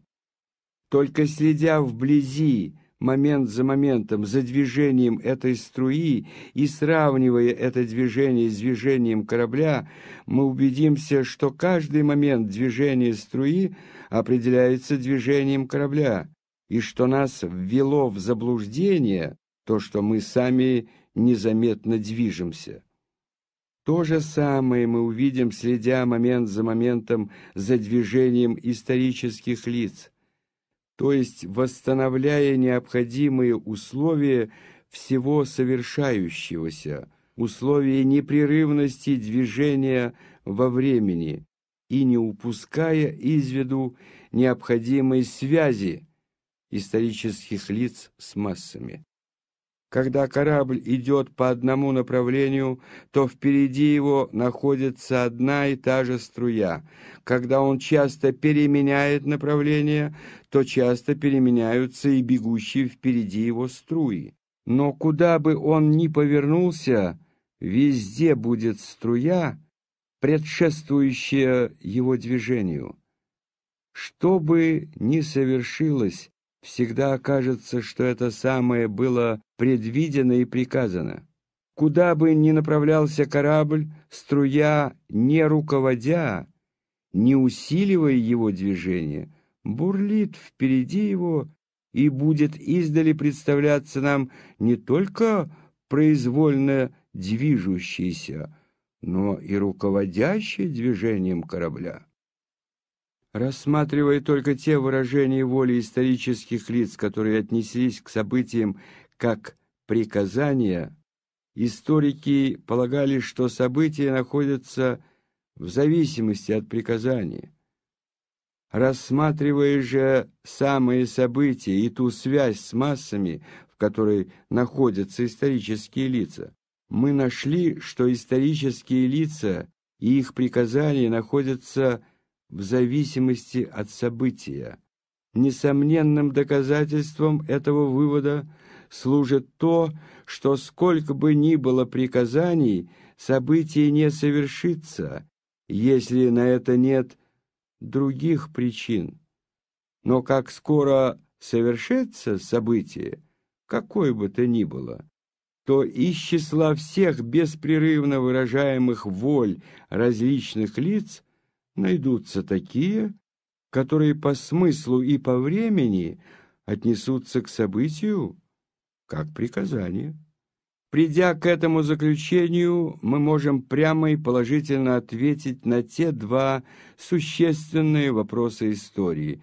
Первый – что есть власть? Второй – какая сила производит движение народов? Первое – власть есть такое отношение известного лица к другим лицам, в котором лицо это тем менее участвует в действии, чем более оно выражает мнение, предположения и оправдания совершающегося совокупного действия. Второе. Движение народов производят не власть, не умственная деятельность, даже не соединение того и другого, как то думали историки, но деятельность всех людей, принимающих участие в событии и соединяющихся всегда так, что те, которые принимают наибольшее прямое участие в событии, принимают на себя наименьшую ответственность, и наоборот. В нравственном отношении причиной события представляется власть в физическом отношении те, которые подчиняются власти. Но так как нравственная деятельность немыслима без физической, то причина событий находится ни в той, ни в другой, а в соединении обеих. Или, другими словами, к явлению, которое мы рассматриваем, понятие причины неприложимо. В последнем анализе мы приходим к кругу вечности, к той крайней грани, которой во всякой области мышления приходит ум человеческий, если не играет своим предметом. Электричество производит тепло, тепло производит электричество. Атомы притягиваются, атомы отталкиваются.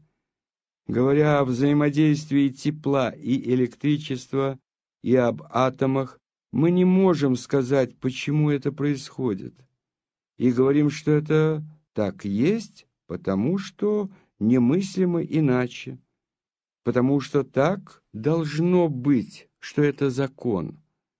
То же самое относится и до исторических явлений. Почему происходит война или революция? Мы не знаем. Мы знаем только, что для совершения того или другого действия люди складываются в известные соединения и участвуют в Если бы история имела дело до внешних явлений, постановление этого простого и очевидного закона было бы достаточно, и мы бы кончили наше рассуждение. Но закон истории относится до человека. Частица материи не может сказать нам, что она вовсе не чувствует потребности притягивания и отталкивания, и что это неправда. Человек же, который есть предмет истории, прямо говорит «я свободен и потому не подлежу законам». Присутствие, хотя и невысказанного вопроса о свободе воли человека, чувствуется на каждом шагу истории. Все серьезно мыслившие историки невольно приходили к этому вопросу. Все противоречия, неясности истории, тот ложный путь, по которому идет эта наука, основаны только на неразрешенности этого вопроса. Если воля каждого человека была свободна, то есть что каждый мог поступить так, как ему захотелось, то вся история есть ряд бессвязных случайностей. Если даже один человек из миллионов в тысячелетний период времени имел возможность поступить свободно, то есть так, как ему захотелось, то очевидно, что один свободный поступок этого человека, противный законам, уничтожает возможность существования каких бы то ни было законов для всего человечества. Если же есть хоть один закон, управляющий действиями людей, то не может быть свободной воли, ибо воля людей должна подлежать этому закону. В этом противоречии заключается вопрос о свободе воли, с древнейших времен занимавший лучшие умы человечества и с древнейших времен постановленный во всем его громадном значении. Вопрос состоит в том, что, глядя на человека, как на предмет наблюдения, с какой бы то ни было точки зрения, богословской, исторической, этической, философской, мы находим общий закон необходимости, которому он подлежит так же, как и все существующее. Глядя же на него из себя, как на то, что мы сознаем – мы чувствуем себя свободными.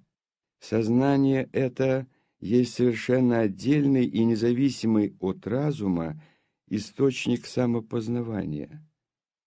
Через разум человек наблюдает сам себя, но знает он сам себя только через сознание. Без сознания себя немыслимо никакое наблюдение и приложение разума. Для того, чтобы понимать наблюдать, умозаключать, человек должен прежде сознавать себя живущим. Живущим человек знает себя не иначе, как хотящим, то есть сознает свою волю. Волю же свою, составляющую сущность его жизни, человек сознает и не может сознавать иначе, как свободную. Если, подвергая себя наблюдению, человек видит, что воля его направляется всегда по одному и тому же закону, наблюдает ли он необходимость принимать пищу или деятельность мозга, или что бы то ни было. Он не может понимать это всегда одинаковое направление своей воли иначе, как ограничением ее. То, что не было бы свободно, не могло бы быть и ограничено. Воля человека представляется ему ограниченную именно потому, что он сознает ее не иначе, как свободную. Вы говорите «я не свободен», а я поднял и опустил руку. Всякий понимает, что этот нелогический ответ есть неопровержимое доказательство свободы. Ответ этот есть выражение сознания, не подлежащего разуму. Если бы сознание свободы не было отдельным и независимым от разума источником самопознания, оно бы подчинялось рассуждению и опыту, но в действительности такого подчинения никогда не бывает и немыслимо. Ряд опытов и рассуждений показывает каждому человеку, что он, как предмет наблюдения, подлежит известным законам, и человек подчиняется им и никогда не борется с раз узнанным им законом тяготения или непроницаемости. Но тот же ряд опытов и рассуждений показывает ему, что полная свобода, которую он сознает в себе, невозможна, что всякое действие его зависит от его организации, от его характера и действующих на него мотивов. Но человек никогда не подчиняется выводам этих опытов и рассуждений. Узнав из опыта и рассуждения, что камень падает вниз, человек, несомненно, верит этому и во всех случаях ожидает исполнения узнанного им закона. Но узнав также, несомненно, что воля его подлежит законам, он не верит и не может верить этому. Сколько бы раз опыт и рассуждения не показывали человеку, что в тех же условиях, с тем же характером он сделает то же самое, и что прежде он, в тысячный раз приступая в тех же условиях, с тем же характером к действию, всегда кончавшемуся одинаково, несомненно чувствует себя столь же уверенным в том, что он может поступить, как он захочет, как и до опыта. Всякий человек, дикий и мыслитель, как бы неотразимо ему не доказывали рассуждения и опыт то, что невозможно представить себе два поступка в одних и тех же условиях, чувствует, что без этого бессмысленного представления, составляющего сущность свободы, он не может себе представить жизни. Он чувствует, что как бы это ни было невозможно, это есть, ибо без этого представления свободы он не только не понимал бы жизни, он не мог бы жить ни одного мгновения. Он не мог бы жить потому, что все стремления людей, все побуждения к жизни — суть только стремления к увеличению свободы. Богатство — бедность, Слава — неизвестность, власть — подвластность, сила — слабость, здоровье — болезнь, образование — невежество, труд — досуг, сытость — голод, добродетель — порог. Суть только большие или меньшие степени свободы. Представить себе человека, не имеющего свободы, нельзя иначе, как лишенным жизни. Если понятие о свободе для разума представляется бессмысленным противоречием, как возможность совершить два поступка в один и тот же момент времени или действие без причины, то это доказывает только то, что сознание не подлежит разуму. Это-то непоколебимое, неопровержимое, не подлежащее опыту и рассуждению сознание свободы признаваемое всеми мыслителями и ощущаемое всеми людьми без исключения, сознание, без которого немыслимо никакое представление о человеке и составляет другую сторону вопроса. Человек есть творение всемогущего, всеблагого и всеведущего Бога. Что же такое есть грех, понятие о котором вытекает из сознания свободы человека? Вот вопрос богословия. Действия людей подлежат общим неизменным законам, выражаемым статистикой. В чем же состоит ответственность человека перед обществом, понятие о которой вытекает из сознания свободы? Вот вопрос права. Поступки человека вытекают из его прирожденного характера и мотивов, действующих на него. Что такое есть совесть и сознание добра и зла поступков, вытекающих из сознания свободы? Вот вопрос этики. Человек в связи с общей жизнью человечества представляется подчиненным законам, определяющим эту жизнь. Но тот же человек, независимо от этой связи, представляется свободным. Как должна быть рассматриваема прошедшая жизнь народов и человечества, как произведение свободной или несвободной деятельности людей? Вот вопрос истории. Только в наше самоуверенное время популяризации знаний, благодаря сильнейшему орудию невежества, распространению книгопечатания, вопрос о свободе воли сведен на такую почву, на которой и не может быть самого вопроса.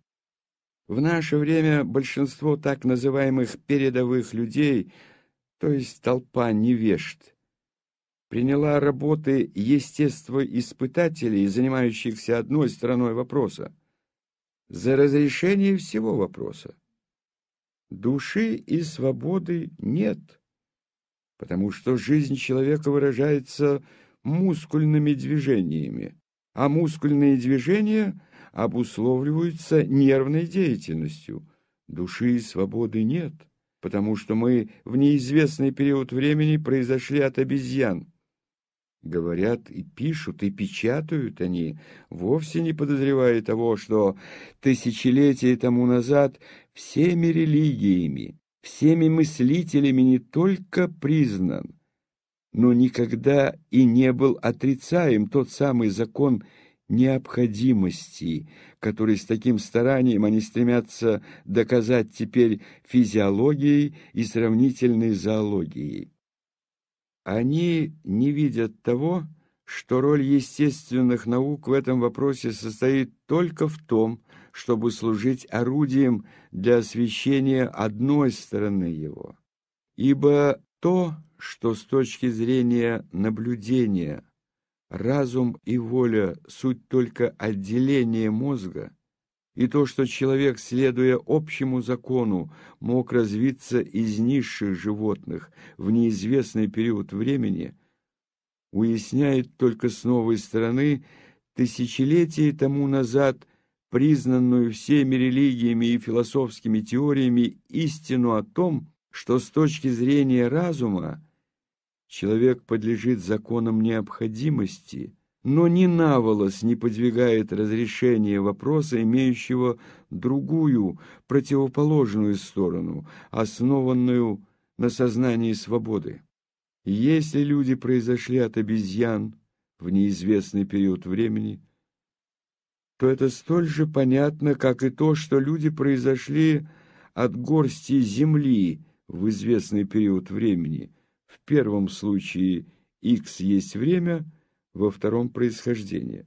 И вопрос о том, каким образом соединяется сознание свободы человека с законом необходимости, которому подлежит человек, не может быть разрешен сравнительную физиологией и зоологией, ибо в лягушке, кролике и обезьяне мы можем наблюдать только мускульно-нервную деятельность, а в человеке и мускульно-нервную деятельность, и сознание.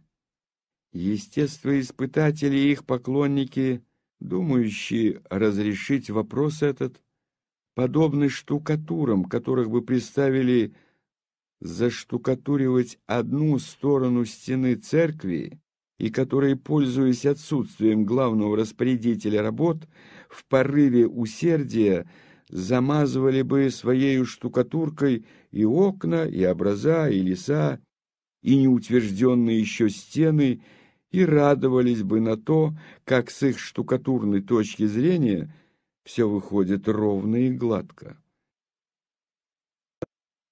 Разрешение вопроса о свободе и необходимости для истории перед другими отраслями знания, в которых разрешался этот вопрос, имеет то преимущество, что для истории вопрос этот относится не к самой сущности воли человека, а к представлению о проявлении этой воли в прошедшем и в известных условиях.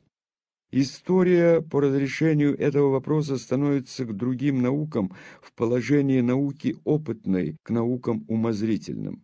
История своим предметом имеет не самую волю человека, а наше представление о ней.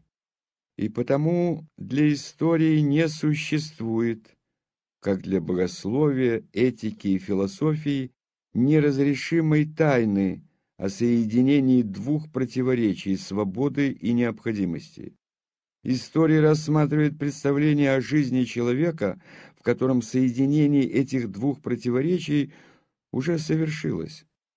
В действительной жизни каждое историческое событие, каждое действие человека понимается весьма ясно и определенно, без ощущения малейшего противоречия, несмотря на то, что каждое событие представляется частью свободным, частью необходимым. Для разрешения вопроса о том, как соединяются свобода и необходимость, и что составляет сущность этих двух понятий, Философия истории может и должна идти путем, противным тому, по которому шли другие науки. Вместо того, чтобы, определив в самих себе понятие о свободе и о необходимости, подсоставленное определение подводить явление жизни, история из огромного количества подлежащих ей явлений – всегда представляющихся в зависимости от свободы и необходимости, должна вывести определение самих понятий о свободе и о необходимости. Какой бы мы ни рассматривали представление о деятельности многих людей или одного человека, мы понимаем ее не иначе, как произведением отчасти свободы человека – отчасти законов необходимости. Говоря ли о переселении народов и набегах варваров, или о распоряжениях Наполеона III, или о поступке человека, совершенном час тому назад и состоящем в том, что из нескольких направлений прогулки он выбрал одно, мы не видим ни малейшего противоречия. Мера свободы и необходимости руководившей поступками этих людей, ясно определена для нас. Весьма часто представление о большей или меньшей свободе различно, смотря по различной точке зрения, с которой мы рассматриваем явление. Но всегда одинаково каждое действие человека представляется нам не иначе, как известным соединением свободы и необходимости. В каждом рассматриваемом действии мы видим известную долю свободы и известную долю необходимости. И всегда, чем более в каком бы то ни было действии мы видим свободы, тем менее необходимости. И чем более необходимости, тем менее свободы. Отношение свободы к необходимости уменьшается и увеличивается, смотря по той точке зрения, с которой рассматривается поступок. Но отношение это всегда остается обратно пропорциональным. Человек тонущий, хватаясь за другого и потопляя его, или изнуренная кормлением ребенка голодная мать, крадущая пищу, или человек, приученный к дисциплине по команде в строю, убивающий беззащитного человека, представляются менее виновными, то есть менее свободными и более подлежащими закону необходимости тому, кто знает те условия, в которых находились эти люди, и более свободными тому, кто не знает, что тот человек сам тонул, что мать была голодна, солдат был в строю и так далее. Точно так же человек, двадцать лет тому назад совершивший убийство и после того спокойно и безвредно живший в обществе, представляется менее виновным. Поступок его более подлежащим закону необходимости для того, кто рассматривает его поступок по истечении двадцати лет и более свободным тому, кто рассматривал тот же поступок через день после того, как он был совершен. И точно так же каждый поступок человека сумасшедшего, пьяного или сильно возбужденного представляется менее свободным и более необходимым тому, кто знает душевное состояние того, кто совершил поступок, и более свободным и менее необходимым тому, кто этого не знает. Во всех этих случаях увеличивается или уменьшается понятие о свободе и, соответственно тому, уменьшается или увеличивается понятие о необходимости, смотря по той точке зрения, с которой рассматривается поступок.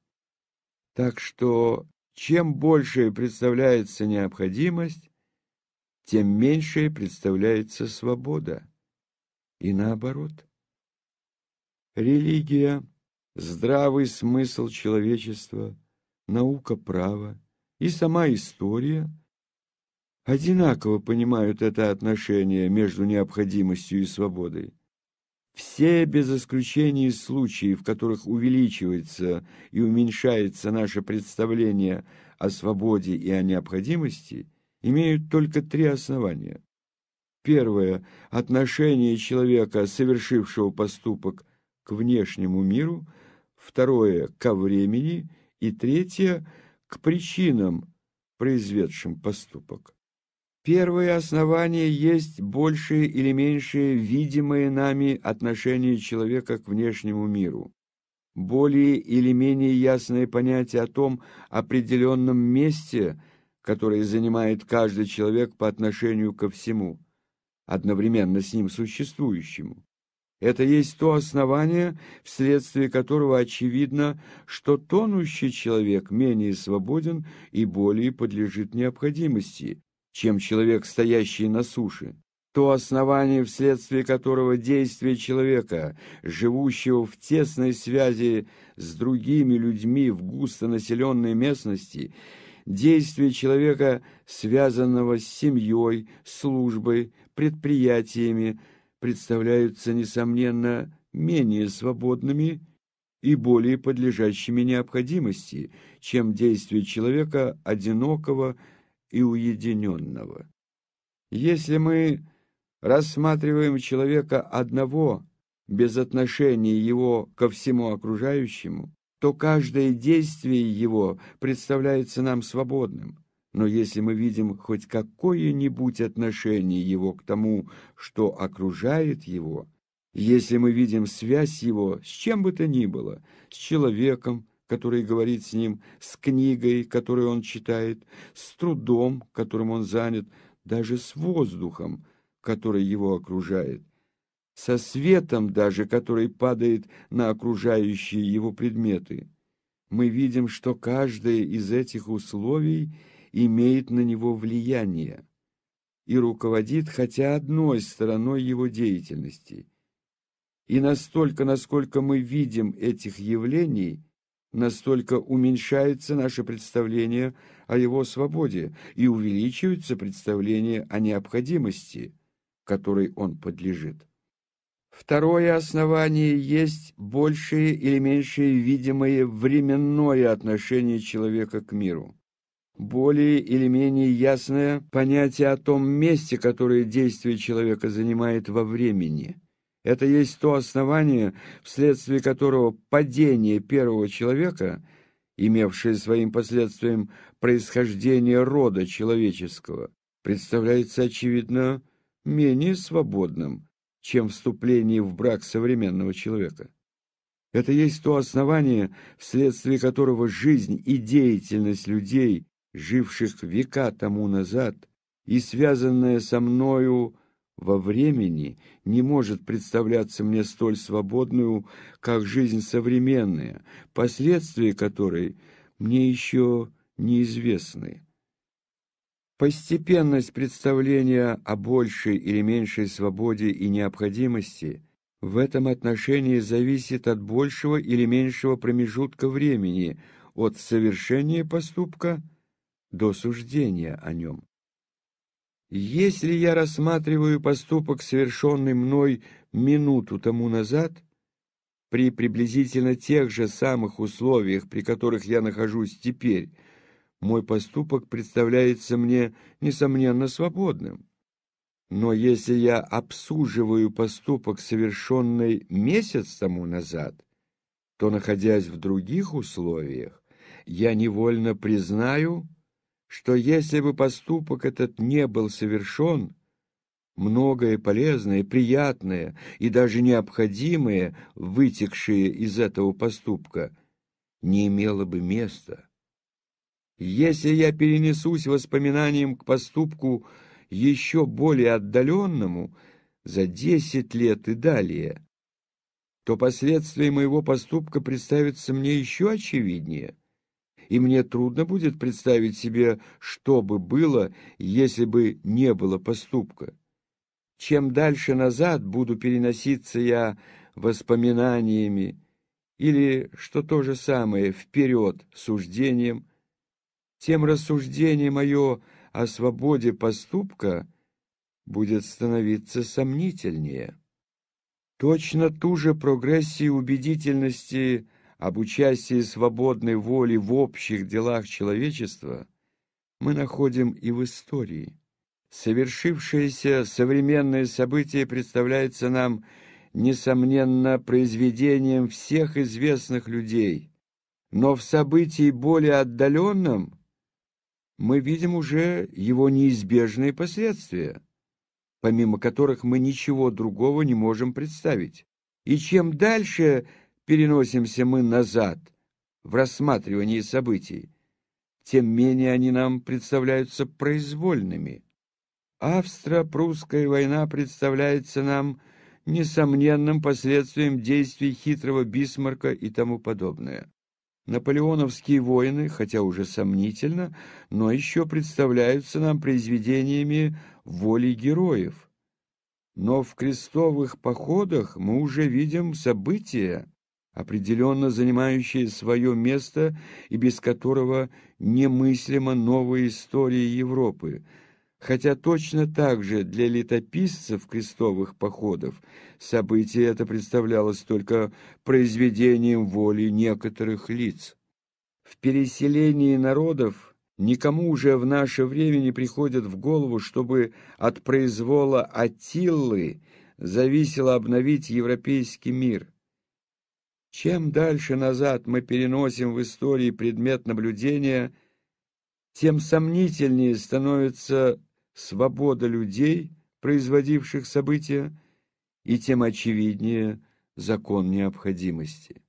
Третье основание есть большая или меньшая доступность для нас бесконечной связи причин, составляющей неизбежные требования разума, и в которой каждое понимаемое явление и потому каждое действие человека должно иметь свое определенное место – как следствие для предыдущих и как причина для последующих.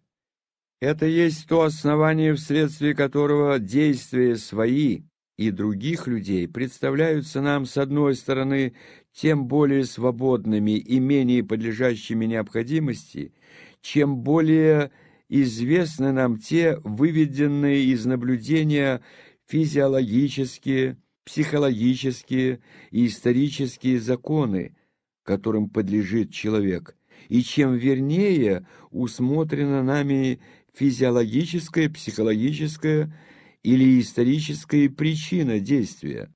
С другой стороны, чем проще само наблюдаемое действие и чем не сложнее характером и умом тот человек, действие которого мы рассматриваем.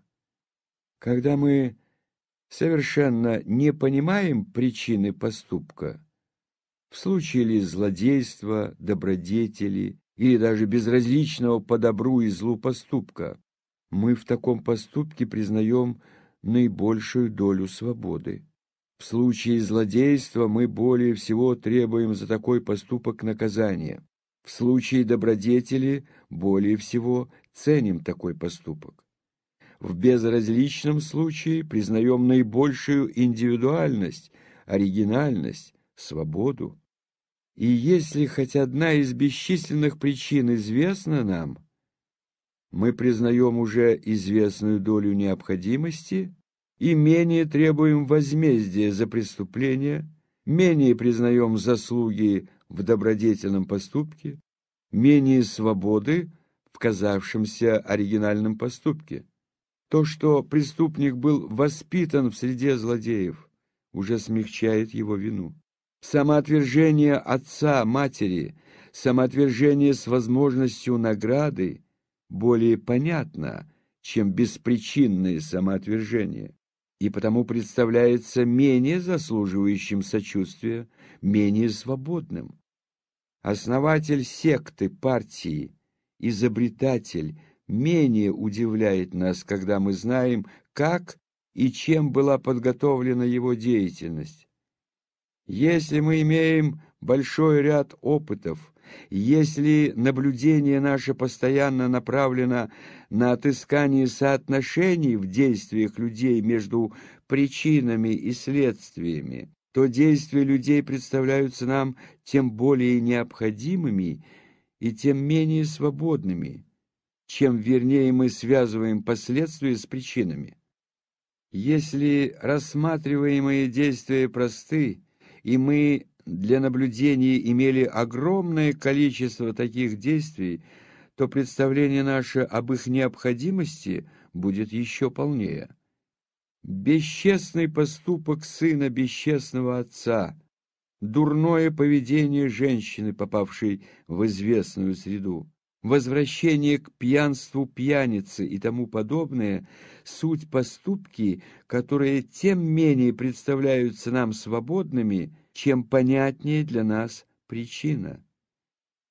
Если же и самый человек, действие которого мы рассматриваем, стоит на самой низкой ступени развития ума, как ребенок, сумасшедший, дурачок, то мы, зная причины действия и несложность характера и ума, уже видим столь большую долю необходимости и столь малую свободы, что, как скоро нам известна причина, долженствующая произвести действие, мы можем предсказать поступок.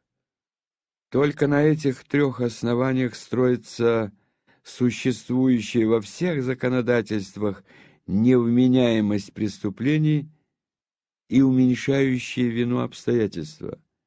Вменяемость представляется большую или меньшую, смотря по большему или меньшему знанию условий, в которых находился человек, поступок которого обсуживается, по большему или меньшему промежутку времени от совершения поступка до суждения о нем и по большему или меньшему пониманию причин поступка. Итак, Представление наше о свободе и необходимости постепенно уменьшается и увеличивается, смотря по большей или меньшей связи с внешним миром, по большему или меньшему отдалению времени и большей или меньшей зависимости от причин, в которых мы рассматриваем явление жизни человека. Так что если мы рассматриваем такое положение человека, в котором связь его с внешним миром наиболее известна, период времени суждения от времени совершения поступка наибольший, и причины поступка наидоступнейшие, то мы получаем представление о наибольшей необходимости и наименьшей свободе. Если же мы рассматриваем человека в наименьшей зависимости от внешних условий, если действие его совершено в ближайший момент к настоящему, и причины его действия нам недоступны, то мы получим представление о наименьшей необходимости и наибольшей свободе. Но ни в том, ни в другом случае, как бы мы ни изменяли нашу точку зрения, как бы ни уясняли себе ту связь, в которой находится человек с внешним миром, или как бы недоступна она нам казалась, как бы не удлиняли или укорачивали период времени, как бы понятны или непостижимы ни были для нас причины, мы никогда не можем себе представить ни полной свободы, ни полной необходимости. Первое. Как бы мы ни представляли себе человека исключенным от влияния внешнего мира, мы никогда не получим понятия о свободе в пространстве. Всякое действие человека неизбежно обусловлено и тем, что окружает его, самым телом человека. Я поднимаю руку и опускаю ее. Действие мое кажется мне свободным. Но спрашивая себя, мог ли я по всем направлениям поднять руку.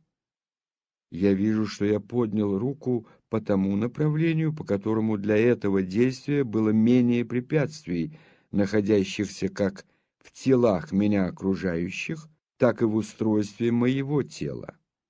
Если из всех возможных направлений я выбрал одно — то я выбрал его потому, что по этому направлению было меньше препятствий. Для того, чтобы действие мое было свободным, необходимо, чтобы оно не встречало себе никаких препятствий. Для того, чтобы представить себе человека свободным, мы должны представить его себе вне пространства, что, очевидно, невозможно. Второе. Как бы мы ни приближали время суждения ко времени поступка, мы никогда не получим понятия свободы во времени, ибо если я рассматриваю поступок, совершенный секунду тому назад, я все-таки должен признать не свободу поступка, так как поступок закован тем моментом времени, в котором он совершен. Могу ли я поднять руку? Я поднимаю ее, но спрашиваю себя, мог ли я не поднять руки в тот прошедший уже момент времени. Чтобы убедиться в этом, я в следующий момент не поднимаю руки. Но я не поднял руки не в тот первый момент, когда я спросил себя о свободе. Прошло время, удержать которое было не в моей власти, и та рука — которую я тогда поднял, и тот воздух, в котором я тогда сделал то движение, уже не тот воздух, который теперь окружает меня, и не та рука, которой я теперь не делаю движения. Тот момент, в который совершилось первое движение, невозвратим, и в тот момент я мог сделать только одно движение, и какое бы я не сделал движение, движение это могло быть только одно. То, что я в следующую минуту не поднял руки, не доказало того, что я мог не поднять ее.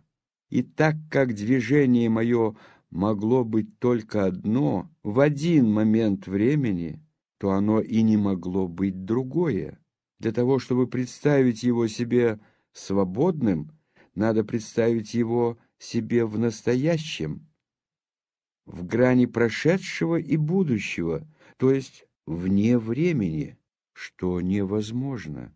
И третье, как бы не увеличивалась трудность постижения причины, мы никогда не придем к представлению полной свободы, то есть к отсутствию причины. Как бы ни была непостижима для нас причина выражения воли в каком бы то ни было своем или чужом поступке, Первое требование ума есть предположение и отыскание причины, без которой немыслимо никакое явление. Я поднимаю руку с тем, чтобы совершить поступок, независимый от всякой причины. Но то, что я хочу совершить поступок, не имеющий причины, есть причина моего поступка.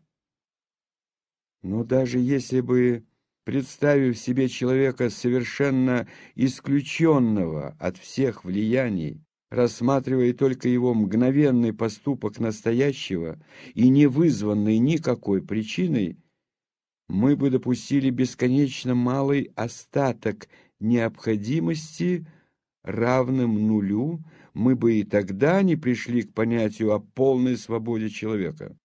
Ибо существо, не принимающее на себя влияние внешнего мира, находящееся вне времени и не зависящее от причин, уже не есть человек. Точно так же мы никогда не можем представить себе действие человека без участия свободы и подлежащего только закону необходимости. Первое. Как бы не увеличивалось наше знание тех пространственных условий, в которых находится человек, знание это никогда не может быть полное, так как число этих условий бесконечно велико, так же, как бесконечно пространство. И потому как скоро определены не все условия влияния на человека, то и нет полной необходимости, а есть известная доля свободы. Второе. Как бы мы ни удлиняли период времени от того явления, которое мы рассматриваем, до времени суждения, период этот будет конечен, а время бесконечно и потому и в этом отношении никогда не может быть полной необходимости. Третье. Как бы ни была доступна цепь причин какого бы то ни было поступка, мы никогда не будем знать всей цепи, так как она бесконечна, и опять никогда не получим полной необходимости. Но кроме того, если бы даже допустив остаток наименьшей свободы равным нулю, мы бы признали в каком-нибудь случае, как, например, в умирающем человеке, в зародыше, в идиоте, полное отсутствие свободы. Мы бы тем самым уничтожили самое понятие о человеке, которое мы рассматриваем. Ибо как только нет свободы, нет и человека и потому представление о действии человека, подлежащем одному закону необходимости, без малейшего остатка свободы, также невозможно, как и представление о вполне свободном действии человека.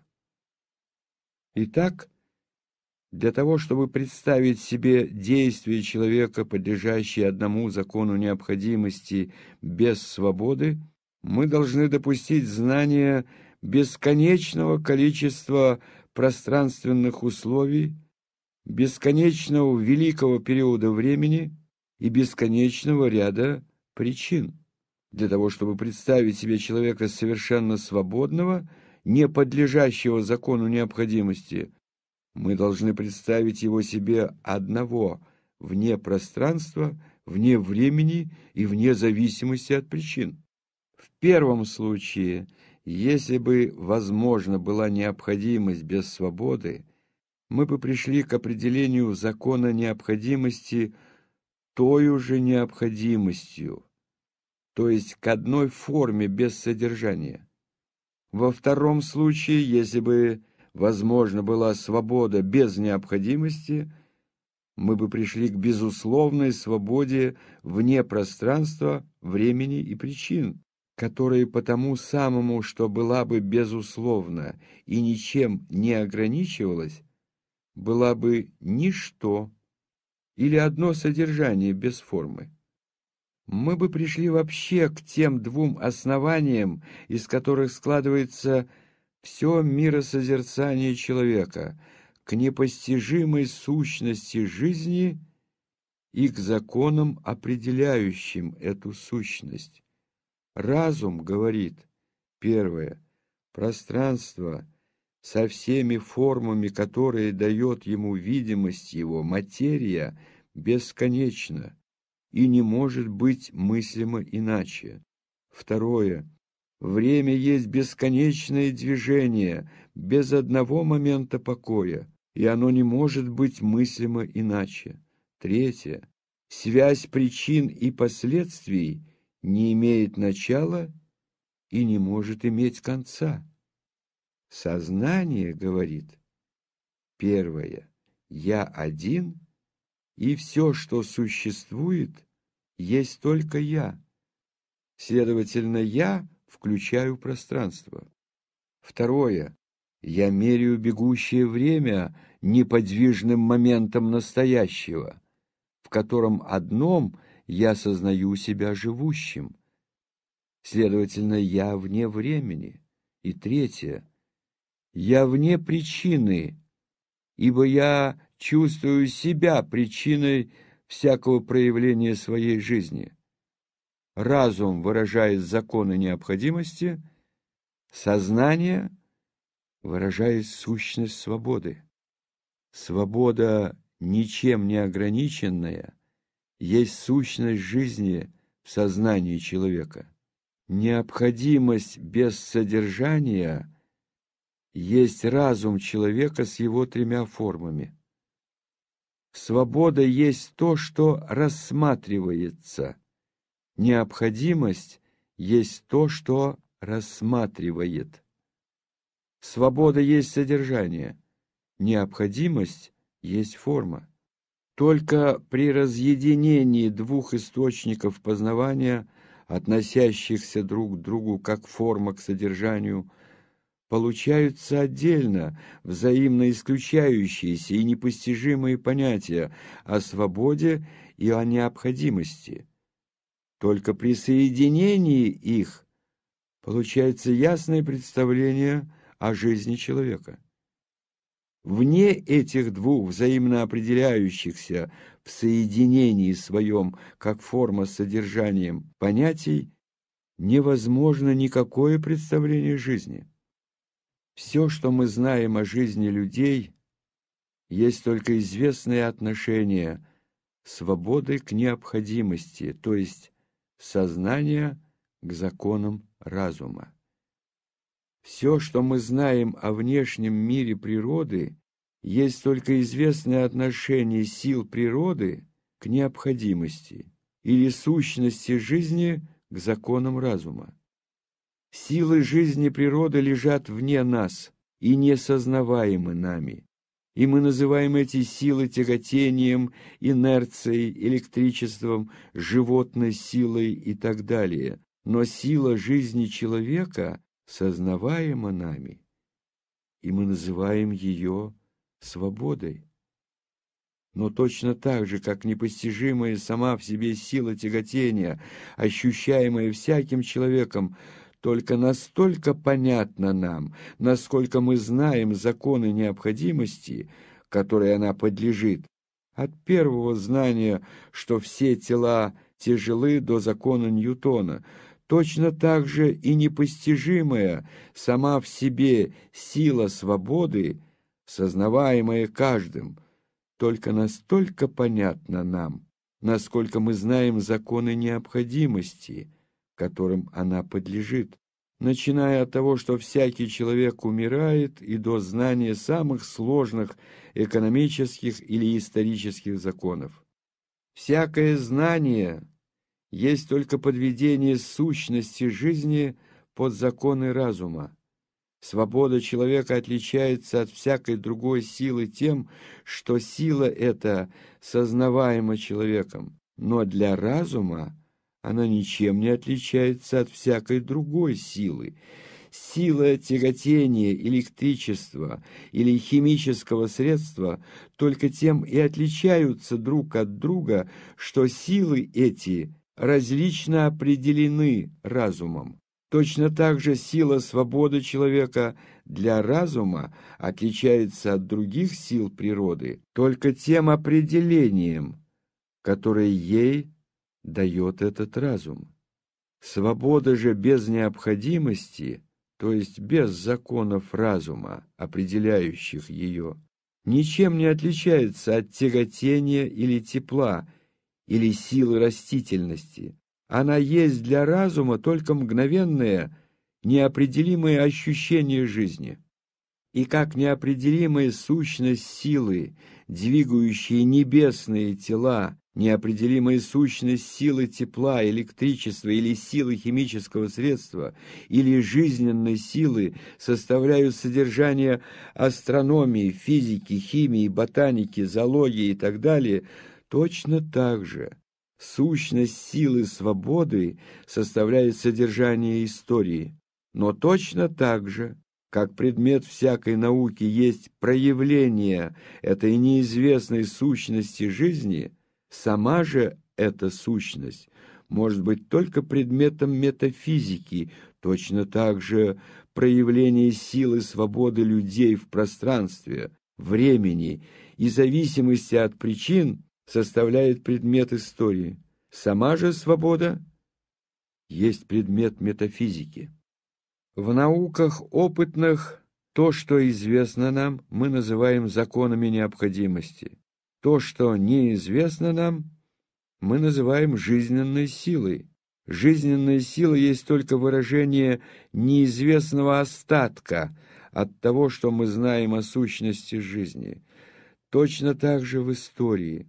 То, что известно нам, мы называем законами необходимости – то, что неизвестно, свободой.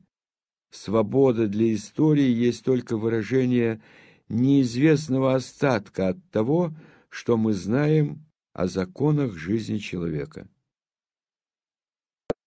История рассматривает проявление свободы человека в связи с внешним миром во времени и в зависимости от причин, то есть определяет эту свободу законами разума, и потому история только настолько есть наука, насколько эта свобода определена этими законами. Для истории признание свободы людей как силы, могущей влиять на исторические события, то есть не подчиненные законам, есть то же, что для астрономии признание свободной силы движения небесных сил. Признание это уничтожает возможность существования законов, то есть какого бы то ни было знания. Если существует хоть одно свободно двигающееся тело, то не существует более законов Кеплера и Ньютона, и не существует более никакого представления о движении небесных тел. Если существует один свободный поступок человека, то не существует ни одного исторического закона и никакого представления об исторических событиях. Для истории существуют линии движения человеческих воль, один конец которых скрывается в неведомом, а на другом конце которых движется в пространстве, во времени и в зависимости от причин сознание свободы людей в настоящем. Чем более раздвигается перед нашими глазами это поприще движения, тем очевиднее законы этого движения. Уловить и определить эти законы составляет задачу истории. С той точки зрения, с которой наука смотрит теперь на свой предмет, по тому пути, по которому она идет, отыскивая причины явлений в свободной воле людей, выражение законов для науки невозможно, ибо как бы мы не ограничивали свободу людей, как только мы ее признали за силу, не подлежащую законам, существование закона невозможно. Только ограничив эту свободу до бесконечности, то есть рассматривая ее как бесконечно малую величину, мы убедимся в совершенной недоступности причин, и тогда вместо отыскания причин история поставит своей задачей отыскание законов. Отыскание этих законов уже давно начато, и те новые приемы мышления, которые должна усвоить себе история, вырабатываются одновременно с самоуничтожением, которому все дробя и дробя причины явлений идет старая история. По этому пути шли все науки человеческие. Придя к бесконечно малому, математика, точнейшая из наук – оставляет процесс дробления и приступает к новому процессу суммования неизвестных, бесконечно малых. Отступая от понятия о причине, математика отыскивает закон, то есть свойства, общие всем неизвестным бесконечно малым элементам.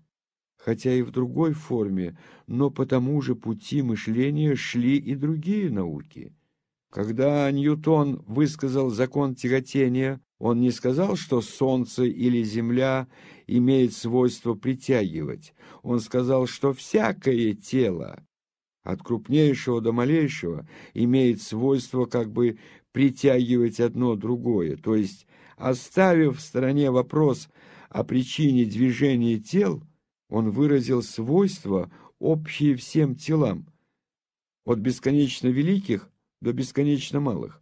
То же делают естественные науки. Оставляя вопрос о причине, они отыскивают законы.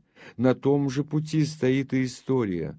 И если история имеет предметом изучения движения народов и человечества, а не описание эпизодов из жизни людей, то она должна, отстранив понятие причин, отыскивать законы, общие всем равным и неразрывно связанным между собою бесконечно малым элементом свободы.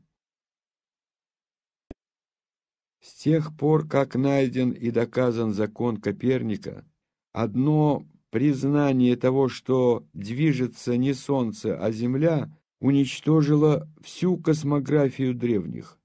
Можно было, опровергнув закон, удержать старое воззрение на движение тел, но не опровергнув его, нельзя было, казалось, продолжать изучение Птоломеевых миров.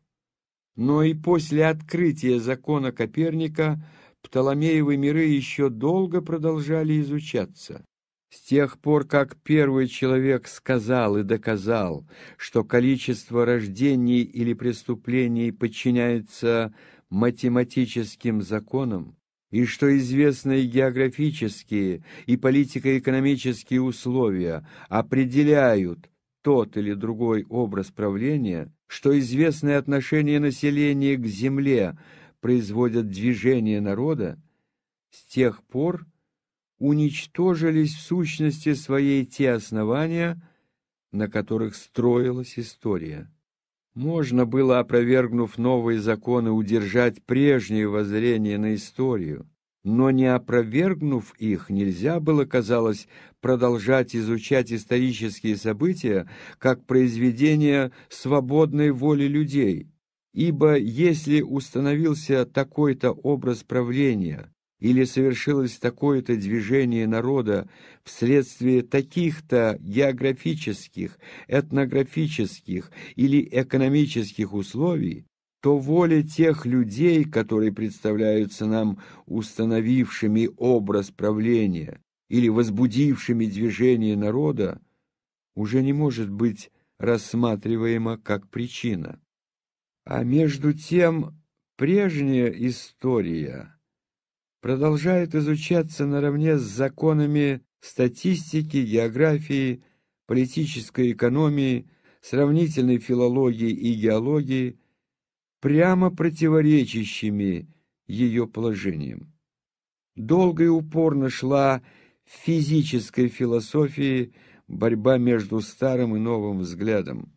Богословие стояло на страже за старый взгляд и обвиняло новый в разрушении откровения. Но когда истина победила, богословие построилось также твердо на новой почве. Так же долго и упорно идет борьба в настоящее время между старым и новым воззрением на историю. И точно так же богословие стоит на страже за старый взгляд и обвиняет новый в разрушении откровения. Как в том, так и в другом случае с обеих сторон борьба вызывает страсти и заглушает истину. С одной стороны является борьба страха и жалости за все веками воздвигнутые здания, с другой — борьба страсти к разрушению. Людям, боровшимся с возникавшей истинной физической философией, казалось, что, признай они эту истину, разрушается вера в Бога, в сотворение тверди, в чудо Иисуса Новина, защитникам законов Коперника и Ньютона, Вольтеру, например, казалось, что законы астрономии разрушают религию, и он, как орудие против религии, употреблял законы тяготения. Точно так же теперь, кажется, стоит только признать закон необходимости, и разрушится понятие о душе, о добре и зле, и все воздвигнутые на этом понятии государственные и церковные учреждения.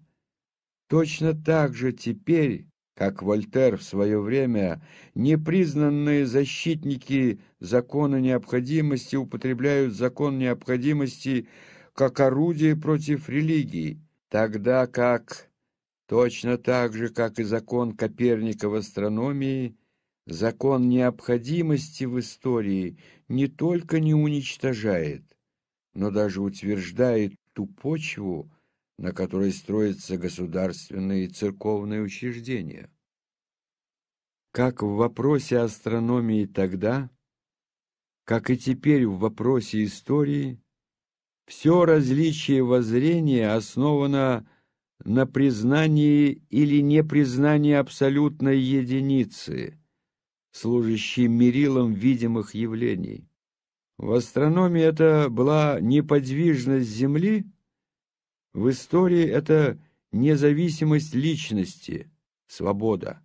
Как для астрономии Трудность признания движения Земли состояла в том, чтобы отказаться от непосредственного чувства неподвижности Земли и такого же чувства движения планет, так и для истории. Трудность признания подчиненности личности законам пространства, времени и причин состоит в том, чтобы отказаться от непосредственного чувства независимости своей личности. Но как в астрономии новое воззрение говорило «правда», мы не чувствуем движения Земли, но, допустив ее неподвижность, мы приходим к бессмыслице, допустив же движение, которого мы не чувствуем, мы приходим к законам. Так и в истории – Новое воззрение говорит и правда. Мы не чувствуем нашей зависимости, но, допустив нашу свободу, мы приходим к бессмыслице. Допустив же зависимость от внешнего мира, времени и причин, приходим к законам. В первом случае надо было отказаться от сознания несуществующей неподвижности в пространстве и признать неощущаемое нами движение. В настоящем случае точно так же необходимо отказаться от несуществующей свободы и признать неощущаемую нами зависимость.